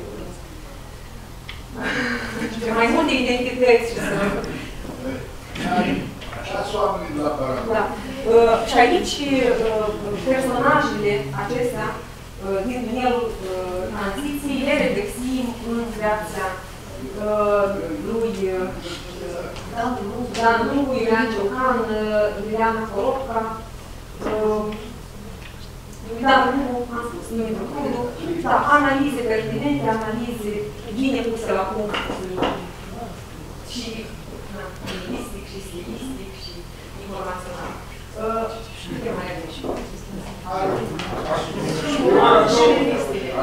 Da, uh, Exegese literare este o carte, un, un volum uh, colectiv al sectorului de literatură contemporană, pe care uh, al doilea număr a apărut anul cu număr anul, nu așa, nu, da.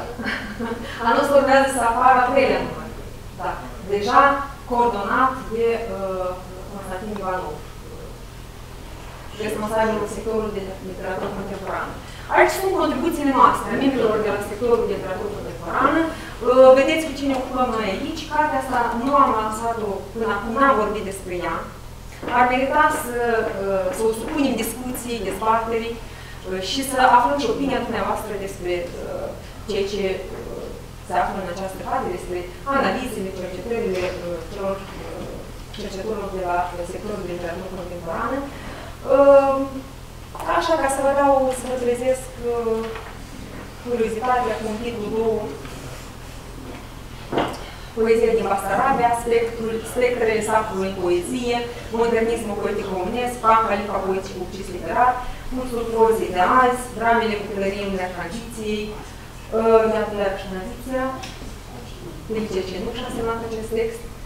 Uh, apropo, Felicia la Praga, la salonul de carte, am spus o carte interesantă și m-am gândit la tine și m-am gândit la Nadejda Ivanov, Uh, copilul în literatura uh, post-sovietică, nu romane, uh, analizat de Ștefanie Mihalache pentru tezele de doctorat publicate, este căutat de acest studiu. Da, și uh, reprezentări tragice comice în ăștia de lui Brejnev, de Spartaru, uh, recuperări identitare în mod de Val Boșnaru, sunt texte semnate de Constantin Ivanov și Nadejda Ivanov, tipologia aleșilor poporului în prosa contemporană, Gălinățuri, citări și legire personalității în scurtul satanii de care Ciobanu, se grea. Ei bine, ăștia sunt colegi cumva antrenați, nu sunt de la sectorul de literatură contemporană, dar am identificat acele studii care se potrivesc uh, contextului nostru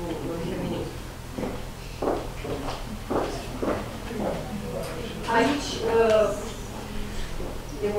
sunt contribuții dedicate uh, colocviului nostru internațional pe filologia modernă, realizări și perspective în contextul european. Uh, anul trecut uh, a fost uh, a avut loc acest volum și a fost publicat, uh, a fost publicat acest volum. Cunoașteți tradiția. Imediat cum se încheie colocviul, uh, se adună toate contribuțiile, toate prezentările în acest volum. Este destinat un coordonator al volumului, cine a fost uh, anul trecut, Iana Popovski. Da. Și se muncește la elaborarea și editarea acestui volum. În fiecare an, conferința are generic, anul trecut a fost Institutul de Filologie Română de NHC, 60 de ani de la fondare. În octombrie, anul acesta, vom avea o nouă ediție, așadar un nou volum, și vă invit, stimați colegi, să vă alăturați, să colaborați și să regăsim contribuțiile noastre și în următorul, în, în următorul volum care apare anul acesta. Puteți găsi uh, și chiar puteți lua la Iași, că uh, avem multe, multe volume, se tot plânge doamna Ana, Ana Ruc, responsabilă de fondul nostru de carte, nu mai știu ce să fac ele, ele apar, sunt multe, dar sunt și pe internet, se găsesc aceste texte și toată lumea vrea să, să, să ia acasă Revista Filologia. M-am lăudat cu revista asta la Iași, când am venit la dumneavoastră, mă laud și acum.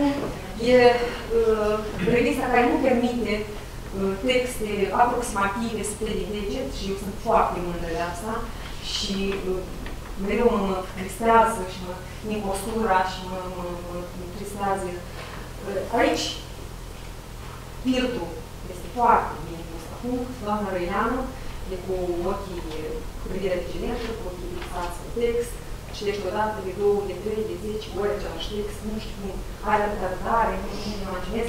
Da, și Lidia, Rământul Caraman, care doamna Prezean face discuturi de cinste și toate aceste uh, contribuții sunt recenzate fără niciun fel de parte primul, de nu știu ce.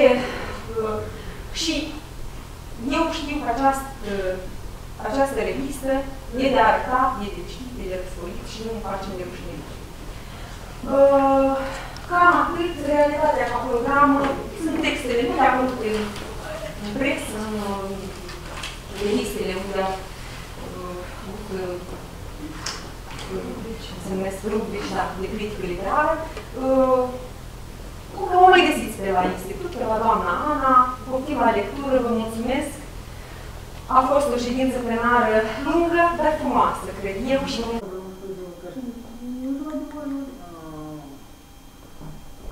Stimați colegi, deschidem secțiunea noastră, probleme actuale de cercetare literară și îi oferim cuvânt domnului Iov Nămădeală, doctor cabilitate de la Institutul de Filologie Română, care urmează să ne prezinte comunicarea intitulată Cultura anulării în viața academică occidentală. Da, mulțumesc. În continuare, am încercat să prezint puțin și să denaturez câteva aspecte de cultură, iar în momentul care se realizează în prezent viața socioculturală și cea intelectuală a societății occidentale, instituții anumite manifestări în domeniul academic. Cultura amânării și în cazul în care ne-am intitulat această comunicare, este o traducere aproximativă termenul englezesc cancel culture, pe care o voi utiliza în continuare, deoarece deja sunt suficiente în literatura de referință și deoarece termenul românesc nu a fost specialitate de practic, valori și comportamente pe care acest amplitudine le determinat. Cancel culture culture intră în circuitul mediatic, începând din anul 2010, pentru a descrie demutarea publică a unei persoane, instituții sau companii, ale cărei cuvinte sau acțiuni ireale sau presupuse, considerate reprobabile din punct de vedere moral sau ofensatoare pentru o anumită comunicare. În mediul online se referă la practica de ostracizare a unui utilizator pe internet în limitarea sa el nu mai fiind urmărit pe rețele de utilizare sau prin comentare negative la adresa sa. Este o formă de intimidare și hărțuire, de lăsare decisă de către Tribunalul Rețelei Oficiale și așa numitele luate digitale intraviate, indivizi izolate în fața examenelor, dar interconectați online și uniți în jurul unor cauze morale comune. Inițial, acest fenomen de pe internet se referea la modificarea culturală și digitală a vedetilor acuzate de acte sau discuții considerate imorale, și se traducează în faptul că fanii acestor vedete nu numerează cu cau discurile, nu numereau filmele, sau nici nu le citeau cărțile. Ca urmare a campaniilor de ostracizare, aceste figuri publice și opere dispar din algoritmele de recomandare publicitare ale platformelor Google, YouTube, Facebook și celelalte, ceea ce echivalează cu o moarte digitală și socială, căci în această nouă economie a atenției, au privat pe cineva de audiență înseamnă au privat de existență. Actrița Roseanne Barr, regizorul James Gunn și Woody Allen, romanciera J.K. Rowling, au fost primii pe lista celor anulați, la care ulterior s-au adăugat alte sute și sute de nume de performanțe artistice anulate, opere de artă cenzurate și rescrise, statui demolate, denumiri de stres și edificii schimbate, etc. etc. În acest sens, cancel culture poate fi considerat un produs al rețelelor sociale, al căror model de business se bazează pe algoritmi ce creează și amplifică dinamici colective care favorizează confruntarea ideologică. Algoritmii respective expun utilizatorii la informații care nu sunt selectate pentru relevanța sau pentru veridicitatea lor, ci pentru că sunt susceptibile să le incite circuitele de dopamină din creier, prefăcând un consumator fidel în crearea unor efecte de adicție. În plus, acestor utilizatori se oferă conținuturi apropiate de propriile lor preferințe și opinii și îi invită să interacționeze cu internauții care împărtășesc vederi similare, ceea ce favorizează coalizarea lor în triburi politice și ideologice închise, izolate intelectual și cultural de alte triburi. Membrii acestor triburi își confirmă și își reafirmă reciproc opiniile și viziunile, ignorând sau respingând opiniile divergente sau alternative, ceea ce creează efectul camerei de eco, o ambianță în care ideile, opiniile și informațiile sunt amplificate într-o manieră care creează iluzia de consens sau de prevalență a unor anumite viziuni.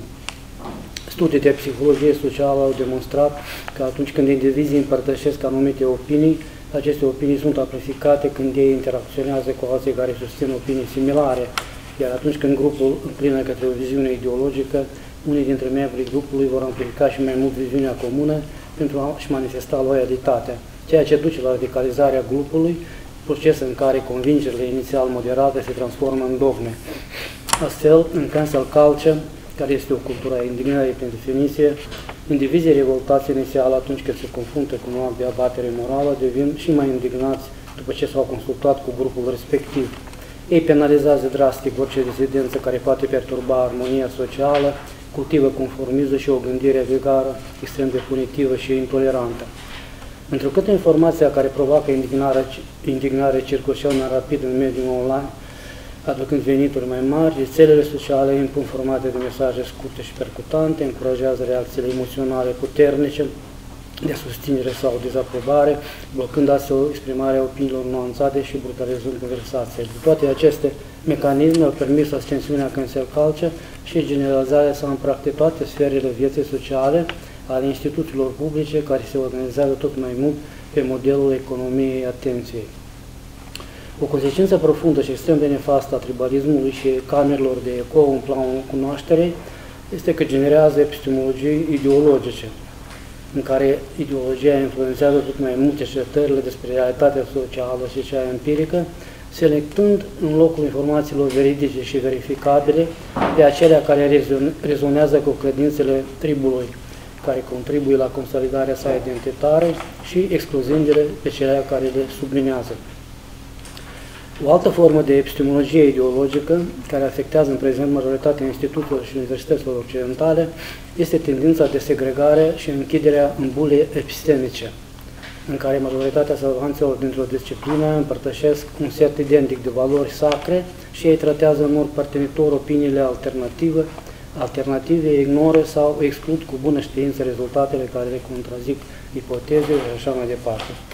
Științele socio-umane, în primul rând studiile culturale, literare, antropologia, psihologia și sociologia au aderat la epistemologii ideologice precum epistemologia feministă, teoria punctelor de vedere, intersecționalitatea, epistemologii queer, epistemologii decoloniale și altele din care se inspiră o pletură de pseudodiscipline academice militante ce uzează de mecanismele cancel culture pentru a impune punctele de vedere și a reduce la tăcere oponenții critici. Însă o mențiune importantă care trebuie făcută aici, lămuritoare pentru fenomenul de cancel culture și cel de bully epistemice, este că, dincolo de varietatea aparentă a acestor studii, care se definesc prin obiecturi de cercetare, femeile, persoanele de culoare, etc., ele toate împărtășesc câteva principii cheie epistemologice, culturale și ideologice. În planul cunoașterii, principiul este cel preluat din paradigma postmodernă, anume că nu există posibilitatea unei cunoașteri obiective și universale, că adevărul este întotdeauna în funcție de o perspectivă culturală incomensurabilă, incomensurabilă deci e relativ și construit social, cunoștințele decurg din identitate, respectiv femeile sau negri, unoară au acces la cunoștințe specifice inaccesibile purtătorilor altor identități. În planul politico-ideologic și valoric, principiul postulează că societatea este formată din ierarhii de putere care decid ceea ce poate fi cunoscut și ce nu, care decretează ceea ce este moralmente bun și ce este rău. De unde pentru aceste comunități academice militante, imperativul etic și politic care îi ghidează este să critique, să deconstruiască și să răstoarne respectivele ierarhii de putere care, în societățile occidentale, s-ar afla în mâinile majorităților demografice albe, ar servi intereselor acestora și ar discrimina diferite minorități etnice și identitare. Observăm că acest de unul principiu ideologico-politic și etic se integrează într-o paradigmă culturală, epistemică, politică și morală globală, care în momentul actual structurează într-un mod tot mai determinant imaginarul societăților occidentale, coagulându-se într-o metanarațiune legitimantă în sensul definit și Lyotard. Un zeitgeist promovat de elitele mediatice, cognitive, culturale, politice și corporatiste. Termenul generic adecvat, chiar dacă unul controversat și polemic, pentru a desemna această nouă metafizică, este oak, cultura oak, oak culture. În engleză, awake, oak înseamnă a fi treaz. Conotează semnificațiile de a se ridica, a reînvia. Iar la începutul secolului al XX-lea, în comunitățile afroamericane, semnificațiile acest sens, aceste sensuri figurate au început să însemne a fi vigilent la discriminările rasiale și nedreptățile politice în general. În secolul nostru, în urma unor tulburări sociale care au zguduit Statele Unite, termenul OC migrează din idiolectul comunității afroamericane în discursul public, unde, după 2015, este popularizat de mijloacele media mainstream, de industriile culturale și corporațiile high-tech, care îl transformă într-un ideologem, un cuvânt valiză de o răsunătoare notorietate ce desemnează o nouă viziune progresistă asupra lumii. Difuzată prin viralitatea contagioasă a internetului și lobismul financiar al marelui capital, Ocris sau ochismul, să-i spunem așa, a devenit noua religie seculară a elitelor liberale de stânga. Este vorba de o viziune a lumei identitară, străină liberalismului clasic, una în care oamenii sunt definiți fundamental de comunitatea în care s-au născut, de orientarea lor sexuală și culoarea pielei. În această viziune, toate disparitățile, inegalitățile rasiale, sexuale, sociale și economice sunt dovezi de discriminare care trebuie demantelate prin politici agresive care să reducă la tăcere eventuale a disidenți, prin stigmatizarea lor ca reacționari, rasiști, sexiști sau fasciști.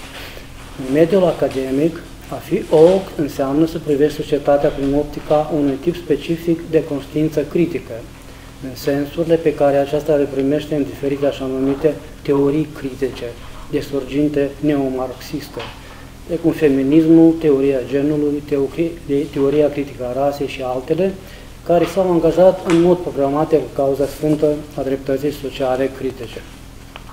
Universitare, cercetători de discipline umane și sociale, care își asumă această conștiință critică, urmăresc să descopere în orice element și relație socială în orice artefact cultural, opera artistică, opera artistică sau narațiune istorică, manifestări evidente sau ascunse de rasism, sexism, patriarhat, homofobie, masculinitate toxică, etc., etc., pe care apoi le supun de construcției și tribunalului dreptății sociale critice. Așadar, aceasta este o ideologie foarte departe de înțelesurile dreptății pe care le-am moștenit din creștinism, din liberalism sau marxism, înțelesuri la care poate subscrie orice persoană de bună credință. Pe când dreptarea socială critică este o ideologie care se instalează în mod agresiv în toate structurile sociale, culturale, instituționale și politice, promovând o concepție radicală ce împarte oamenii în funcție de afilierea de grup și de trăsături identitare imutabile, ea se focalizează pe relația acestor grupuri cu puterea socială și privilegiile, pe modurile în care relațiile și poziții sociale se intersectează în matrici ale dominării, opresiunii și marginalizării. Bună oară, în teoria critică a rasei, din care se inspiră așa numitul nou antirasism, societățile europene sunt acuzate de flagelul rasismului sistemic și ineradicabil, ceea ce îi îndreptățește pe academul militanți să, să demonizeze în permanență și fără scrupule popoarele europene albe, care poartă deci stigmatul albității, whiteness, o vrăjitură patologică și rasistă prin definiție. În mâinile activiștilor OG, antirasismul a fost transformat în rasism, într-un rasism împotriva albilor. El nu mai servește la combaterea discriminărilor care s-au perpetuat în societățile democratice contemporane, ci de la demonizarea în bloc a Occidentului. Sub retorica antirasistă străbate tot mai evident dorința de a elimina civilizația occidentală, redusă la un sistem pervers ce produce și răspândește diverse forme de opresiuni și fobii. Prin urmare, OC este numele unei revoluții sociale, culturale și antropologice care azi bulversează în temelii societățile occidentale și care și-a impus etosul și valorile sale în toate instituțiile sociale și culturale consacrate. În lucrarea sa recentă, intitulată Cum a, câștigat, cum a câștigat OUC, mișcarea eretiscă care amenință democrația, cercetătoarea britanică Joanna Williams ajunge la următoarea concluzie. Citez. OUC a cucerit Occidentul, de la școli și universități, la corporații multinaționale, social media, jurnalism și chiar poliție și armată, valorile OUC domină fiecare aspect al vieții noastre. Citat încheiat. Mai mult chiar, după publicarea acestei lucrări, ideologia OUC a început să se globalizeze într-un ritm verticinos din momentul în care administrația Biden a cumpărat-o în strategia sa geopolitică, iar diverse organisme internaționale precum ONU, UNESCO, Curtea Europeană pentru Drepturile Omului, Consiliul Europei și altele, își aliniază agendele la nou sistem ideologic. Iar în această întreprindere globală de inginerie socială și schimbare de regim civilizațional, cancel culture este arma, brațul de fer al militanților OUC. Revenind acum la noțiunile cameră de ecou și bulii epistemice în contextul academic, trebuie să precizăm în mod expres că nu este vorba de bule epistemice care să ilustreze o pluralitate de concepte și viziuni ideologice, ideologice aflate în competințe pe piața ideilor, ci de monoculturi ideologice care s-au instaurat în științe sociale, culturale, în psihologie și așa mai departe, monoculturi care împărtășesc principiile epistemologice și axiologice ale amintitelor mai sus teorii critice din perimetrul paradigmei OC. Această omogenitate ideologică este rezultatul unor multiple evoluții pe care le-au declanșat în anii 50-60 ai secolului trecut, faimoasele mișcări de protest ale studenților din marele metropole americane și europene, mișcări care au reorientat universitățile către ideologii stângiste și neomarxiste.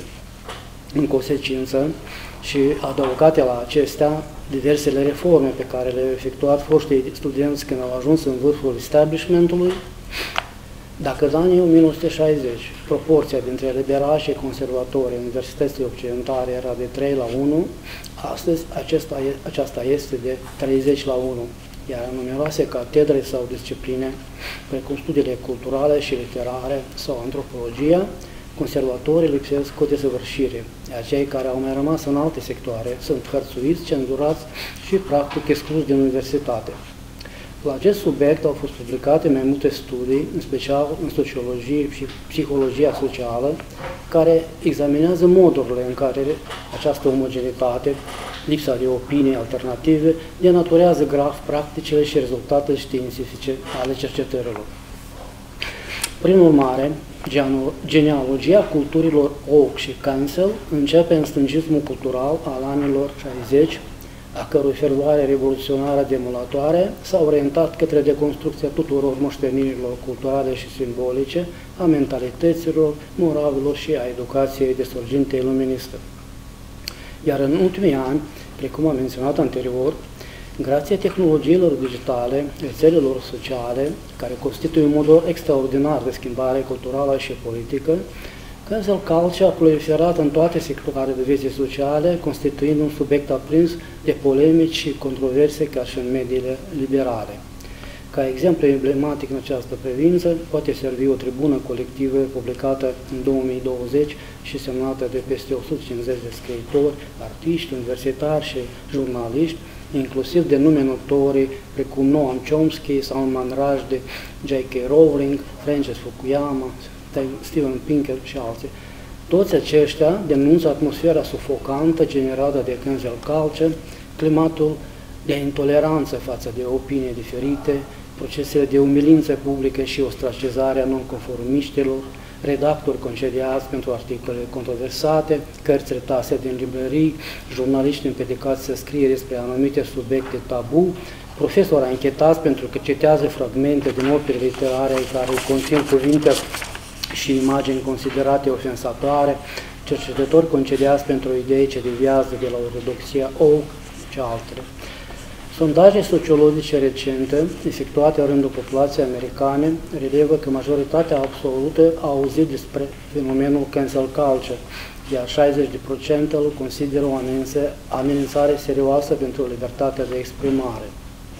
Un sfert din cei chestionați evită foarte des să exprime anumite opinii din teama că își vor pierde locul de muncă, poziția socială, iar foarte mulți simt o presiune să afirme lucruri în care nu cred pentru a se integra în colectiv.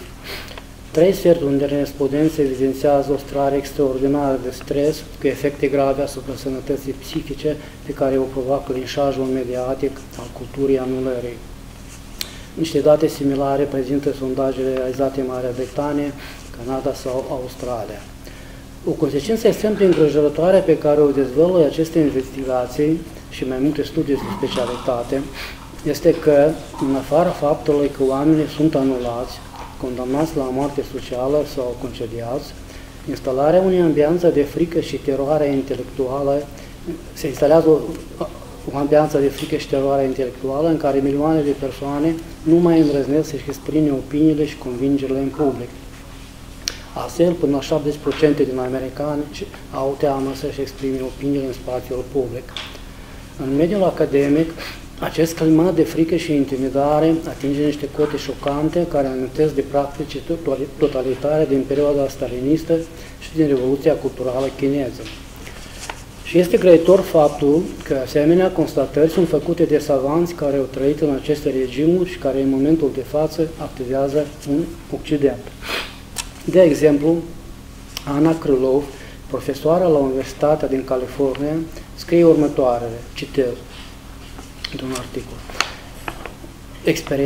Experiențele mele de zi cu zi ca profesor de chimie la Universitatea Americană din 2021 îmi aduc aminte de perioada școlară și Universitatea din URSS, amintiri care sunt mai degrabă ai coșmaruri orwelliene. Voi compara experiențele mele din trecut și din prezent pentru a ilustra următoare paralele între URSS și SUA de astăzi. 1. Atmosfera de frică și autocenzură 2.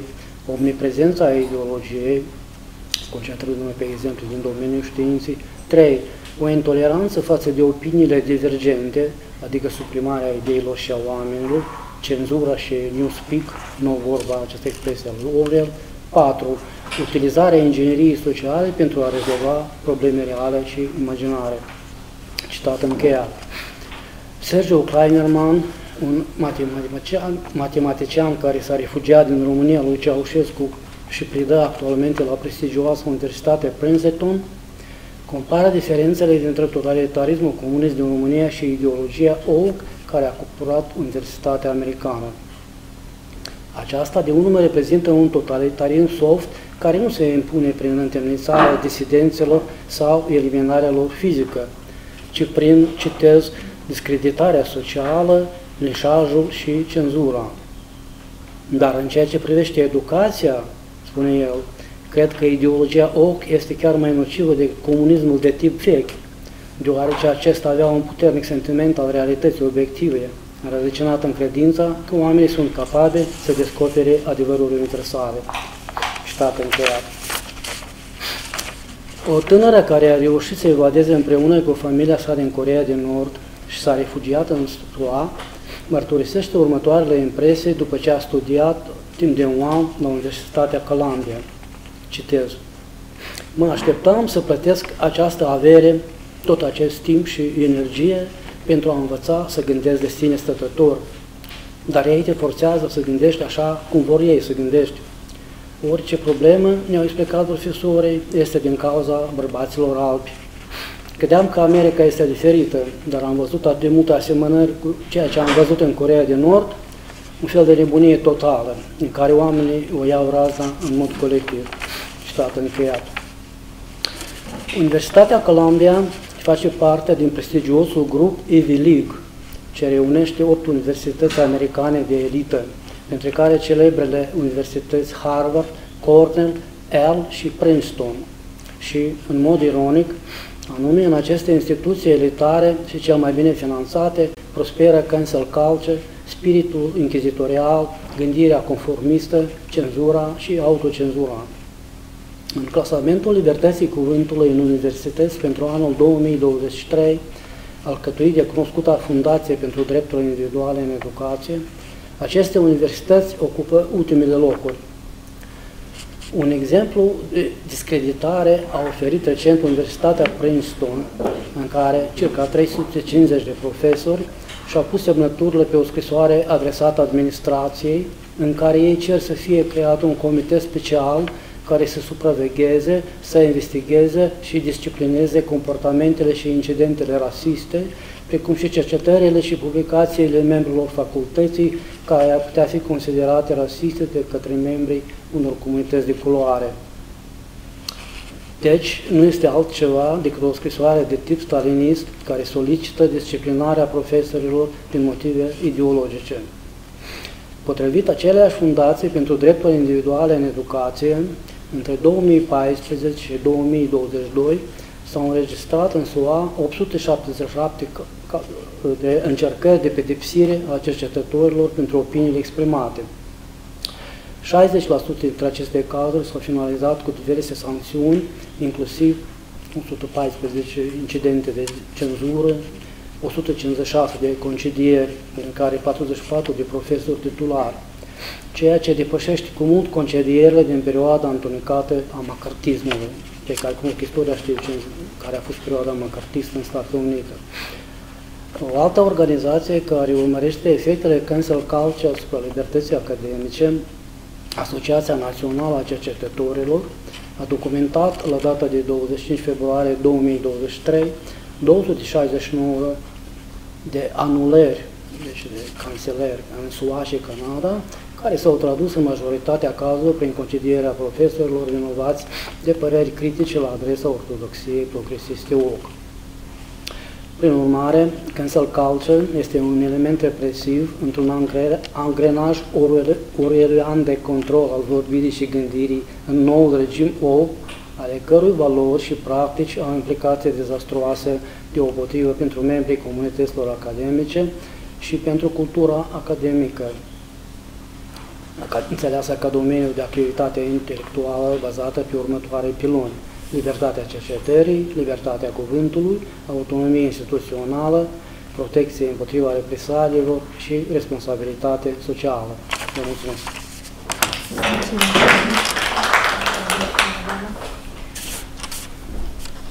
În cele ce urmează, îi oferim cuvântul Natalie Hareton, doctor, cercetător la Institutul de Filologie,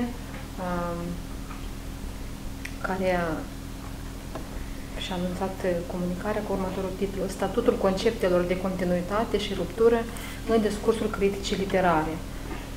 Da. Și mai ales că ceea ce spunea domnul Plămâneală despre cultura mării, critica literară se plasează cumva în zona asta, cel puțin la nivel ideal, se plasează în zona asta în care n-ar trebui să existe uh, cenzură, autocenzură, deși dacă urmărim din punct de vedere istorico-literar, dar și teoretic vedem că funcționează și uh, aceste elemente ale cenzurii și autocenzurii din discursul critic.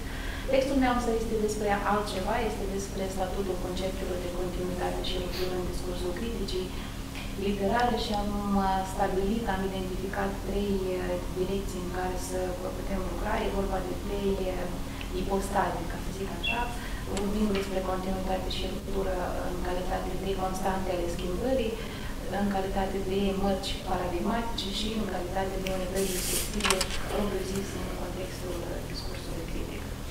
În calitate de constante ale schimbării, conceptele de continuitate și ruptură furnizează date prețioase despre dinamica literaturii și contextul său, așa cum spune Antoine Compagnon, ori perspectiva diacronică devine eficientă numai atunci când datele oferite nu sunt interpretate exclusiv în sens cronologic, ca un simplu raport de consecutivitate, ci sunt trecute printr-un filtru valoric. Așa cum demonstrează Antoine Compagnon, conlucrarea dintre planul diacronic și cel sincronic permite trăierea valorilor în timp și este demersul istoriei literare și în afara lui și vorbim despre demersul criticii literare.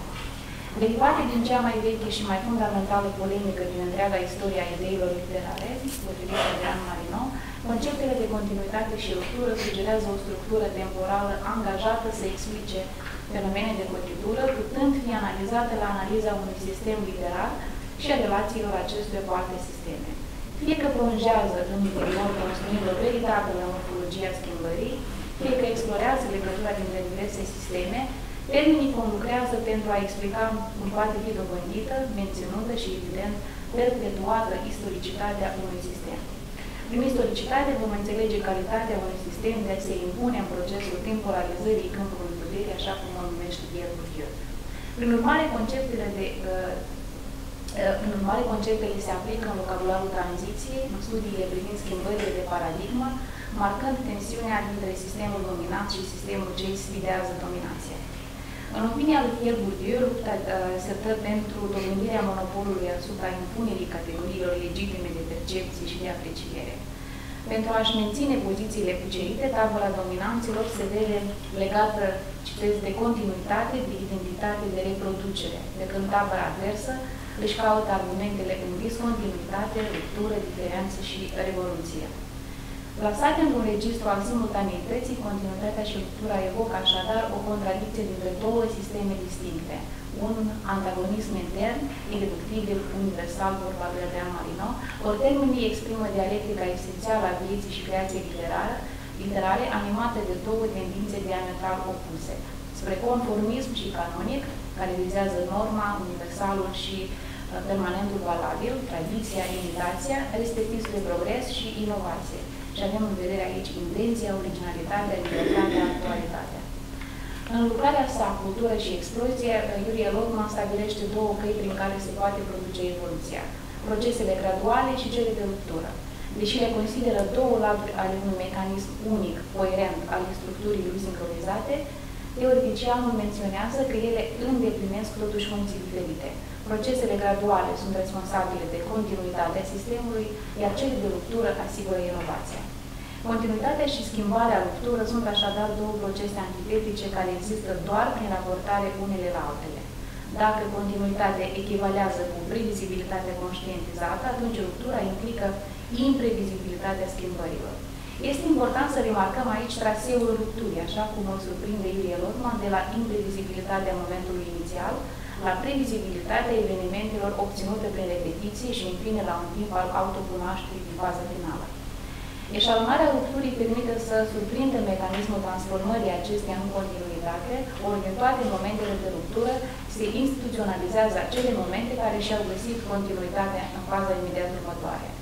Pentru început, ruptura trebuie să aibă continuitate ca să-și certifice impulsul inițial al ennoirii, obținând dreptul de a exista pe axa valorilor. Momentele de ruptură sunt acele momente care și-a configurat o continuitate metamorfozată în mișcare, din moment ce schimbarea se instituționalizează, se canonizează, când intră în toate domeniile vieții culturale, ea începe să se epuizeze, să se stingă. În fine, erodarea unui sistem se produce în momentul în care impulsul inițial al rupturii este supravicitat, suprasaturat de propriul efect. Între impulsul inițial care anunță ruptura și impulsul final există o confruntare, un moment de înaltă tensiune artistică, reactivând datele polemice dintre sistemul continuității și cel al rupturii. La fel, cele trei faze de manifestare a rupturii favorizează stabilirea trei moduri distincte de a te raporta la tradiție. Ruptura cu tradiția formule precedente, vorbim aici despre ruptura la intenție fondatoare, ruptura cu, tra cu tradiția ca instituționalizare și aici ruptura se certifică, vorbim despre certificarea rupturii, și ruptura cu propria tradiție instituită și supra-solicitată și vorbim în cazul dat despre ebuizarea rupturii. În primul caz vorbim despre mișcările de avangardă care sparg tiparele, marcând astfel o distanță față de tradiție. Cea de-a doua atitudine reflectă trecerea rupturii într-o fază continuă. În fine, în ultima fază, când repetiția devine contraproductivă, vorbim despre două tipuri de mișcări, de conservare cu orice preț a acestei tradiții, ariergarda și alta ce deplânge de primul decadența. Comportamentul rupturii poate fi explicat prin însăși forța vechiului care pentru a se împlini are nevoie de nou. După Teodor Adorno, uh, vechiul nu se poate refugia decât pe creasta noului în rupturi și nu în continuitate.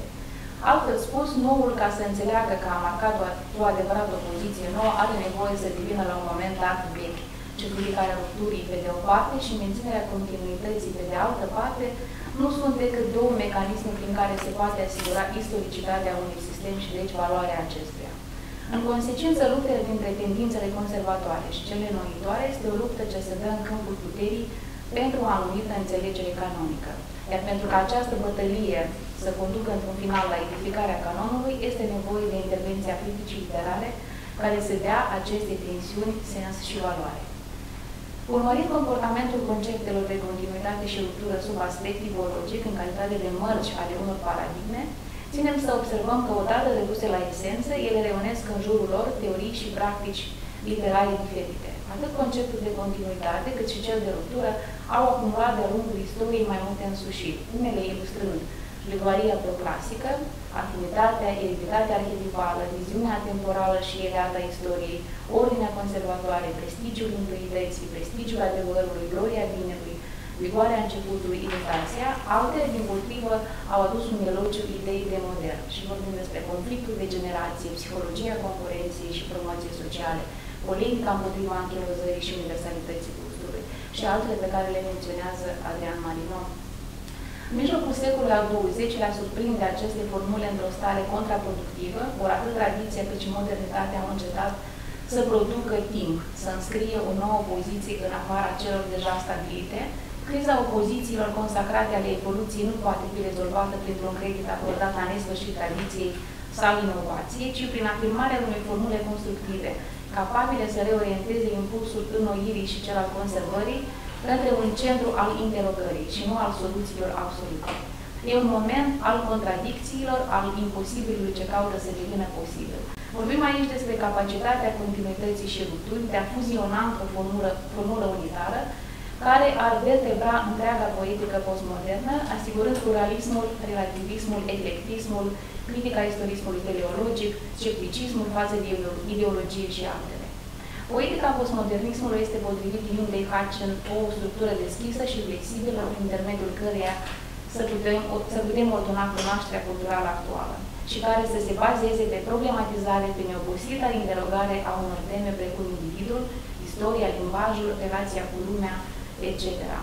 Interesant în acest context mi se pare atitudinea lui Matei Călinescu, care constată că, între fețele modernității, postmodernismul este poate înzestrat cu cel mai înalt spirit critic, autosceptic și totuși curios, neîncrezător și totuși căutător, binevoitor și totuși ironic.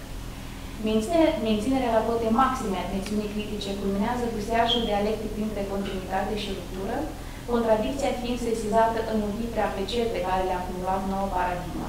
Neîncredere în metapovestiri, la Jean-François Lyotard, întoarcerea la tradiție împotriva modernismului sau depășirea modernismului la Luc Ferry, post-istorie cu Slav la Gianni Vatimu, sfârșitul istoriei la Francis Fukuyama, joc de simulacre și de seducție la Jean Baudrillard, ruptura cu ruptura, deznodământul epopeii moderne la Antoine Compagnon, epuizare și împlinire la John Bach, poetica problematizării la Linda Hutchin, eclectism rafinat la Matei Clemenescu și sunt doar câteva dintre uh, aprecierile pe care le-am semnalat aici.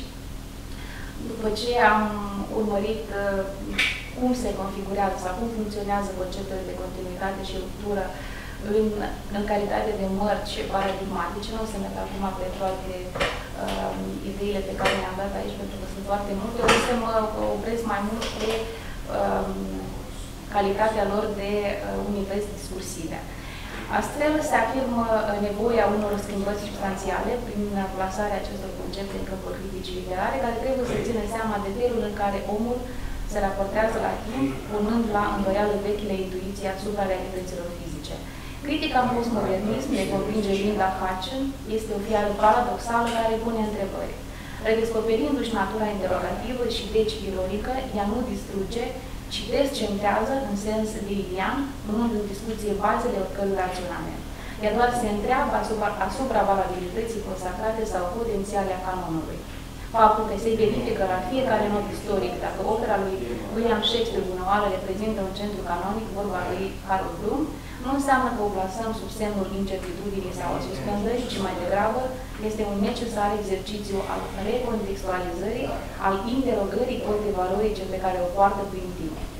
Ceea ce reușește să impună și să mențină postmodernismul este lupta cu falsa dilemă, cunoscută în știință și sub denumirea de falsa alegere, eroarea logică a dreptului exclus, gândirea în alb și negru. Iluzia că opțiunile criticului sunt mutual exclusive, că acesta acceptă adevărul de la un singur pol, este denunțată prin contribuțiile unor teoreticieni de rezultate de formație interdisciplinară, cum sunt uh, Roland Barthes, Pierre Bourdieu, Antoine Compagnon și alții. Natura interrogativă, optativă sau dubitativă, cum îi spune Roland Barthes a discursului critic, este strâns legată de uh, idee de iluzie, după uh, cum ne convinge în critică și adevăr, sugerând că demersul criticul nu trebuie focusat pe găsirea adevărului, care rămâne în fond o iluzie, ci pe scriitură.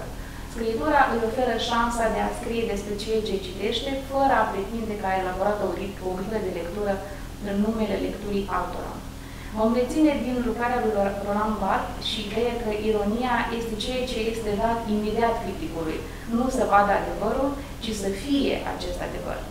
Mai mult, Roland Barthes insistă că ironia nu este nimic altceva decât întrebarea pusă limbajul de către limbaj sau un fel de a pune limbajul în discuție prin excesele aparente declarate ale limbajului.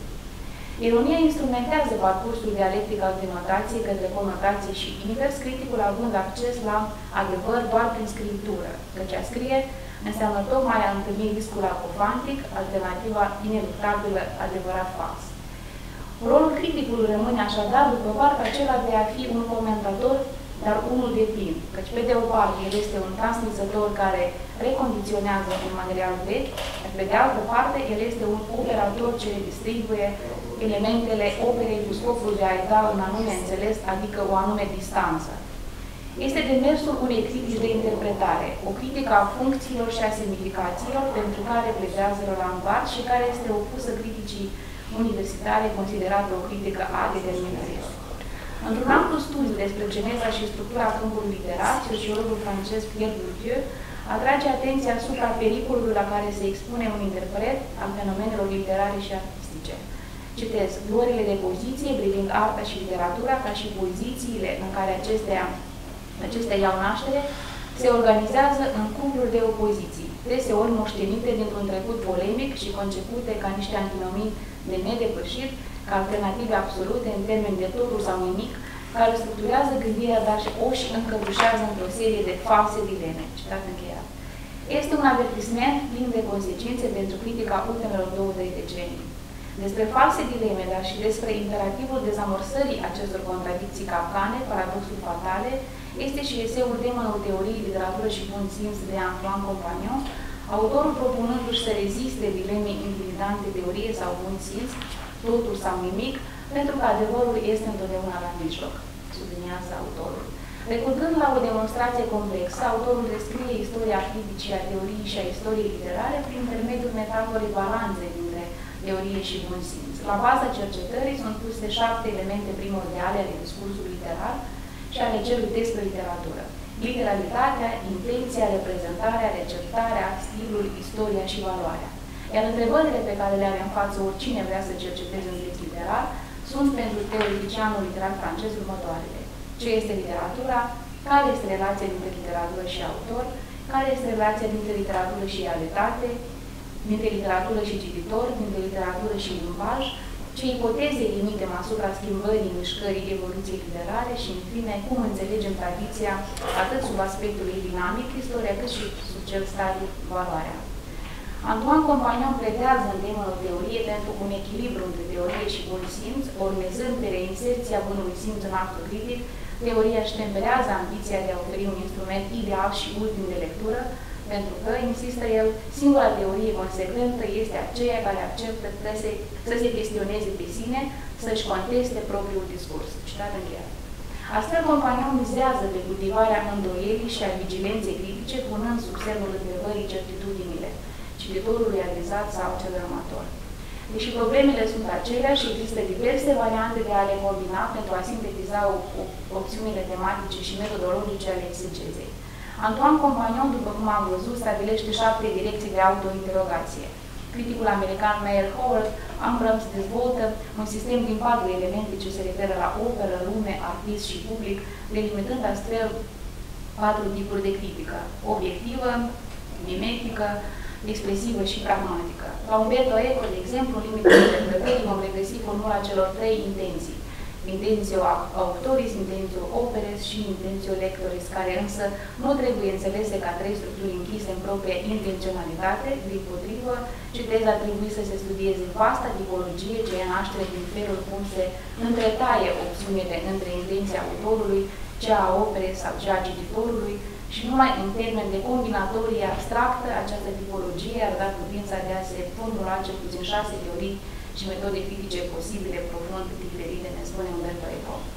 Într-un studiu amplu dedicat criticii românești postbilici, Ioana Codache preia modelul lui Umberto Eco pentru a putea vorbi despre trei tipuri de critică, critica orientată spre autor, și menționează aici biografismul, critica genetică, psihanaliza, psihocritica, critica orientată spre text, stilistica, formalismul, structuralismul, noua critică americană și franceză, textualismul, deconstructivismul și altele, și critica orientată spre receptor și contextul social, impresionismul, critica sociologică, sociologia lecturii, critica feministă, postcolonialistă și altele. Faptul că în ecuația interpretării a fost inclus cititorul conduce la o schimbare de paradigmă față de discuțiile critice anterioare, o explozie a teoriilor receptării declanșată în anii 60 de școala de la Constanț relativizează autoritatea teoriilor axate doar pe text și autor. Mircea Cătărescu susține că dimensiunea operă public, receptare, contribuie la, alături de cunoscutul versant autor-operă, creație, la transformarea sistemului valorilor literare dintr-o structură geometrică și rigidă într-un câmp dinamic în continuă fluctuație. Așa se face că în interiorul acestui câmp citesc valorile de virtuale și interactive, ceea ce face ca un consens total să nu mai poată fi realizat. Redimensionarea domeniului de cercetare se produce evident concomitent cu cea din sfera metodelor și a felului în care le înțelegem. Apelăm aici la Jean Starobinski, care oferă în lucrările sale la moderației în demersul critic. În rolul Popeii este evocată privirea criticului care funcționează într-un registru dinamic. În relația critică se lansează noțiunea de traiect critic, ceea ce implică deopotrivă rigoare metodologică legată de anumite tehnici și de procedeile lor verificabile și disponibilitate reflexivă liberă de orice constrângere sistematică. Tehnicile, prin simplu fapt că sunt obligate să se repete, răspund unei voințe de continuitate în cadrul acestui traiect, pe când reflexia exprimă o voință de ruptură, astfel ca să poată învoca cât mai mult și în același timp să fie cât mai diferită. Calea pe care o parcurge criticul, de la acceptarea naivă la o înțelegere integratoare, de la o lectură fără păreri preconcepute, la o reflexie autonomă față de operă și de istoria în care ea se inserează, imprimă discursului un pronunțat caracter relativ, o relativitate poate fi obținută în momentul în care critica tinde nu doar să cunoască, dar și să se cunoască. De aici și înțelesul pe care îl dă Jean Starovinski metodei, însemnând atât reflexia asupra scopurilor criticii, cât și codificarea mijloacelor ei. Traiectul critic poate fi descifrat cu ajutorul gesturilor fundamentale ale criticii, identificate în lucrarea omonimă, trierea, restituirea, alegoria, refuzul și cunoașterea. Altfel zis, alegerea ca formă inițială a traiectului culminează numai decât cu o voință de înțelegere recapitulativă.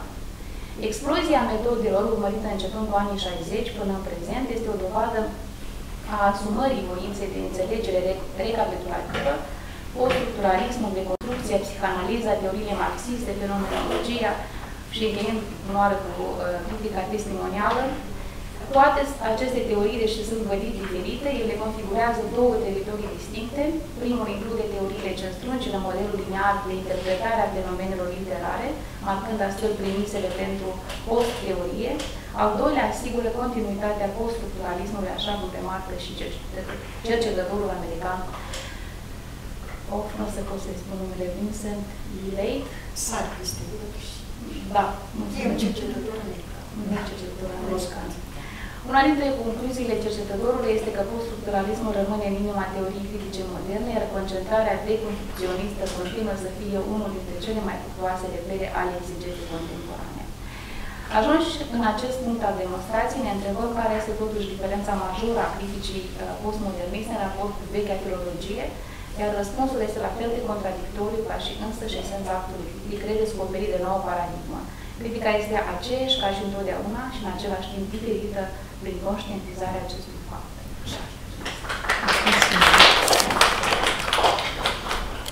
Da, și noi mulțumim. în continuare o rugăm colega noastră Galina Nițoi ne citească referatul pe care l-am intitulat Realitatea fracturată a tranziției în proza lui Vitalie Ciubanu. Mulțumesc tare mult!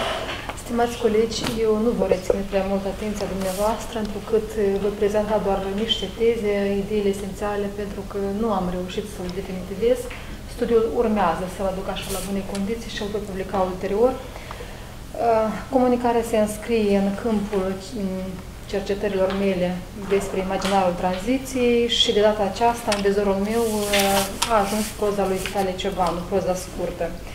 Culegerea de proză scurtă, Zilele după Oreste, apărută la uh, Humanitas în 2019, este a doua carte de ficțiune a lui Vitalie Ciobanu, publicată la 28 de ani de la debutul cu romanul Schimbarea din strajă. În acest interval de timp, autorul a editat câteva volume de eseuri, printre care Frica de diferență, Valsul pe eșafod, 30 de pretexte literare și un jurnal de Praga, Scribul Grădina Fermecată, un volum de publicistică, și un uh, jurnal de călătorie, acesta din urmă în colaborare cu Vasile Gărneț. În centrul atenției noastre s-au aflat două novele din uh, volumul Zilele după Oreste, cea care dă și titlul cărții și engleza pentru cei care pleacă. Textele nominalizate decupează secvențe realiste, problematizând condiția intelectualului, a omului de creație în timpurile tulburi ale tranziției post-sovietice șocul ieșirii dintr-un sistem politic, social și ideologic și al intrării într-o lume nouă, neașezată încă, incertă, le cauzează uh, personajelor lui Vitalie Cioban o fractură abruptă de destin. Acestea realizând că nu se pot adapta noului climat și nu se pot integra într-o societate cu valori intervertite, profund afectată de turbulențele primenirilor. Ori este un dughenar care vinde lucruri vechi, adunate, citez, din temir ce cotloane ale orașului în care locuia, citat încheiat, este un marginal respins de mediul în care trăiește, pentru că nu corespunde standardelor noi lumi, una utilitaristă, dură, lipsită de sensibilitate. Fostul profesor de estetică liceu a ajuns în vremurile noi șomer, după mai multe încercări zadarnice de a-și găsi un alt loc de muncă care să-i asigure existența, citez, Oreste se trezise într-un compartiment de tren puțin de trupurile nădușite ale altor refugiați economici ca el, așteptând cu nervii cherciți rondul grănicerilor germani la intrarea în țara lui Goethe. Citat încheiat. Străinătatea nu i-a oferit însă ceea ce căuta. Mai mult, l-a strivit, nedreptățindu-l pe el, citez, intelectualul cu lecturi din Goethe și Rudolf Otto, citat încheiat, prin condiția umilă de a îndeplini diverse munci la negru, muncitor ilegal la o fermă unde fusese angajat cu ziua, sau la un cimitir de automobile, sau pe un șantier, în bataia vânturilor reci ale Mării Nordului. Revenit din Germania, Oreste își deschide o dugheană cu lucruri vechi, preferând, preferând de acum încolo o existență schizoidală, aceasta este forma lui de protest împotriva unei lumi detracate, stagnând în bolboana tranziției. O lume care l-a respins, l-a înstrăinat de sine și de rostul adânc al vieții sale. Novela engleza pentru cei care pleacă aduce în prim planul discuției tema ratării intelectualului într-un colț de lume din Europa de Est, conținând în subsidiar și dureroasa temă a imigrației. E o poveste despre a rămâne sau a nu rămâne într-o lume aflată în degringoladă, mai întâi în plină perestroica, înainte de strămării URSS, apoi în anii tranziției post-sovietice. Miruna, Dan și Laurențiu, tineri romantici și idealiști, redactori ai unei edituri din Chișinău, simțind briza, schimbă, simțind briza schimbărilor, decid să ia lecții de engleză de la fostul securist Costică Vizir, care preda după o metodă americană. Reperăm aici o Basarabie sovietică care, odată cu agonia terminală a Imperiului, pare să-și recapite libertatea. E un spațiu al mișcărilor de tot felul. Comuniștii se transformă peste noapte în eroi naționali, unii pleacă în Israel sau în Occident, sunt vândute biblioteci personale, se produc rupturi, despărțiri. Orice plecare e un semn al libertății, dar și o ruptură, o fractură resimțită ca definitivă, toate acestea constituie contextul existenței tânărului intelectual Laurențiu, personajul care se refugiază în lecturi, citez, singurul dar al destinului de care nu ne putem bucura în partea asta nefericită de lume. Citat încheiat. El e singurul care decide să rămână în țară. Pleacă Maia Rosenberg, colega lui de la departamentul tehnic, pleacă și Costică Vizir, pleacă în cele din urmă și prietenul său Dan. Se destramă Uniunea Sovietică, lumea se schimbă, editura dă semn de sufocare, cei mai mulți se angajează în presă, numai Laurențiu refuză să se adapteze și refuză să plece, cu toate că, zice personajul, Basarabia e locul ideal, ideal din care să pleci. Citat încheiat. El e scriitor, vocația sa e scrisul, nu își dorește să ducă o viață scutită de griji în Occident, ci visează să scrie un roman. În condițiile în care mulți decid să plece, cine sunt lași, se întreabă Laurențiu, cei care pleacă sau cei care rămân? Cine se iluzionează mai mult? Cei care stau în Basarabia, crezând că pot schimba ceva sau că aici se poate schimba ceva, ori cei care au curajul să o ia de la început în altă parte. Acestea sunt dilemele care îl macină pe Laurențiu, acestea sunt întrebările la care caută răspunsuri, întrebări la care nu găsește răspunsuri. În concluzie, uh, vom sublinea că dramele existențiale pe care le trăiesc personajele lui Vitalie Ciobanu developează normalitatea de viață a unui spațiu sufocant pe care o compensează doar prin scendare sau prin refugiu în iluzie. Mulțumesc! Noi vă mulțumim. Deci, în continuare, o altă comunicare actuală de Felicia Cenușă, titulată Textul literar ca vehicul al memoriei culturale. Vă rog.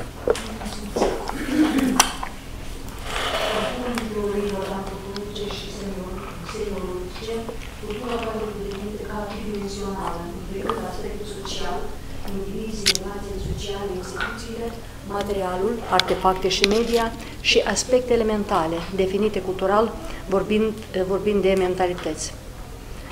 Privită din această perspectivă, memoria culturală poate, fi, poate reprezenta un termen cuprinzător, înglobator pentru memoria socială, ca sursă primară de cercetare pentru studiile sociale, pentru memoria materială, principalul punct de interes pentru mass media și studiile literare, precum și pentru memoria cognitivă, terenul pentru expertiza psihologică și neuroștiințifică. Aceste nominalizări sunt, desigur, toate teoretice, doar teoretice.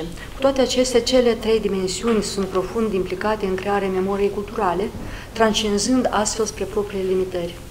Media, practicile, miturile, monumentele, istoriografia, ritualul, memoria conversațională, structura cunoașterii structurale pot fi reluate toate ca Uh, memorie culturală. Memoria culturală subliniată, subliniază relația sa cu memoria pe care, pe de o parte, și contextul sociocultural pe de altă parte. Dacă invocăm una dintre primele definiții propuse de Jan Asman, conceptul de memorie culturală cuprinde acel corp de texte, imagini și ritualuri reutilizabile specifice fiecărei societăți în fiecare epocă, a cărei cultivare duce la stabilizare și transmiterea imaginii de sine a acelei societăți. Studierea memoriei culturale într-un anumit spațiu și timp istoric are în centru ei tocmai această dinamică a prezervării trecutului, ca și analiza mijloacelor prin care acest proces se realizează. Iar textul Textul literar, narațiunea în special, este acel care este acea care stochează, acel care stochează amintirile, memoriile uh, ficționalizate. Uh, lăsându-se manevrat, arhivat sau multiplicat cu ușurință, textul scris, fie acesta ritualic, istoriografic sau literar, va reprezenta cel mai, va reprezenta cel mai rezistent și versatil vehicul al memoriei unei culturi. Literatura ca gen poate media așadar codificarea reprezentărilor colective și a ideilor despre societate într-un spațiu, dintr-un spațiu timp dat, însă nu trebuie să uităm că numai mare literatură are forța de a surprinde într-o manieră originală această înfruntare dialogică a ideologiilor și a idealurilor unei societăți. Încercăm să aplicăm mai mult ca schiță, evident, această cele teoretice în practică, având la bază romanul Montana de Alexandru Popescu. Dar aceste teorii pot fi aplicate și altor texte despre memoria recentă. Putem să numim câteva. Uh, literatura românească protonistriană, fenomenul în literatura românească protonistriană, fenomenul este reflectat um, accentuându-se diverse etape ale migrației. De reținut în acest sens piesa În containe de Constantin Cheianu, piesa Oamenii ai nimănui de Dumitru Crudu, uh, Viața unei nopți, Totentaz de Claudia Partole și altele. Dar să revenim la uh, romanul Montana. Subiectul romanului are două fire narrative. Cea a jurnalistului Ivan Josan, imigrat în Anglia, și a copilului din Benderul sovietic, oraș uh, capturat de separatiștii transnistreni după războiul din vara anului 1992. Ion sau Ivan Josan, protagonistul, locuiește împreună cu părinții și sora sa geamănă Eva într-un vagon adaptat ca și ceilalți membri ai comunității lor. O viață promiscuă, striată de vețile tatălui și a comilitonilor, cu ritualuri funebre, unde mortul muncitor la care ferată îi se pune un sicriu, mortului muncitor la care ferată îi se pune un sicriu în sicriu un tirfon pentru a putea fi cunoscut pe lumea cealaltă. Băiatul va petrece 5 zile într-un beci alături de mama, de sora sa și de câțiva vecini, ascultând încruziți bubuitul proiectilelor care le va distruge locuințele vagon. Tot atunci își va pierde tatăl, căruia îi ceruse insistent să-și, să cumpere un ceas electronic Montana, cu funcții multiple, cum văzuse la unul din colegii săi de joacă și aventuri primejdioase. Mulți ani mai târziu, întors din Anglia la Bender, riscând să fie prins și închis de milițienii transnistrieni pentru prăturnire ilegală, va afla tot de la mama despre darul pe care îl aducea tata în ziua în care fusese omorât. Îl găsise acolo lângă zid, strângând un pumn în ceas, ceasul Montana. Tata își ținuse promisiunea și o plătise cu prețul vesei. În acel moment, singurul scop ca un legământ sacru al fiului, va fi să recupereze acel ceas, pe care mama îl ascunsese în graba evacuării în veciul ruinați cei adăpostise, cel, cei adăpostise de bombardamente. Ivan va găsi ceasul tatei, chiar dacă va trece prin alte încercări limite, va cunoaște iadul unei închisori transnistrene, de unde va evada, când nu mai spera la nimic, ajutat de remușcările, ajutat de remușcările torționarului său, un fost coleg de școală, care, vărsa, care vărsase asupra lui o veche ură și o veche gelozie. Așadar, citez, Montana este metafora unei aspirații spre libertate și a unei iubiri recuperate, un roman despre fragilitatea și demnitatea vieții în Est, Italie Cioban.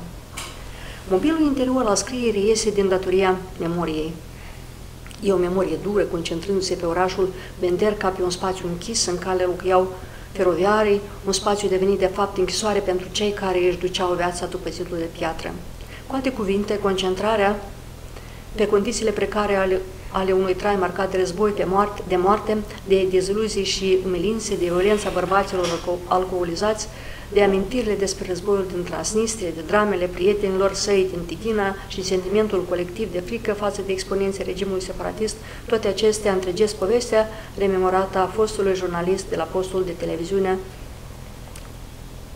chișnăuian, Alex Popescu și în romanul Montana, în care ficțiunea se împletește cu faptele reale, unele dintre care au fost trăite chiar de autor. Citat. Bineînțeles că primele împușcături din vara anului 1992 se auzeau dincolo de zid. Le petreceam ca simple pocnituri de petarde. Nici măcar mama cu Eva nu se prea agitau. Tatăl nu era acasă, se dusese din, cât timp spusea mama, la bunici să le schimbe ardezia de pe casă. Țin minte că mă enervase asta la culmea. Îl băteam pe tată la cap de câteva săptămâni să-mi cumpere ceas electronic Montana, ca la Pașa. Rămăsese în mască când îl văzui pe nesimțitul de băiat cu ceasul strălucitor de mână. Minunea și îți spunea, minunea îți spunea și ora și data. Avea zeci de melodii pentru sunetul de ton al deșteptătorului. Am rămas mut când Pașa apăsa, nu știu de ce tastă magică și brusc ecranul triunghiular al ceasului de lumină se lumina cu un portocaliu viu. Era făcut dintr-un metal de culoare argintului, care îl făcea să strălucească sub razele de soare. Tata însă răspundea rece la apelurile mele disperate. Spunea că deocamdată nu are nici bani, nici timp să-mi facă rost de ceasul rămnit. Iar acum s-a dus pentru o zi, pentru o zi întreagă la bunica tocmai în sat. Înseamnă că are timp liber și bani de benzină. O să-l împușc. O să-mi găsesc un calașnicou și o să-l împușc. M-a auzit țipând în odăința mică din vagon.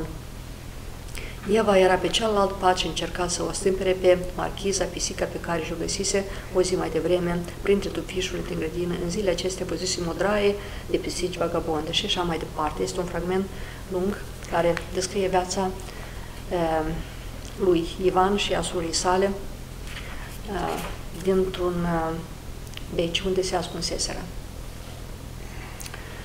Punerea în scenă, reconstituirea locului unde și petrecut copilăria înseamnă, de fapt, reconstituirea memoriei despre viață capturată.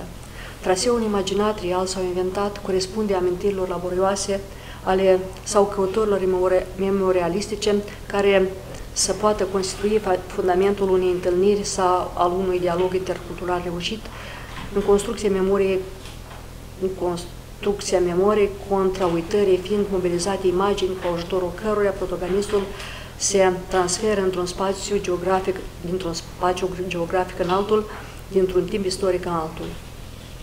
Ghina și localitatea britanică în care este stabilit Ivan Josan, experiențele limite dintr-un spațiu și în celălalt, pe de o parte, războiul din Transnistria din 1992, moartea tatălui, precum și a prietenului din copilăria lui Ivan, jocurile periculoase în ghetoul înconjurat de ziduri, în care se află încep încercuită comunitatea lucrătorilor de la cale ferată, penuria cauzată de reținerea perpetuă a salariilor și un soi de lehaminte predestinată care le se citea în ochii tuturor, toate acestea toate aceste imagini se perindă, transformându-se într-un registru al copilăriei marcate de lipsuri către cel istoric al destrămării Imperiului Sovietic. Pe fundalul suprapunerii de experiențe traumatizante are loc refugiu într-o interioritate pe care protagonistul vrea să o depășească, caracterul confesiv al discursului având și un rol exorcizant, eliberator. Starea de mobilitate permanentă care se degajă din, de aici poate fi înțeleasă ca o tentativă de retrasare a destinului, de reinventare a individualității, astfel încât migrația este, într-un anumit sens, refugiul personajului în căutarea euului propriu. Susținut de prietena sa în strădainile sale de a răzbi, protagonistul se afirmă în calitate de jurnalist la un post de radio britanic, cu prețul unor experiențe neordinare de o duritate maximă, printre care și recidivarea unei boli grave de care suferă. Cicatricea piciorului lui Ivan pulsează, pulsează plină de amintiri dureroase. Căderea de pe zidul care îl înconjura baza, care înconjura baza, îl face să aibă mereu coșmaruri, moartea tatălui în războiul separatist, violul anii la care e obligat de soldați să asiste, zilele de spaimă când s-au ascuns mai multe familii în veci un gust pentru a scăpa de războiul care devasta baza, înrolarea în armata separatistă transnistreană. Alteori cicatricea pulsează de dor de casă, de dor de familie. Alți declanșatori, trigger sau flashback, aș spune eu, ai memorii, ar fi uh, zidul, locomotiva, Tatuajul, citat, tatuajul reprezintă o locomotivă cu aburi zburând din infern peste cranii și schelete. Mă gândi atunci cât de imprevizibile poate fi viața, cât de întreprătunse pot fi lucrurile. Era un gând inocent, însă profete cumva. La ce imaginație bogată am, nu aș fi ghicit atunci ce urma să mi se întâmple în curând. Cicatrice de la picior început să mă doare din nou, mult mai apăsător, citat încheiat. Cifra 92. Citat. Ajunse la uița imaginare când avionul nostru a aterizat la aeroportul din Londra. De data asta, numărătoare am făcut mai mult rău decât bine. Cifra 92 mi s-a asociat cu, evenimente, eveniment, cu niște evenimente sângeroase, imposibil de uitat. Era anul războiului de pe Nistru. Autorul nu uită să facă referințe și la filmul Stalker al, al lui Andrei Tarkovski, film cu care noi, deci, cu care decelăm anumite, găsim anumite similitudini. Filmul Stalker, Stalker sau uh, Călăuza, ca și Montana, reprezintă o alegorie a că călătoriei între zeci spre lungi și a nuvoioase spre lungi și anevoioase de căutare spre... Aha. Deci reprezintă o alegorie a călătoriei între seci spre lungi și anevoioase de căutare adevăratului eu. Ce este baza? Nu este decât altceva decât zona lui Tarkovski. Baza. Citesc. Baza noastră era lungă de aproape 700 de metri și iată de vreo 150 și lată de vreo 150. Cred că nu, vom, nu voi minți dacă voi spune așadar că universul meu de atunci se rezuma la o suprafață de cam 2 metri pătrați. Ar părea un teritoriu mic în ochii unui adult, însă pentru mine baza era un fel de oraș, unde răscam să mă rătăcesc, de unde conspiram o infinitate de ascunzișuri. ascunzișuri. Misteriile, misterii erau cât duce trenul. Teritoriul număra patru segmente de cale ferată cu barieră. Noi le ziceam linii de asamblare. Era locul propriu-zis unde munceau adulții. Alte două linii se conectau într-un pod cu rețeaua generală a căilor ferate și erau blocate de porți înalte de fer. Acestea se deschindeau doar când ieșea vreo garnitură de lucru. Pentru mine, porțile bazei aveau dimensiuni ciclopice și îmi strâneau o frică animalică dacă mă pomeneam, mă, dacă mă pomeneam prin preajmă. Citat încheiat. Zona la Tarkovski. Primele cadre ale filmului înfățișează telespectatorului povestea zonei. Se spune că în urmă cu ceva timp o navă spațială sau un meteorit s-a prăbușit și astfel a luat naștere zona. Imediat ce s-a constatat acest fapt, s-au trimis soldați și cercetători care însă nu s-au mai întors. Urmarea a fost că acel loc s-a, a fost, s-a împrejmuit cu sârmă ghimpată și s-au pus paznici. Zona reprezintă clădirile monstruoase, fiare ruginite, construcțiile care par să aneantizeze orice familiaritate și armonie, să producă o stare de disconfort fizic și psihic. Călătoria spre inima zonei se face după alte reguli decât cele carteziene, iar persoanele speră să găsească aici, printre ruine, cei ce găsea prâslea în cea mai amărâtă dintre cele trei scutiuțe oferite de vrăjitoare. Zona din Călăuză e plină de primești nevăzute, iar înăuntru ei se poate ascunde acea comoară pe care deținuții de perioade lungi au găsit-o în interiorul lor. Și baza la uh, Alexandru Popescu. De acolo, de la înălțime, baza arăta ca un câmp de luptă din care vezi prin litografiile de război din care vezi prin litografiile de război din secole trecute. Mai toți plopii de pe teritorii erau doboriți la pământ, ca și pomii fructiferi și butucii de baco. Rândul de vagoane de pe partea stângă era șters de pe fața pământului. Fragmente din pereți, bucăți, fragmente din pereți, bucăți de bord duri și boarfe inimaginabile puseseră adunate într-o grămadă imensă din inima teritoriului. Am văzut un excavator cum sfărma în bocați ce a mai rămas din magazin și cantină și am observat ceva care m-a lăsat cu gura cascată. Pe o distanță de vreo 50 de metri, ziul de beton fusese proaspăt băruit și împășurat cu o sârmă din pată ce reflecta amenințător fiecare rază de soare. Astfel, Alexandru Popescu, în romanul Montana, își scrie proza obsedantă de figurile deposedării și ale autodistrugerii, urmând o dublă miză, vindecare de trecutul traumatic, reconstituit în narațiunea autobiografică, având drept corolar recuperarea identității pierdute și contracararea efectelor unei ideologii mnemofobice. O carte autoconfesivă precum Montana oferă chei de înțelegere a personalității autorului și operei sale, trimite cuvenitele lumini, cuvenite lumini asupra zonelor de umbră și neliniște ce s-au înstăpânit la în edificiul său identitar. Întâmplările, personajele, atmosfera de atunci sunt resuscitate extraordinar de atașant, infuzând amintirilor o tristă și sfârșitoare poeticitate. Asumându-și prin scris reacția față de acel instrument metaistoric de condiționare omului, care este teroarea de stat, Romana Montana pune permanent în discuție relațiile dintre identitățile colective și identitatea individuală, dintre istorie și memorie, avertizând asupra pericolelor amneziei istorice și ale confuziei pe acest tărâm. Concepție sintetizată excelent de Vladimir Tismaneanu. Citat. Memoria nu este un teritoriu neutru. Victimele sunt prezente acolo tocmai pentru a împiedica echivalențele cinice. Vă mulțumesc!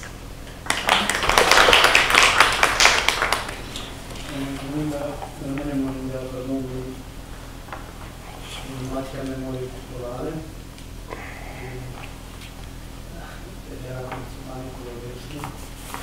Un nume consacrat în istoria culturii române, doctorul preot Paul Mihail.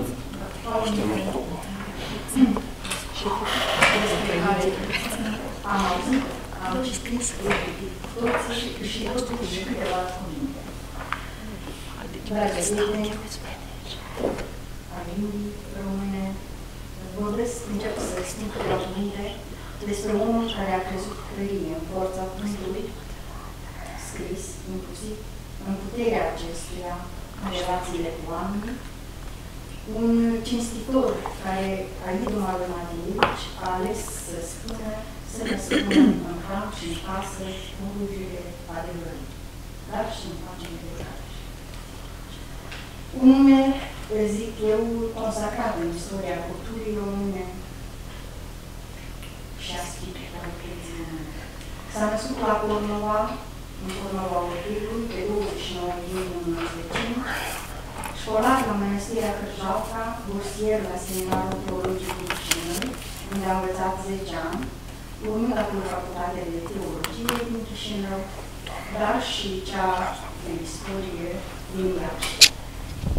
Anume, la seminarul teologic, însă, au prins concurs interesele, interesul pentru studiul documentar, desfășurat ulterior în cercetări în arhive și biblioteci din Bulgaria, Grecia, Turcia, Muntele Athos, Constantinopol.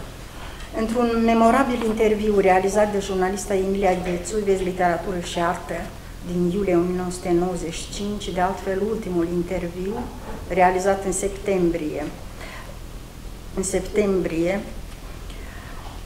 uh, publicat în 95, dar interviul fusese realizat în septembrie 1994. Paul Mihail s-a stins din viață pe 10 octombrie 1994. Așadar, în acest interviu, preotul spune următoarele. La seminarul teologic s-a dezvoltat în mine dragostea către documente, către conferințe. Vă arăt și presupun că le și arăta, în original, conferințele mele de la Societatea Gavril Bănulescu Bodonii, de la Seminarul Teologic din Chișinău. Vă arăt conferința mea din 1924 despre Alexe Mateevici. Făcusem cunoștință cu fratele lui Victor Mateevici, care ne era profesor și din dorința mea de dezvoltare către trecut am scris această conferință fragmente din care s-au citit la dezvelirea monumentului din fața catedralei din Chișinău. Monument demolat, cum se știe. După aceea am scris despre Bogdan Petricei cu HD. A scris apoi și despre rectorul seminarului Constantin Popovici, de care se atașase, Constantin Popovici fiind un luptător pentru limba română în Basarabia. A scris despre acesta prin 1966, dar presiunea opresivă a regimului nepermițând publicarea materialului în țară, acesta a, a apărut, grație efortului Zanfirii Mihail, fica lui Paul Mihail, într-o revistă franceză pentru români de la Paris. În anii cu care a fost dăruit, un favorit longeviv al destinului, zice Vasile Malanițchi într-un articol publicat în țara, la fel prin 1995, a știut, deschid uh, ghilimelele, să rodească grâu curat între mărăcini, să lase științei românești și bisericii ortodoxe, pietre de vad, adunând cu răbdare de furnică, dar cu viziune de uriaș, spre pilda generațiilor noi de istorici și teologi, sute de documente inedite despre trecutul nostru și al bisericii noastre, descoperite în arhive străine pe care le-a publicat, pe unele le-a și adus în țară și le-a dăruit ca un filantrop instituțiilor publice. remarca și Virgil Cânda, să amintim câteva din donațiile făcute Academiei Române, Bibliotecii Academiei Române, Arhivelor Statului din Iași, Bibliotecii Centrale Universitare din Iași, dar și Bibliotecii Naționale de la Chișinău, broșuri românești, broșuri rusești referitoare la activitatea unor așezăminte culturale din Basarabia, documente românești din prima jumătate a secolului XIX. Apoi, Kazania sau cu titlul ei, de fapt, cel adevărat, Carte Românească de Învățătură, Varlam, deci editată, se știe, la 1643 în Iași. O Evanghelie legată în argint de la Mănăstirea Snagov din secolul XVII și alte cărți rare care, într-adevăr, completau rafturile uh, acelor uh, biblioteci Uh, un manuscris, uh, iarăși venind din Chișinău de la 1894, în limba rusă, dar cuprinzând nume toponimice și date de istorie socială, dovezi ale continuității neamului românesc. Manuscrisul uh, binecunoscut Mihail, deci o ediție a cronicii lui Ioan Necuce, despre care voi vorbi și mai jos. Aceste informații uh, pe care le-am adus aici le spicuim din volumele Paul Mihail Jurnal, 1940-1944, și cel de-al doilea, Corespondență. E o ediție îngrijită de Eugenia Mihail, preoteasa, deci soția lui Paul Mihail și Zanfira Mihail, fica, reputata lingvistă, apărute la editura din București Paideia în 1998, 99, 2001, cărți grăitoare, definitorii pentru întregirea profilului unui cărturar de excepție care ne-a dat, așa cum am spus, studii și recenzii și cărți importante, considerate inclusiv de cercetătorii de la Chișinău, adevărate, zice Ion Țurcanu, pietre de temelie pentru istoria spiritualității românești din Basarab. Deci Virgil Cânda le apreciază de drept adevărate pietre de vad, cei din Chișinău le văd ca pietre de temelie. E vorba de cărțile Fapte trecute și Basarabeni uitați, apărută în 1938 și în următoarele ediții, tipărituri românești în Basarabia de la 1812 până la 1918, apărută în 40, 41, iar mai târziu ă, parte din cărțile sale, devenind posibil acest lucru, au fost publicate și la Chișinău, în particular la editura Știința, în 93 apare volumul Mărturii de spiritualitate românească din Basarabia. În același an, 1993, știința reia volumul de care vă ziceam, îngrijit împreună cu Zamfira Mihail, cronica lui Ioan Neculce, manuscrisul Mihail, copia lui Ioasaf Luca. E o istorie interesantă acestui volum pentru că el s-a păstrat, s-a aflat chiar în casa tatălui, lui Paul uh, Mihail. Deci un manuscris păstrat ani la rând în Basarabia. Universul spiritual românesc a fost o preocupare continuă, punerea în valoare a mărturiilor grăitoare, zicem noi, de spiritualitate românească din Basarabia, special o probă de cinstire a pământului strămoșesc și, dacă vreți, un imbold pentru noi cercetări. Publicând în reviste bisericești și laice studii, articole, documente, toate pornind din date de arhivă sau cercetări de teren, cu atât mai prețioase căci veneau să întregească suflul, duhul um, continuității. Nu cunosc pe altcineva dedicat cercetării științifice și înzestrat cu atâta generozitate folositoare culturii românești, remarca Dan Simonescu într-un articol omageal. Volumul uh, de care zicem, a apărut la Știința în 1993, Mărturii de spiritualitate românească din Basarabia, impresionează prin, prin titlurile și abordările atât de concrete și de uh, convingătoare, uh, la valoarea documentară a scripturii adăugându-se semnificația etică. Îmbogățind tezaurul științific, Paul Mihail îmbogățește spiritual pe fiecare dintre cei care, își caută, care îi caută tovărășia. Remarca istoricul Ștefan Gorovei de la Iași, care de altfel i-a găzduit mai multe, i-a facilitat publicarea mai multor studii în anuarul uh, Institutului de Istoria de Xenopol, iar autorul însuși, deci Paul Mihail, remarca în post fața volumului apărut la Chișinău, Mulțumesc tuturor tinerilor care se apleacă asupra scrisului meu și doresc să-l scoată la lumină, printre care, cu deosebire, redactorilor Mihai Papu, Dumitru Voicu și doamnei Nina Negru. Aș vrea să mă opresc eh, doar la două texte eh, incluse. Cel care deschide volumul, au rămas, toate au rămas în Basarabia. Deci asta e cartea, Mărturii de spiritualitate românească. Deschide uh, volumul textul Au rămas în Basarabia. E un text uh, publicat în uh, 29 ianuarie 41 la Iași și um,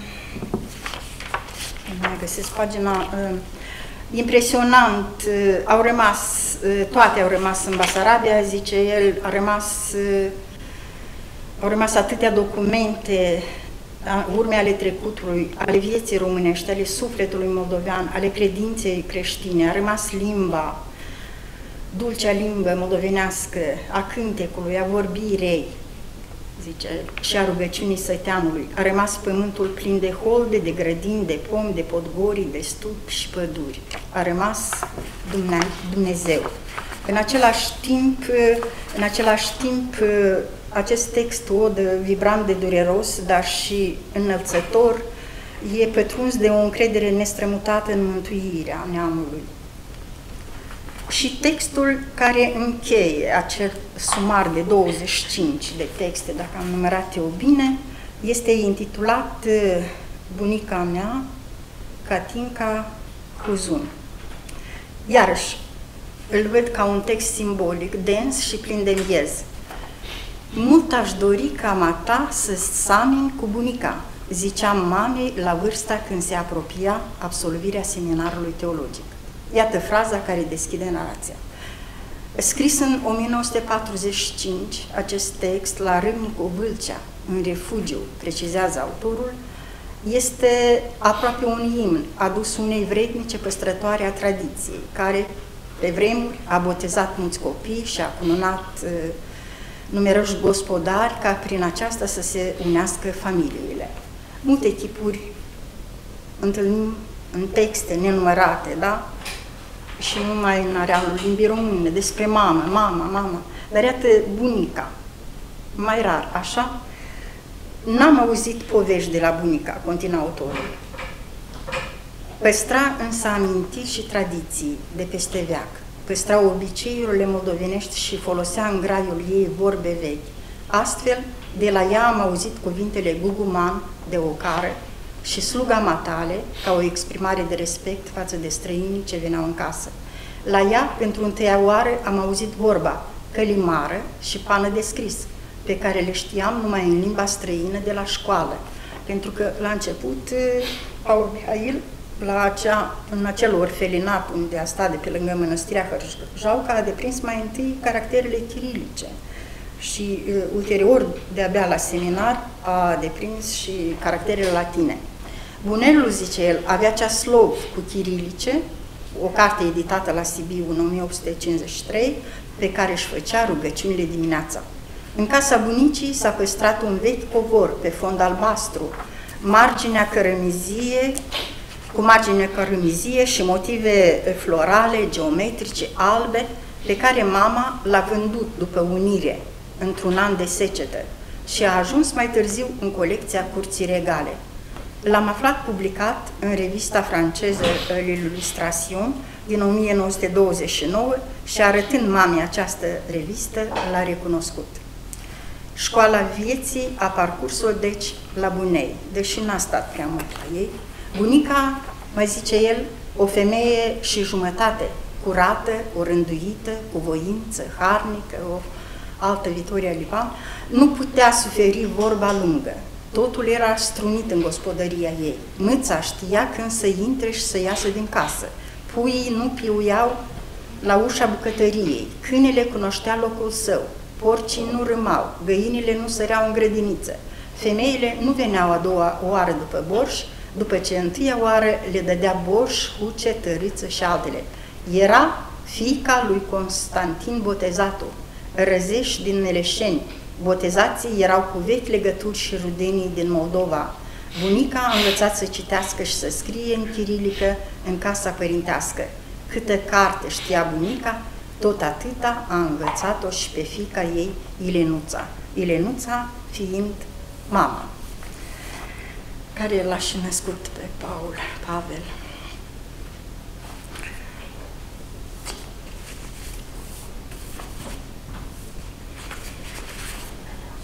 Da. Așadar, um, uh,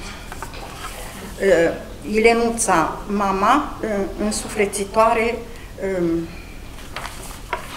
și ea a tradițiilor pe care le-a transmis mai departe. Alt moment care merită subliniat atunci când vorbim, rememorând activitatea rodnică, plină, plină de rezultate și ies a lui Paul Mihail, ar fi deci aceste două volume, am amintit corespondență, jurnal și corespondență, am întreținut corespondență cu numeroși da, intelectuali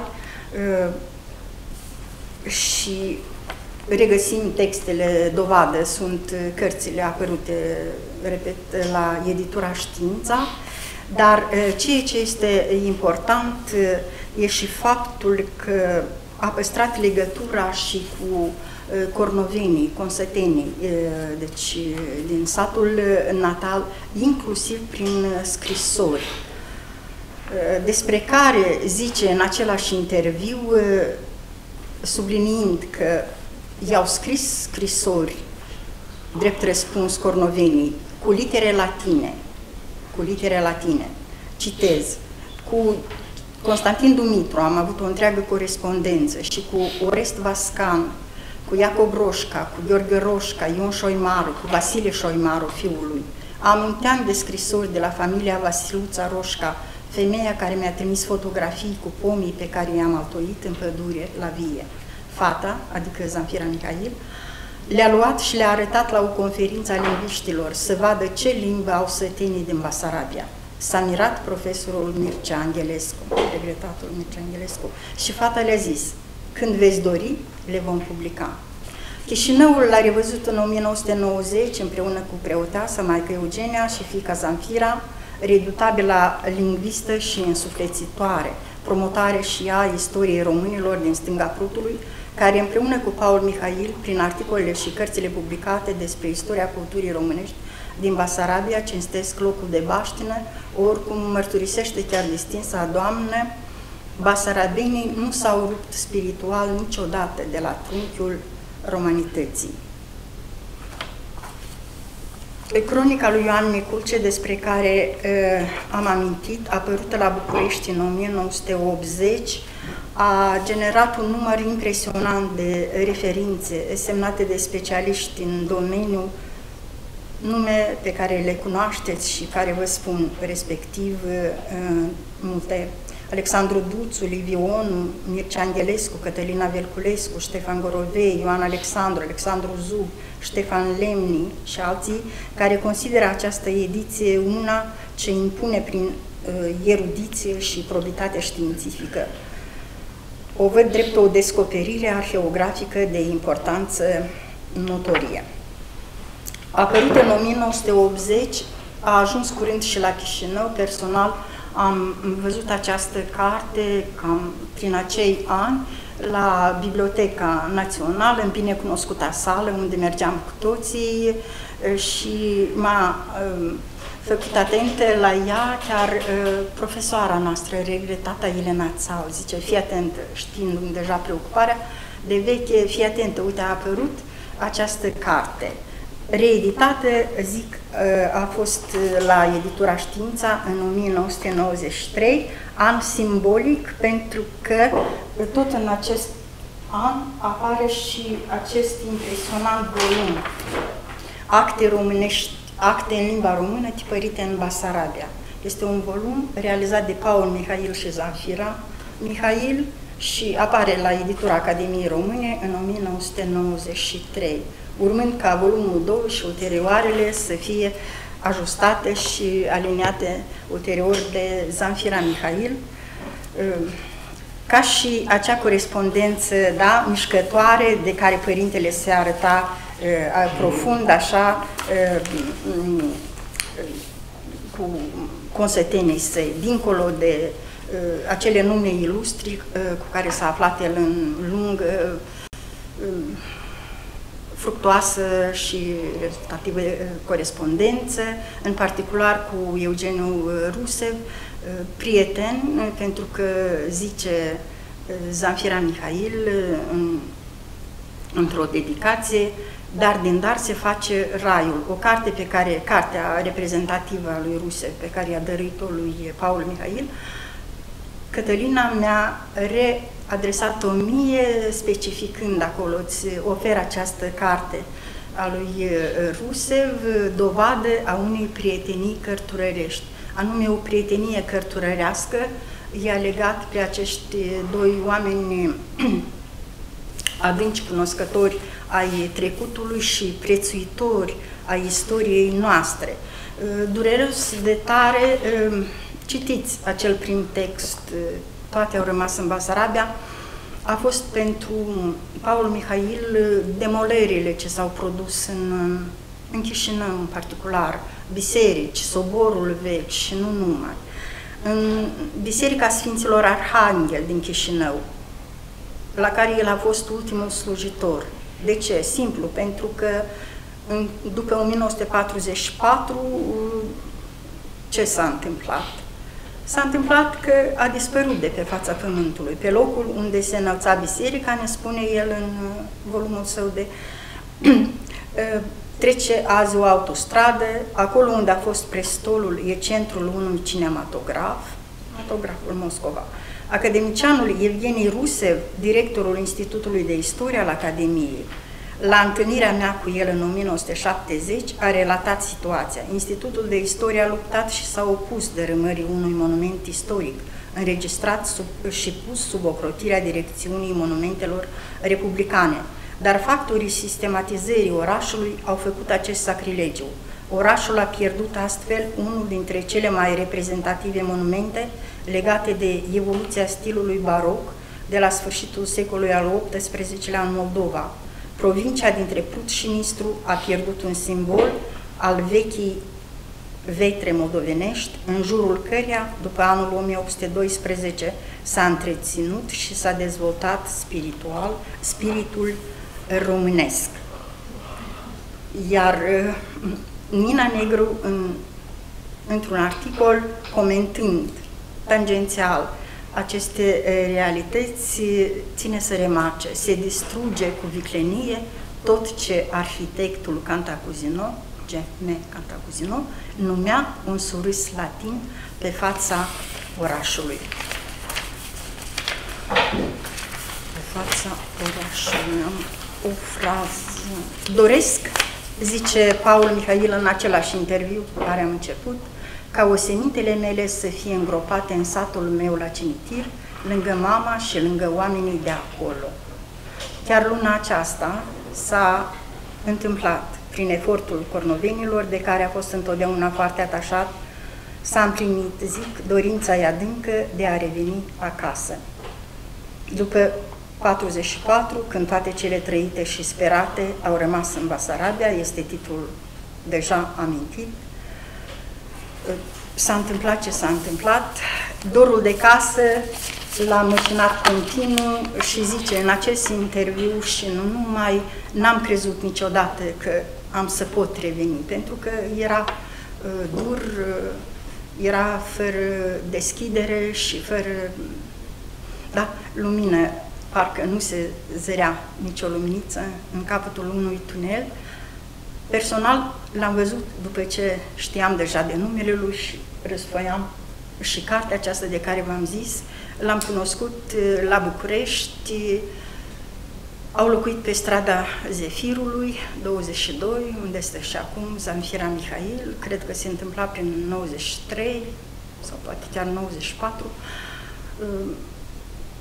L-am cunoscut și m-a impresionat uh, și pe mine, ca și pe toți cei care au trecut uh, pragul uh, jovial, primitor, deschis și cu un dor nestins de Basarabia, pe care a purtat-o mereu în suflet, pe care a căutat să o imortalizeze în pagini scrise, publicate și promovate în toate condițiile posibile.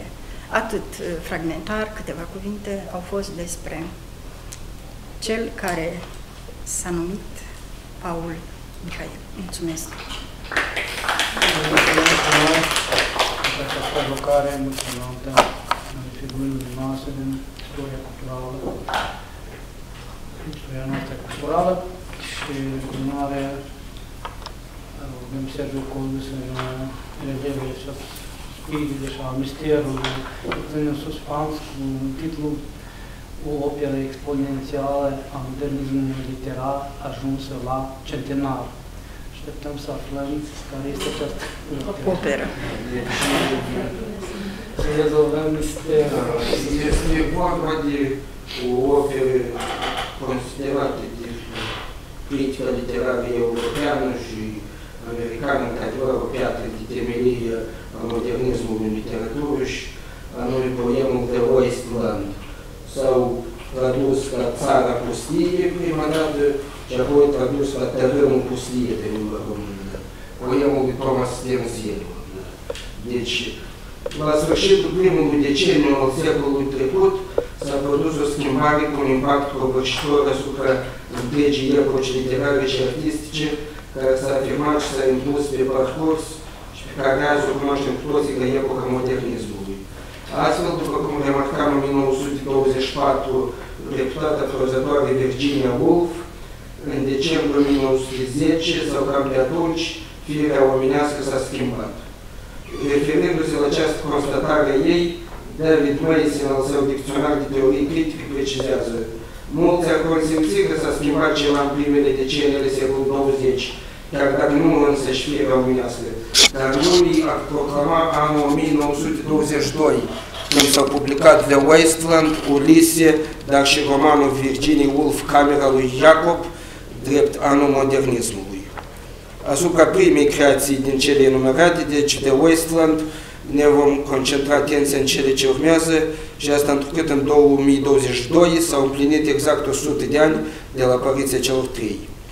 E vorba, cum am precizat, de remarcabilul poem scris de Thomas Stearns Eliot în timpul recuperării sale după o cădere nervoasă suferită ca urmare a morții tatălui său și care a devenit simbolul generației postbelice generație deziluzionată și debusolată și totodată piatră de temelie a poeziei moderne.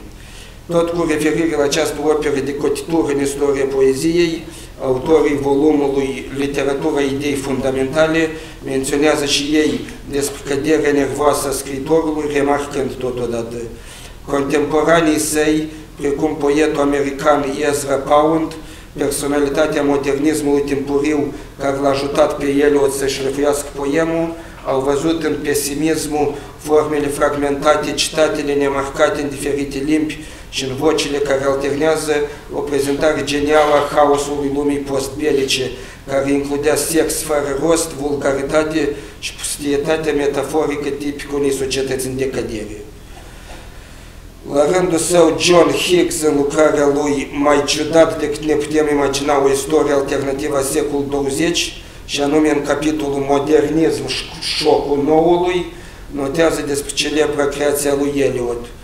Titlul inițial al poemului era Imită polițiștii pe voci diferite, reproducând o replică din romanul prietenul nostru comun de Charles Dickens, unde Betty Higden, vorbind despre fiul ei, spune N-ai crede, dar Slopi citește tare frumos ziarul, imită polițiștii pe voci diferite.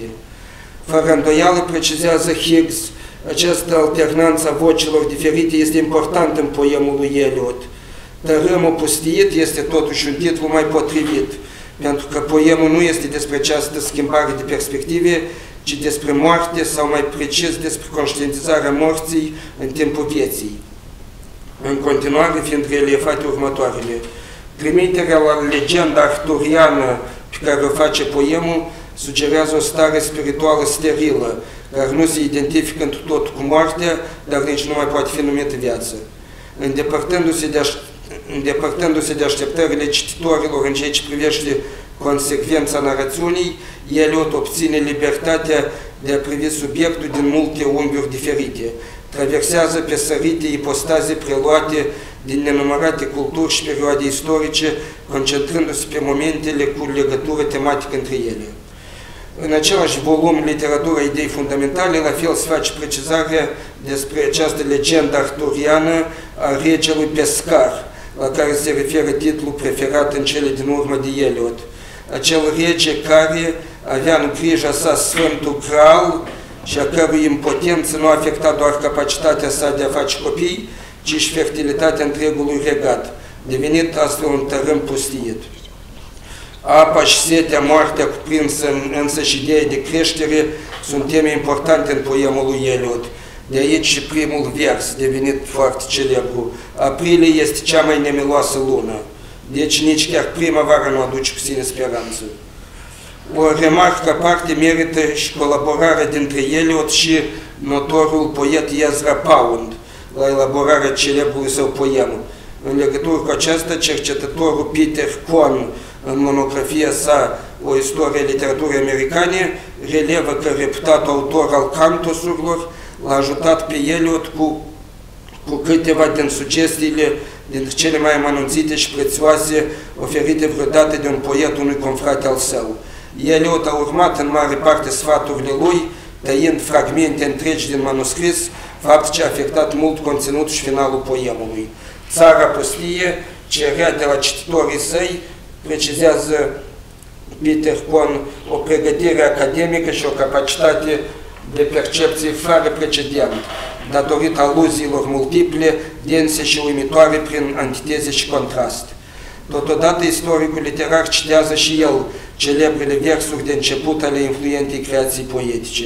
April is the coolest month, breeding lilacs out of the dead land mixing, memory and desire stirring, dull roots with spring rain. Deci, în traducere în limba română, prima traducere, Prier e cea mai crută lună, născând flori de liliac din țara moartă, amestecând amintire și dorință, îmboldind rădăcini amorțite cu ploaie de primăvară. În cea din tâi transpunerea poemului în limba română, datorată remarcabilului poet Ion Pilat. De un prestigiu aparte se bucură și traducerea realizată de Mircea Ivănescu, în varianta sa Tărâmul pustiit, deschizându-se cu aceste versuri. Aprilie e luna cea mai nemiloasă, stârnind liliacul dintr-un pământ mort, amestecând aducerile aminte și dorințele, trezind la viață rădăcinile amorțite în ploi primăvaratice. Un indiciu al respectului și al prețuirii deosebite pe care o avea Eliot pentru poetul american este și dedicația pe care o citim sub titlul poemului său din 1922 și anume pentru Ezra Pound, Il Milior Fabro, ceea ce înseamnă meșterul, poetul mai bun, apreciere care e preluată așa cum precizează traducătorul Ivănescu din Dante, Purgatorul, Cântul 31, unde îi se aplică lui Arnaud Daniel, unul dintre mari poeți provensali, în mod special studiat, tradus și parafrazat în poezia sa proprie de Ezra Pound. Mircea Ivănescu menționând totodată și el. Dedicația aceasta exprimă și datorie de recunoștință în repetate rânduri mărturisite de poetul însuși și evidentă la publicarea manuscriselor inițiale ale poemului a lui Eliot față de Pound. Aceasta din urmă, acesta din urmă a dat forma actuală a poemului dintr-o masă informă pe care autorul o prezentase la reîntoarcere dintr-un concediu medical, tăind pasaje întregi, stabilind niște treceri mai abrupte între secțiuni, modernizându-l. Revenind la Peter Con, relevăm că, potrivit specificărilor lui, tonul poemului eliotian se modulează de la suspinul timid al acestor prime versuri până la inflexiunile fricii, anxietății și tulburării, evoluând în final către replica ambiguă șovăielnică. Am ridicat aceste fragmente pe ruinele mele.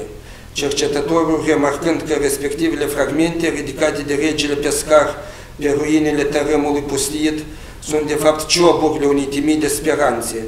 Ele reprezintă totodată o cheie către metoda poetică a autorului, aceea de a rezuma caleidoscopic criza civilizației. El a încercat să învățășeze discontinuitățile societății postbelice prin incorporarea lor într-o singură structură deliberată idiosincratică. Potrivit autorului Pedro Gomez Carizo, impactul acestei creații poetice a lui Eliot a fost la apariția sa destul de puternic, de Westland producând, citez, o fisură în poliala superficială a lumii interbelice, dezvăluind sub ea un abis atât de profund încât multora le-a înghețat surâsul pe buze. Ființa umană rămăsese fără sprijin, dar mulți încă nu conștientizaseră acest lucru. În pasajele consacrate renumite creații moderniste, autorul Carizo remarc și el versul despre luna aprilie, precizând că pornind de la el, Eliot compune 433 de versuri imense pentru a alcătui un text obscur și enigmatic, întins de-a lungul mai multor epoci, în care lirismul epicul și elegia își dau mână. În ele se aude un cântec dezolant despre condiția umană care l-a transformat pe autor în apostolul postmodernismului, înțeles ca o epocă a dezintegrării, care încerca cu disperare să facă oarecare ordine în haosul crescând cu ajutorul mitologiilor și al formelor moștenite din trecut. În legătură cu obscuritatea textului Tărâmului Pustit, subliniem că acest aspect al poemului a fost abordat și de reputatul critic literar, dar și poet englez Ivor Armstrong Richards, care, apropo, s-a remarcat printr-o rivalitate anume cu autorul lui poemului cu Eliot, dar o rivalitate, așa cum notează Anca Roșu, pur intelectuală, ce nu l-a împiedicat să se refere totdeauna cu înaltă considerație la poezia acestuia din urmă. Astfel, în cele câteva pagini consacrate creației poetice a ilustrului său contemporan, Richards precizează că obișnuită acuzație adusă poeziei lui Eliot are în vedere caracterul ei hiperintelectualizat. Una dintre justificările acestei acuzații este modul în care scriitorul folosește aluzia, relevând Richards că în cazul lui Eliot ea este un procedeu tehnic de comprimare, astfel că țara pustie sau tărâmul pustiit echivalează în esență cu o epopeie. În lipsa acestui procedeu tehnic, i-ar fi fost necesare 12 volume. Aceste aluzii, însă și notele care elucidează parte din ele, au atras o propriu categoric al multor cititori susceptibili, dar asemenea cititori nici măcar n-au început să, priceapă, n-au început să priceapă ceva, menționează Richards, da. În aceeași ordine de idei, el semnalează și acuzația de obscuritate, citându-l pe un John Middleton mare, care obiecta autorului Eliot următoarele. Cititorul este nevoit în elementarul efort de a pricepe să adopte o atitudine de suspiciune intelectuală ce interzice comunicarea sentimentului.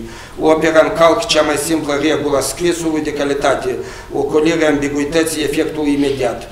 După care Richard vine cu o replică la adresa acestui mare care insista asupra regulile respective.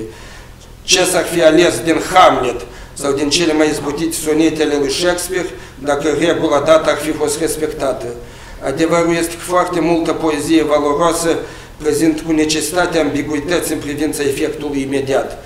Până și cel mai atent și sensibil lector e silit să recitească și să depună eforturi până ce poezia îi devine limpede și fără ambiguități. Ca și o nouă ramură a matematicilor, poezia originală obligă mintea să se autodepășească, iar asta cere timp. Cel care după un timp de cumpănire afirme despre sine contrariu este fie semizeu, fie impostor.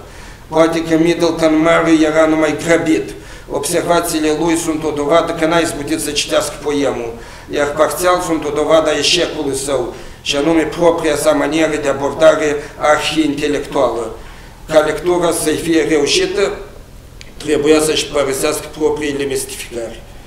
Același Richards face în continuare unele recomandări pe care le considerăm importante pentru cel care vrea să se descurce în semnificațiile poemului Eliotian și să pătrundă în ceea ce vrea să ne comunice redutabilul scriitor. Și recomandările lui Richards, da. Trebuie să citești lucrarea de la ritual la romanț și să renunți la toate ornamentele astrale ale autoarei Jesse Weston, care n-au nimic de a face cu poemul lui Eliot. Trebuie să studiezi cântul 26-lea din Purgatorul lui Dante. Trebuie chiar să insiști asupra însemnătății finalului acestui cânt pentru ansamblul operei lui Eliot. El luminează interesul său constant pentru chestiunea sexuală, problema generației noastre, așa cum religia fusese problema generației anterioare. Trebuie să te dumirești asupra locului central ocupat de Terezias în poem. Forma criptică a notei lui Eliot asupra acestei chestiuni e destul de greoaie.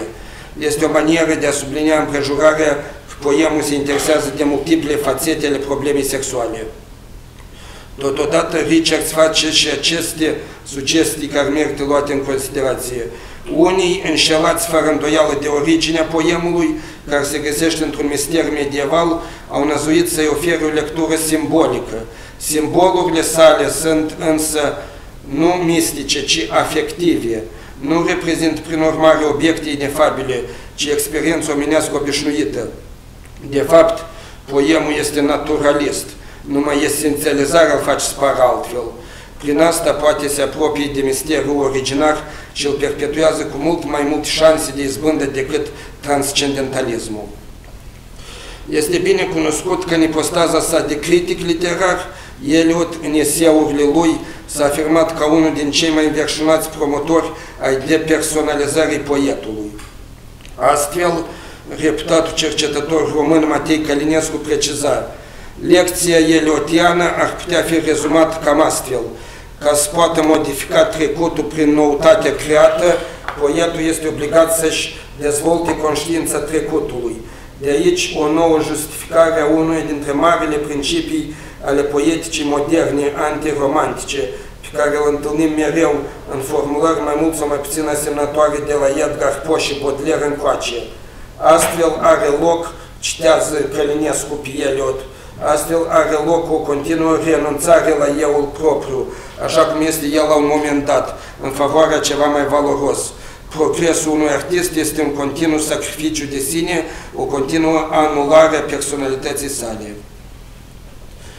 De asemenea, așa cum relevă ceva mai departe Călinescu, poetul, în accepție elioteană, condiționează transformarea în poezie a unor elemente care se înscriu în două categorii distincte, emoții și sentimente, emotions and feelings. Emoțiile par a fi temeiurile dihotomiei rămân totuși obscure, emoțiile par a fi stări de spirit fundamentale, în timp ce sentimentele sau simțămintele s-ar atașa pentru scriitor unor cuvinte, expresii sau imagini particulare. Esențială rămâne distincția între emoțiile biografice și cele artistice. Unui poet, emoții pe care nu le-a încercat niciodată, îi pot folosi în creație la fel ca și cele care sunt familiare. Scopul lui este însă să producă emoții artistice, complexe, a căror putere se manifestă pe alt plan, în alt context decât cel al personalității.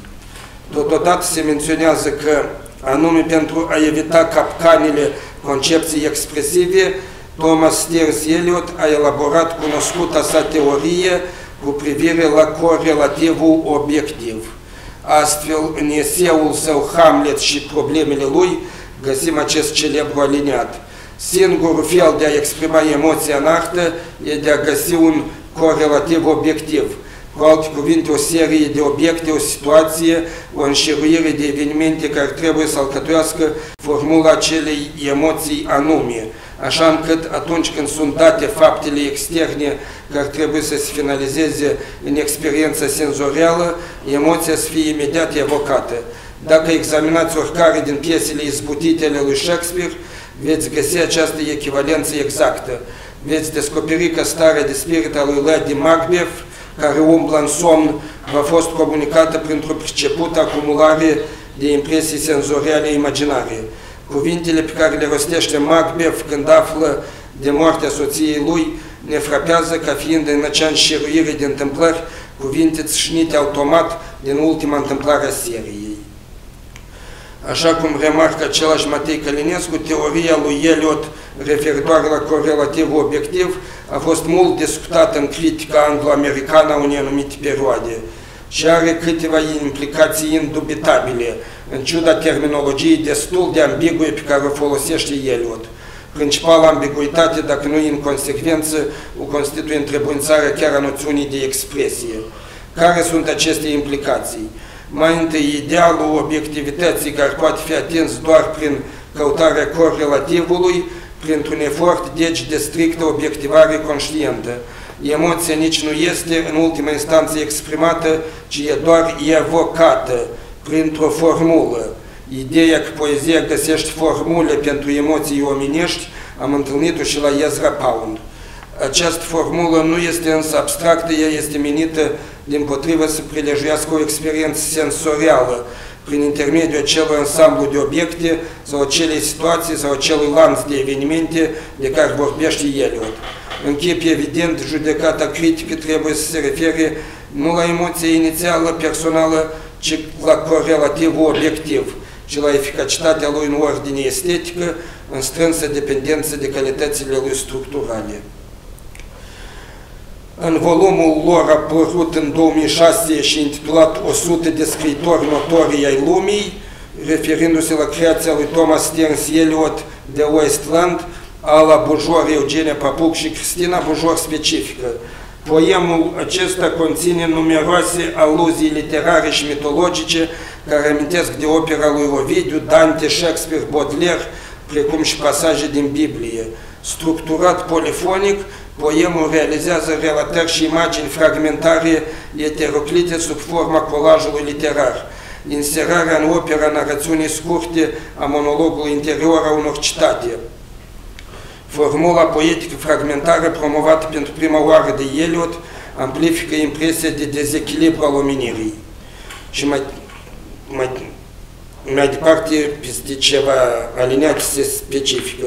Caracterul intelectual, problematica modernă, registrul enciclopedic al referințelor, citatelor, precum și concentrarea maximă a expresiei poetice fac din scriitorul revendicat de americani și de englezi deopotrivă cel mai reprezentativ poet al literaturii anglosaxone contemporane. Iar în încheiere considerăm binevenit să menționăm că în savuroasa lui carte Viața secretă a marilor scritori, Robert Schnackenberg, în paginile consacrate lui Eliot, făcând precizarea că existau de cei care susțineau că el nu a fost altceva decât un plagiator isteț, remarcă. De parcă ar fi anticipat asemenea acuzații, Eliot a spus cândva că poeții imaturi imită, poeții maturi fură, poeții slabi modifică tot ce iau, în timp ce poeții buni transformă totul în ceva și mai bun.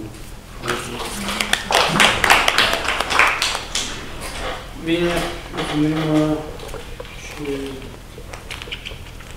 puțin la asta, la motivist, indicând 100 de ani de la modernismul, de perioada când încep, perioada post-regiune.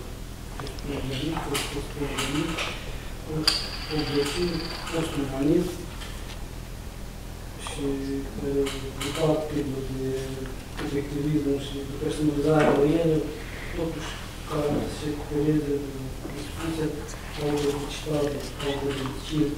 Și pe asta ne va lămuri Cristina de Cusar, în care comunicații de poezie române post-obzeciste, nou autenticism în context post-uman. Vă mulțumesc. O să ținem post. încă câteva minute. Noțiunea de postumanism se situează în relație cu o serie de concepte și problematici ce țin de existența umană în postmodernitate. Aceste problematici abordează așa zisa condiție postumană, uh, ce se intersectează cu o serie de teorii post. Uh, postmodernism, poststructuralism, postpolitic, post-adevăr, uh, post-istorie, post-cinema. În, în cadrul acestor post-lumi, um, literatura ilustrează noi tematici și atitudini, desigur, uh, venind cu schimbări ce marchează o nouă paradigmă literară universală. Um, postumanismul este o serie, putem spune la foarte general, că este o serie de abordări a problemei antropocentrismului în context contemporan. Uh, iar aceasta presupune un spectru imens de atitudini uh, față de umanitate și om. În abordarea noastră a postumanismului ne vom limita însă la relația anunțată în, în uh, interiorul noțiunii în cauză, cea dintre postumanism și umanism. Uh, în contextul acestei relații, postumanismul are două înțelesuri contrare. Uh, pe de o parte, acesta este văzut ca un umanism reciclat, la care ne vom referi noi, uh, și ține de redefinirea omului în contextul postmodernității, un context tot mai denaturalizat și tehnologizat, dar care în același timp facilitează schimbarea raportării omului la natură, uh, adică renunțarea la superioritatea umană și situarea omului pe același palier cu celelalte forme de viață. Uh, pe de altă parte, postumanism, postumanismul ar putea însemna și o renunțare la umanitate, în favoarea tehnologiei, uh, adică ar fi sinonim cu transumanism. Uh, dar despre asta nu vom vorbi.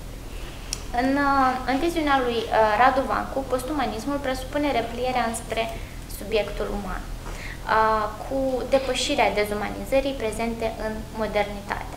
În comunicarea de față, voi explora tocmai această abordare a postumanismului ca nou umanism, urmărind felul în care câteva dintre aceste idei, adică redefinirea omului în context tehnologic și natural, dar și insistența pe subiectul uman, s-au pliat pe literatura scrisă în post-obzecism. În literatura română, paradigma post-umanistă a fost anunțată odată cu afirmarea scriitorilor obzeciști. Știu, e o, e o afirmație radicală, dar uh, am și câteva argumente, pentru că uh, uh, Alexandru Mușina vorbește despre un nou antropocentrism, uh, Marin Mincu vorbește despre text, textualism, uh, Gheorghe Crăciun uh, vorbește despre limbajul tranzitiv și uh, aceștia anunță o, o clară schimbare de paradigmă, nu doar literară, ci și în planul realității, în planul uh, umanității. Uh, Alexandru Mușina vorbește despre o serie de crize, printre care criza euului și criza realității. Uh, cumva ceea ce scrie uh, Alexandru Mușina și Gheorghe Crăciun accentează această temă a postumanului. Chiar și uh, în perioada în care scriu ei în, în, în obzecism, când uh, încă tehnologiile nu erau uh, la nivelul acesta. Uh, și ei argumentează trecerea la o nouă etapă existențială și literară. Uh, demersul obzeciștilor uh, a continuat cu anumite modificări în perioada post-obzecistă. Delimităm trei direcții esențiale ale noului autenticism obzecist și post-obzecist. În primul rând este modificarea relației autor-text-cititor, apoi accentul pe, pe cotidian și trei obsesia față de corporalitate. Acestea sunt trei direcții despre care voi vorbi în, în, în mod special. Um, și uh, o, să, o să încep uh, propriu-zis cu schimbarea raportului autor-text-cititor. În uh, obzecism se schimbă acest, uh, acest raport. Uh, Marin Mincu, teoreticianul textualismului, uh, tratează muta mutația produsă în uh, statu statutul autorial în cadrul literaturii obzeciste, uh, declarând că autorul nu mai are superioritatea geniului sau profetului pentru că se elimină citez uh, din Mincu, se elimină transcendența uh, instanței narrative exclusiviste de până acum. Citat închis. Prioritar devine mecanismul de producere a textului. Centrul atenției se deplasează de pe comunicare pe fabricarea obiectului artistic. Uh, deci, acest centru atenției se deplasează uh, de pe comunicare pe fabricarea obiectului artistic, este o idee din Mușina. Uh, această fabricare este echivalentă unei operații de perpetuă redefinire a sinelui autor identificat cu textul. Um, odată cu această schimbare de raport autor-text-cititor, temele abordate în poezie fac loc noilor realități tehnologice, sociopolitice. Uh, autorii poetizează și umanizează cotidianul deja tehnicizat și prin intermediul acesta se umanizează pe sine. Uh, noul antropocentrism, termen, uh, după cum am spus, introdus de Alexandru Mușina, este definit ca centrarea pe ființa umană în datele ei concrete, fizic-senzoriale, pe existența noastră de aici, acum, uh, scrie Mușina. Și tocmai acest termen anunță depășirea etapei textualiste. Um, în nouzecism, scriitorul trebuie să trăiască așa cum scrie și viceversa. Acest dicton îl vedem reflectat în fracturism, în cadrul grupului de la Brașov, dar și dincolo de curente și grupări. În nouzecism se continuă ideea textualistă de relație de identificare a autorului cu textul. Totuși, accentul se deplasează pe o relație sinceră cu cititorul, relație cultivată printr-un discurs poetic familiar, intimist. În uh, unele cazuri, autorii scriu cărți de dialog, cum ar fi Lucrări în verde de Simona Popescu, Submarinul iertat de Roxandra Cesereanu și Andrei Codrescu. Însă, chiar și la modul general, în poeziile pe care le scriu, noi zeciștii îl au în vedere pe receptor. Um, la Romulus Bucur întâlnim un ton confesiv care îl transformă pe cititor în prieten. În, um, la Caius Dobrescu, în De adevăr, uh, acesta și apropie cititorii prin limbajul uh, ironic colocvial. Uh, cititorul nu mai este în postura de, zice Mușina, public anonim, citat închis, ci devine din ce în ce mai prezent în text. Expresia caracteristică a zeitgeistului perioadei 90-iste uh, o regăsim mai ales în grupul de la Brașov, în fracturism și în, în, uh, în uh, utilitarism, uh, gen, supranumită generația tu. Um, misa fracturiștilor este în primul rând autenticitatea, scriu Dumitru Crudu și Marius Ianuș în manifestul fracturist. Dar despre aceeași miză discutăm în, cadrul, uh, în cazul uh, scriitorilor nouăzeciști în general, adică uh, când spun aici 90 mă refer la tot ce, ce publică în anii 90. Um, ce debutează în anii, anii 90, pardon.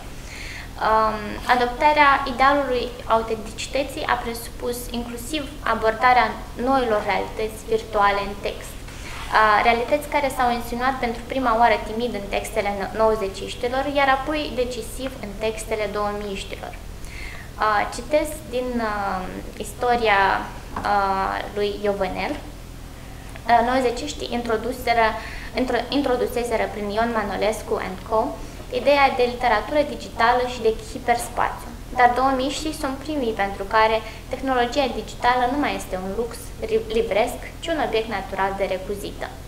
Citat închis. 2000 au pus accent mai ales pe receptare, textul fiind nimic altceva decât o modalitate de a trezi o reacție în celălalt. Iar pe lângă text sau carte, la poeții 2000 comunicarea autor-text-cititor are loc prin intermediul un anumit tip de performance și sau, și, sau printr-o comunicare directă cu cititorul, ocolind textul. Uh, Grațiela Benga uh, Tsuianu are un, un studiu important referitor la domism uh, și aceasta scrie Poetul nu mai coboară în stradă ca obzeciștii plimbându-se ludic ironic, ci îl trage de mânică pe cititor, atrage atenția unui public părimițat printr-o strategie scandaloasă, precum Ianuș în perioada fracturismului, sau printr-o apropiere empatică, în lecturi publice sau în mediul online, care șterge sau măcar diminuează convenț- convenționalismul și distanța canonică dintre scriitor și cititor.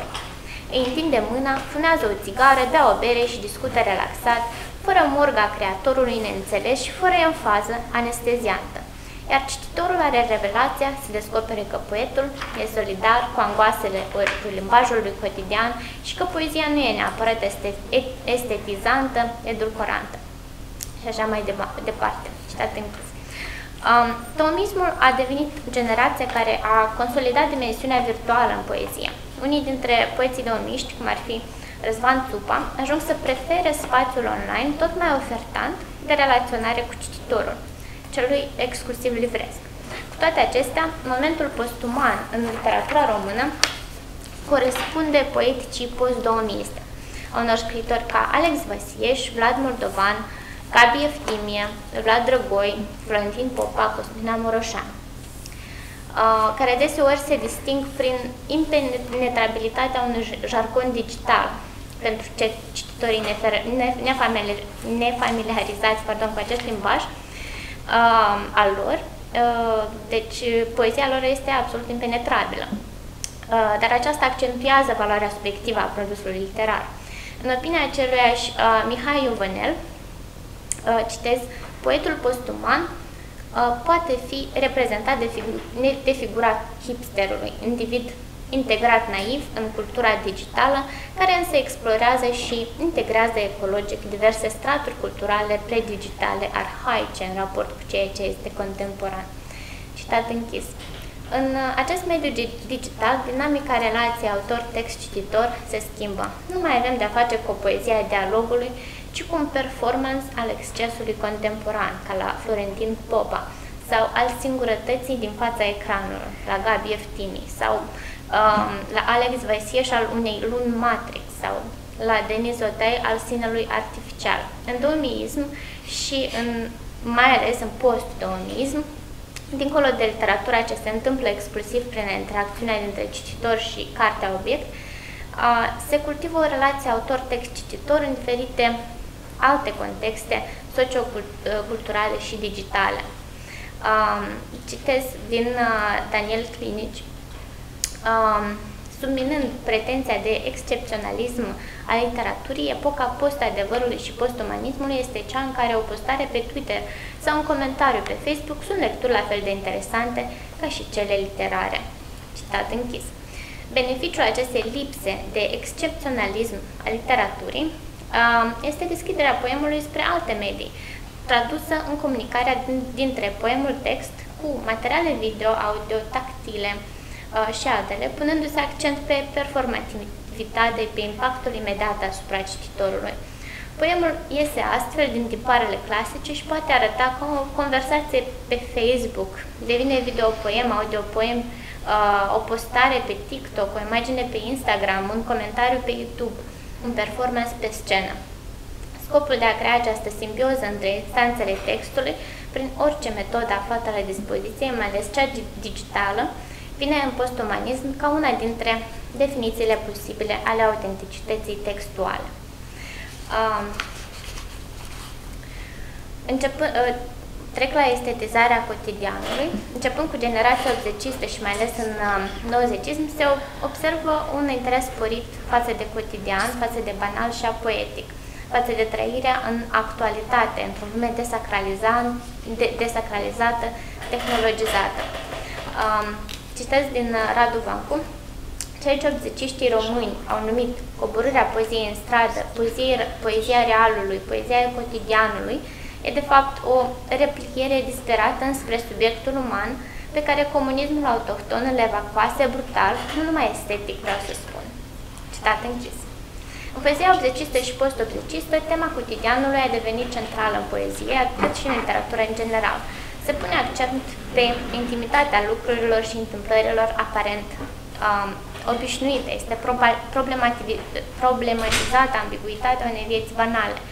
Scopul pe care și-l pun autorii este astfel, utilizând cadrul domestic, să exprime, să exprime irepetabilul, frumosul, tragicul, să debanalizeze realitatea, dar și să utilizeze obiectul ca deschidere spre retrăirea unor întâmplări și emoții. Uh, mai am un citat mai mare, dar nu o, o, o să-l uh, uh, sar. Uh, o să trec la euul versus obiect, uh, transferul de autenticitate. În uh, postumanism, problema centrală, uh, scrie Daniel Clinici, este că ce se întâmplă atunci când omul este scos din scenă, când acesta este mort, asemenea lui Dumnezeu. Citat închis. Raportând la poezie, ideea, ideea omului absent, mort, este manifestată prin prezența acestuia în obiecte, cărora le se atribuie trăiri. Citez din Daniela T. Ilea. Materialitatea devine mai mult decât simpla materia. Ea e exces, forță, vitalitate, relaționalitate, impredictibilitate, creație, productivitate. Citat închis. Transferul trăirilor umane asupra obiectelor devine unul dintre procedeele de bază la autorii domiști. Teodor Dună mizează deseori pe relația subtile, subtilă dintre trăire și obiect. Citez uh, dintr-un poem de Teodor Dună. Asfaltul respiră, lemnul respiră, miezul nopții respiră. Și chiar dacă nu e nimeni în jur, lumea fierbe de viață cu nimeni în ea. Citat închis. Aceleași accente găsim și la Adrian Urmanov. Citez, nu știu sigur dacă inspir eu sau expiră aerul mulat de mine. Citat închis. Alexandru Vakulovski Obiecte vechi și noi împachetate în celofan și hârtie.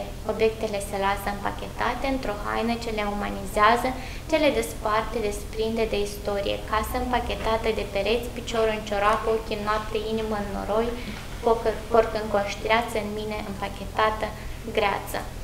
Citat închis.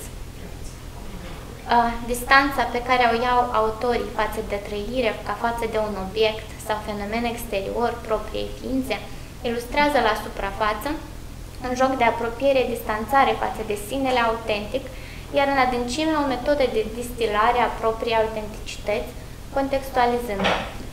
Euul autentic nu se mai găsește în imaginea abstractă a sinelui, ci este oglindit de obiecte, fenomene, întâmplări. Dispariția sau, după cum spune Foucault, moartea omului, teoretizată în postumanism, se manifestă în poezia post-obzecistă în două moduri principale, observabile de la o anumită distanță generalizantă. Pe de o parte, are loc o pulverizare a euului în identități obiecte, ca la Teodor Dună, iar pe de alta o încorporare a sinelui în una sau multiple identități corporale, senzoriale, ca la Simona Popescu sau Ioanes Pop. Um, corporalitate.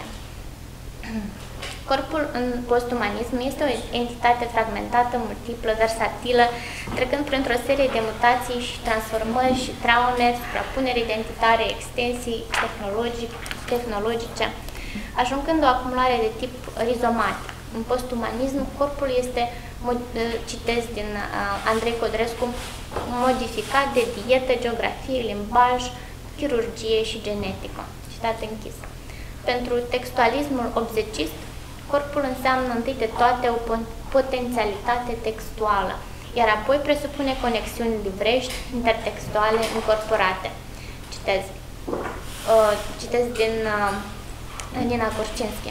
Corpor corporalitatea ca fenomen livesc este impusă de scriitorii români obzeciști. Corpul literă, litera ca natură, formă și stare a corpului. Citat închis. În literatura nouzecistă, dar și dincolo de ea, unul dintre cele mai sugestive reprezentări ale multiplicității, mutațiilor, suprapunerilor identitare este romanul poetic Exubii de Simona Popescu, în care naratoarea își amintește și exprimă experiențele senzoriale ale sinelui personaj la diferite vârste. Prin intermediul acestor experiențe amintite și conștientizate, autoarea își reactualizează sinele. Alți autori, ca Ioanes Pop, abordează corpul fragmentar, diferite părți ale corpului, căpătând o anumită independență față de uh, eu, uh, sau se continuă metafora textualistă a textului corp. Uh, citez din Ioanes Pop. Într-o zi voi fi citit numai pe dinăuntru, voi fi o carte legată în propria în piele. Citat închis. Treptat, tema corporalității a devenit centrul de greutate al literaturii domniste, mai ales al poeziei feminine, ca cum a venit poezia Mirunei Vlada, care uh, abordează o, o, o corporalitate vulnerată, uh, accentuând atenția pe uh, psihologia feminină. Uh, Aurelia Burzin poetizează corporalitatea feminină, maternitatea. În poezia Danei Jacker se vorbește despre un corp dublu, cel pentru ceilalți și cel doar pentru sine. În doumism, tema corporalității face loc unei alte teme, cea a alienării și a singurătății. Uh, autenticitatea doumistă derivă din expresia acestei singurătăți viscerale și mai ales din directețea neezistantă în abordarea traumelor. Uh, corpul devine un mecanism dezafectat, străin. Uh, Elena Vlădăreanu scrie în, una din, în unul dintre volumele ei de poeme. Sunt o grămadă de oase, de neputință, de o travă, ești cușca mea de fier, tu nu poți trece dincolo de pereții trupului meu, de pereții craniului meu, nu poți ajunge în această măcelărie pe care uneori o numesc creier. Citat închis. Um, la, la Dan Coman um, găsim, uh, găsim acest citat. Sunt la Bistrița de 30 de ani, nimic nu mi-a luminat trupul, așa că acum cântăresc cu 80 de kilograme în plus ca un porc. Umbra mea scormonește prin mine și mi se freacă de oase citat închis. Dar corporalitatea în douămism devine și senzorial, o poezie a atingerilor și a comunicării corporale cu celălalt. În uh, una dintre direcțiile postumanismului literar român, corporalitatea dispare, dar nu cred că ea că dispare, mai mult se transferă sau se cerebralizează uh, în, într-un imaginar de tip Matrix sau în imaginarul jocurilor video, uh, în, în imaginarul unui biologic care nu este uman. Um, o altă poetică continuă însă demersul, post, um, demersul, demersul douămiist al imaginarului corporal, senzorial, cu accentul de vulnerabilitate. Um, Considerăm aceste trei aspecte ale autenticității poetice, uh, relația autor-cititor, poezia cotidianului și reprezentările corporalității um, și transformările pe care le-au oferit în parcursul literar post-obsecist un bun argument al prezenței teoriile, teoriilor, uh, ideilor postumaniste în practica literară românească, românească recente, recentă. Um, relația autor-text-cititor trece de la accentul textualist pe produsul artistic la atenția pe um, impactul transformativ asupra cititorului, ca mai târziu se transpară tendința către performativitate cu impact mai mult sau mai puțin imediat asupra audienței. Um, în cadrul poeziei cotidianului am remarcat o insistență pe reprezentarea banalului atât în poezia obzecistă, nouzecistă, cât și în uh, jurnalismul poetic al domiștilor și uh, postdomiștilor. Epitetele personificatoare sunt des utilizate pentru a marca o pulverizare a euului în identități obiecte, iar în ceea ce ține de corporalitate, ea ține de, de existență, apoi nouzecism, um, și douămiism, corpul biologic revine în text în varianta unor identități suprapuse sau ca expresia unei, unei uh, singurătăți viscerale, iar în uh, douămiism și post-douămiism um, observăm tendința spre o poetică a senzorialului. Vă mulțumesc și mulțumesc dacă vă Mulțumim. Deci, cu aceasta putem încheia conferința noastră presupun așa un schimb de idei și familiarizat cu activitățile colegilor, cu anumite concepte, cu preocupări care se intersectează în multe privințe, dinamici care rezonează, chiar dacă avem teme diferite, ele rezonează în fel, pentru că suntem toți încălați într-o într-o logică a schimbărilor foarte accelerate și ele se manifestă în diferite moduri imaginare, în filosofie, respectiv apar mulți termeni, umanism, transumanism, structură, continuitate, tranziție și toate acestea produc așa o confuzie mentală și o dorință de a, de a înțelege prin noi și de a găsi aceste autenticități, aceste umanități, nu mai știi cine ești, încotro, încotro te orientezi, te adaptezi.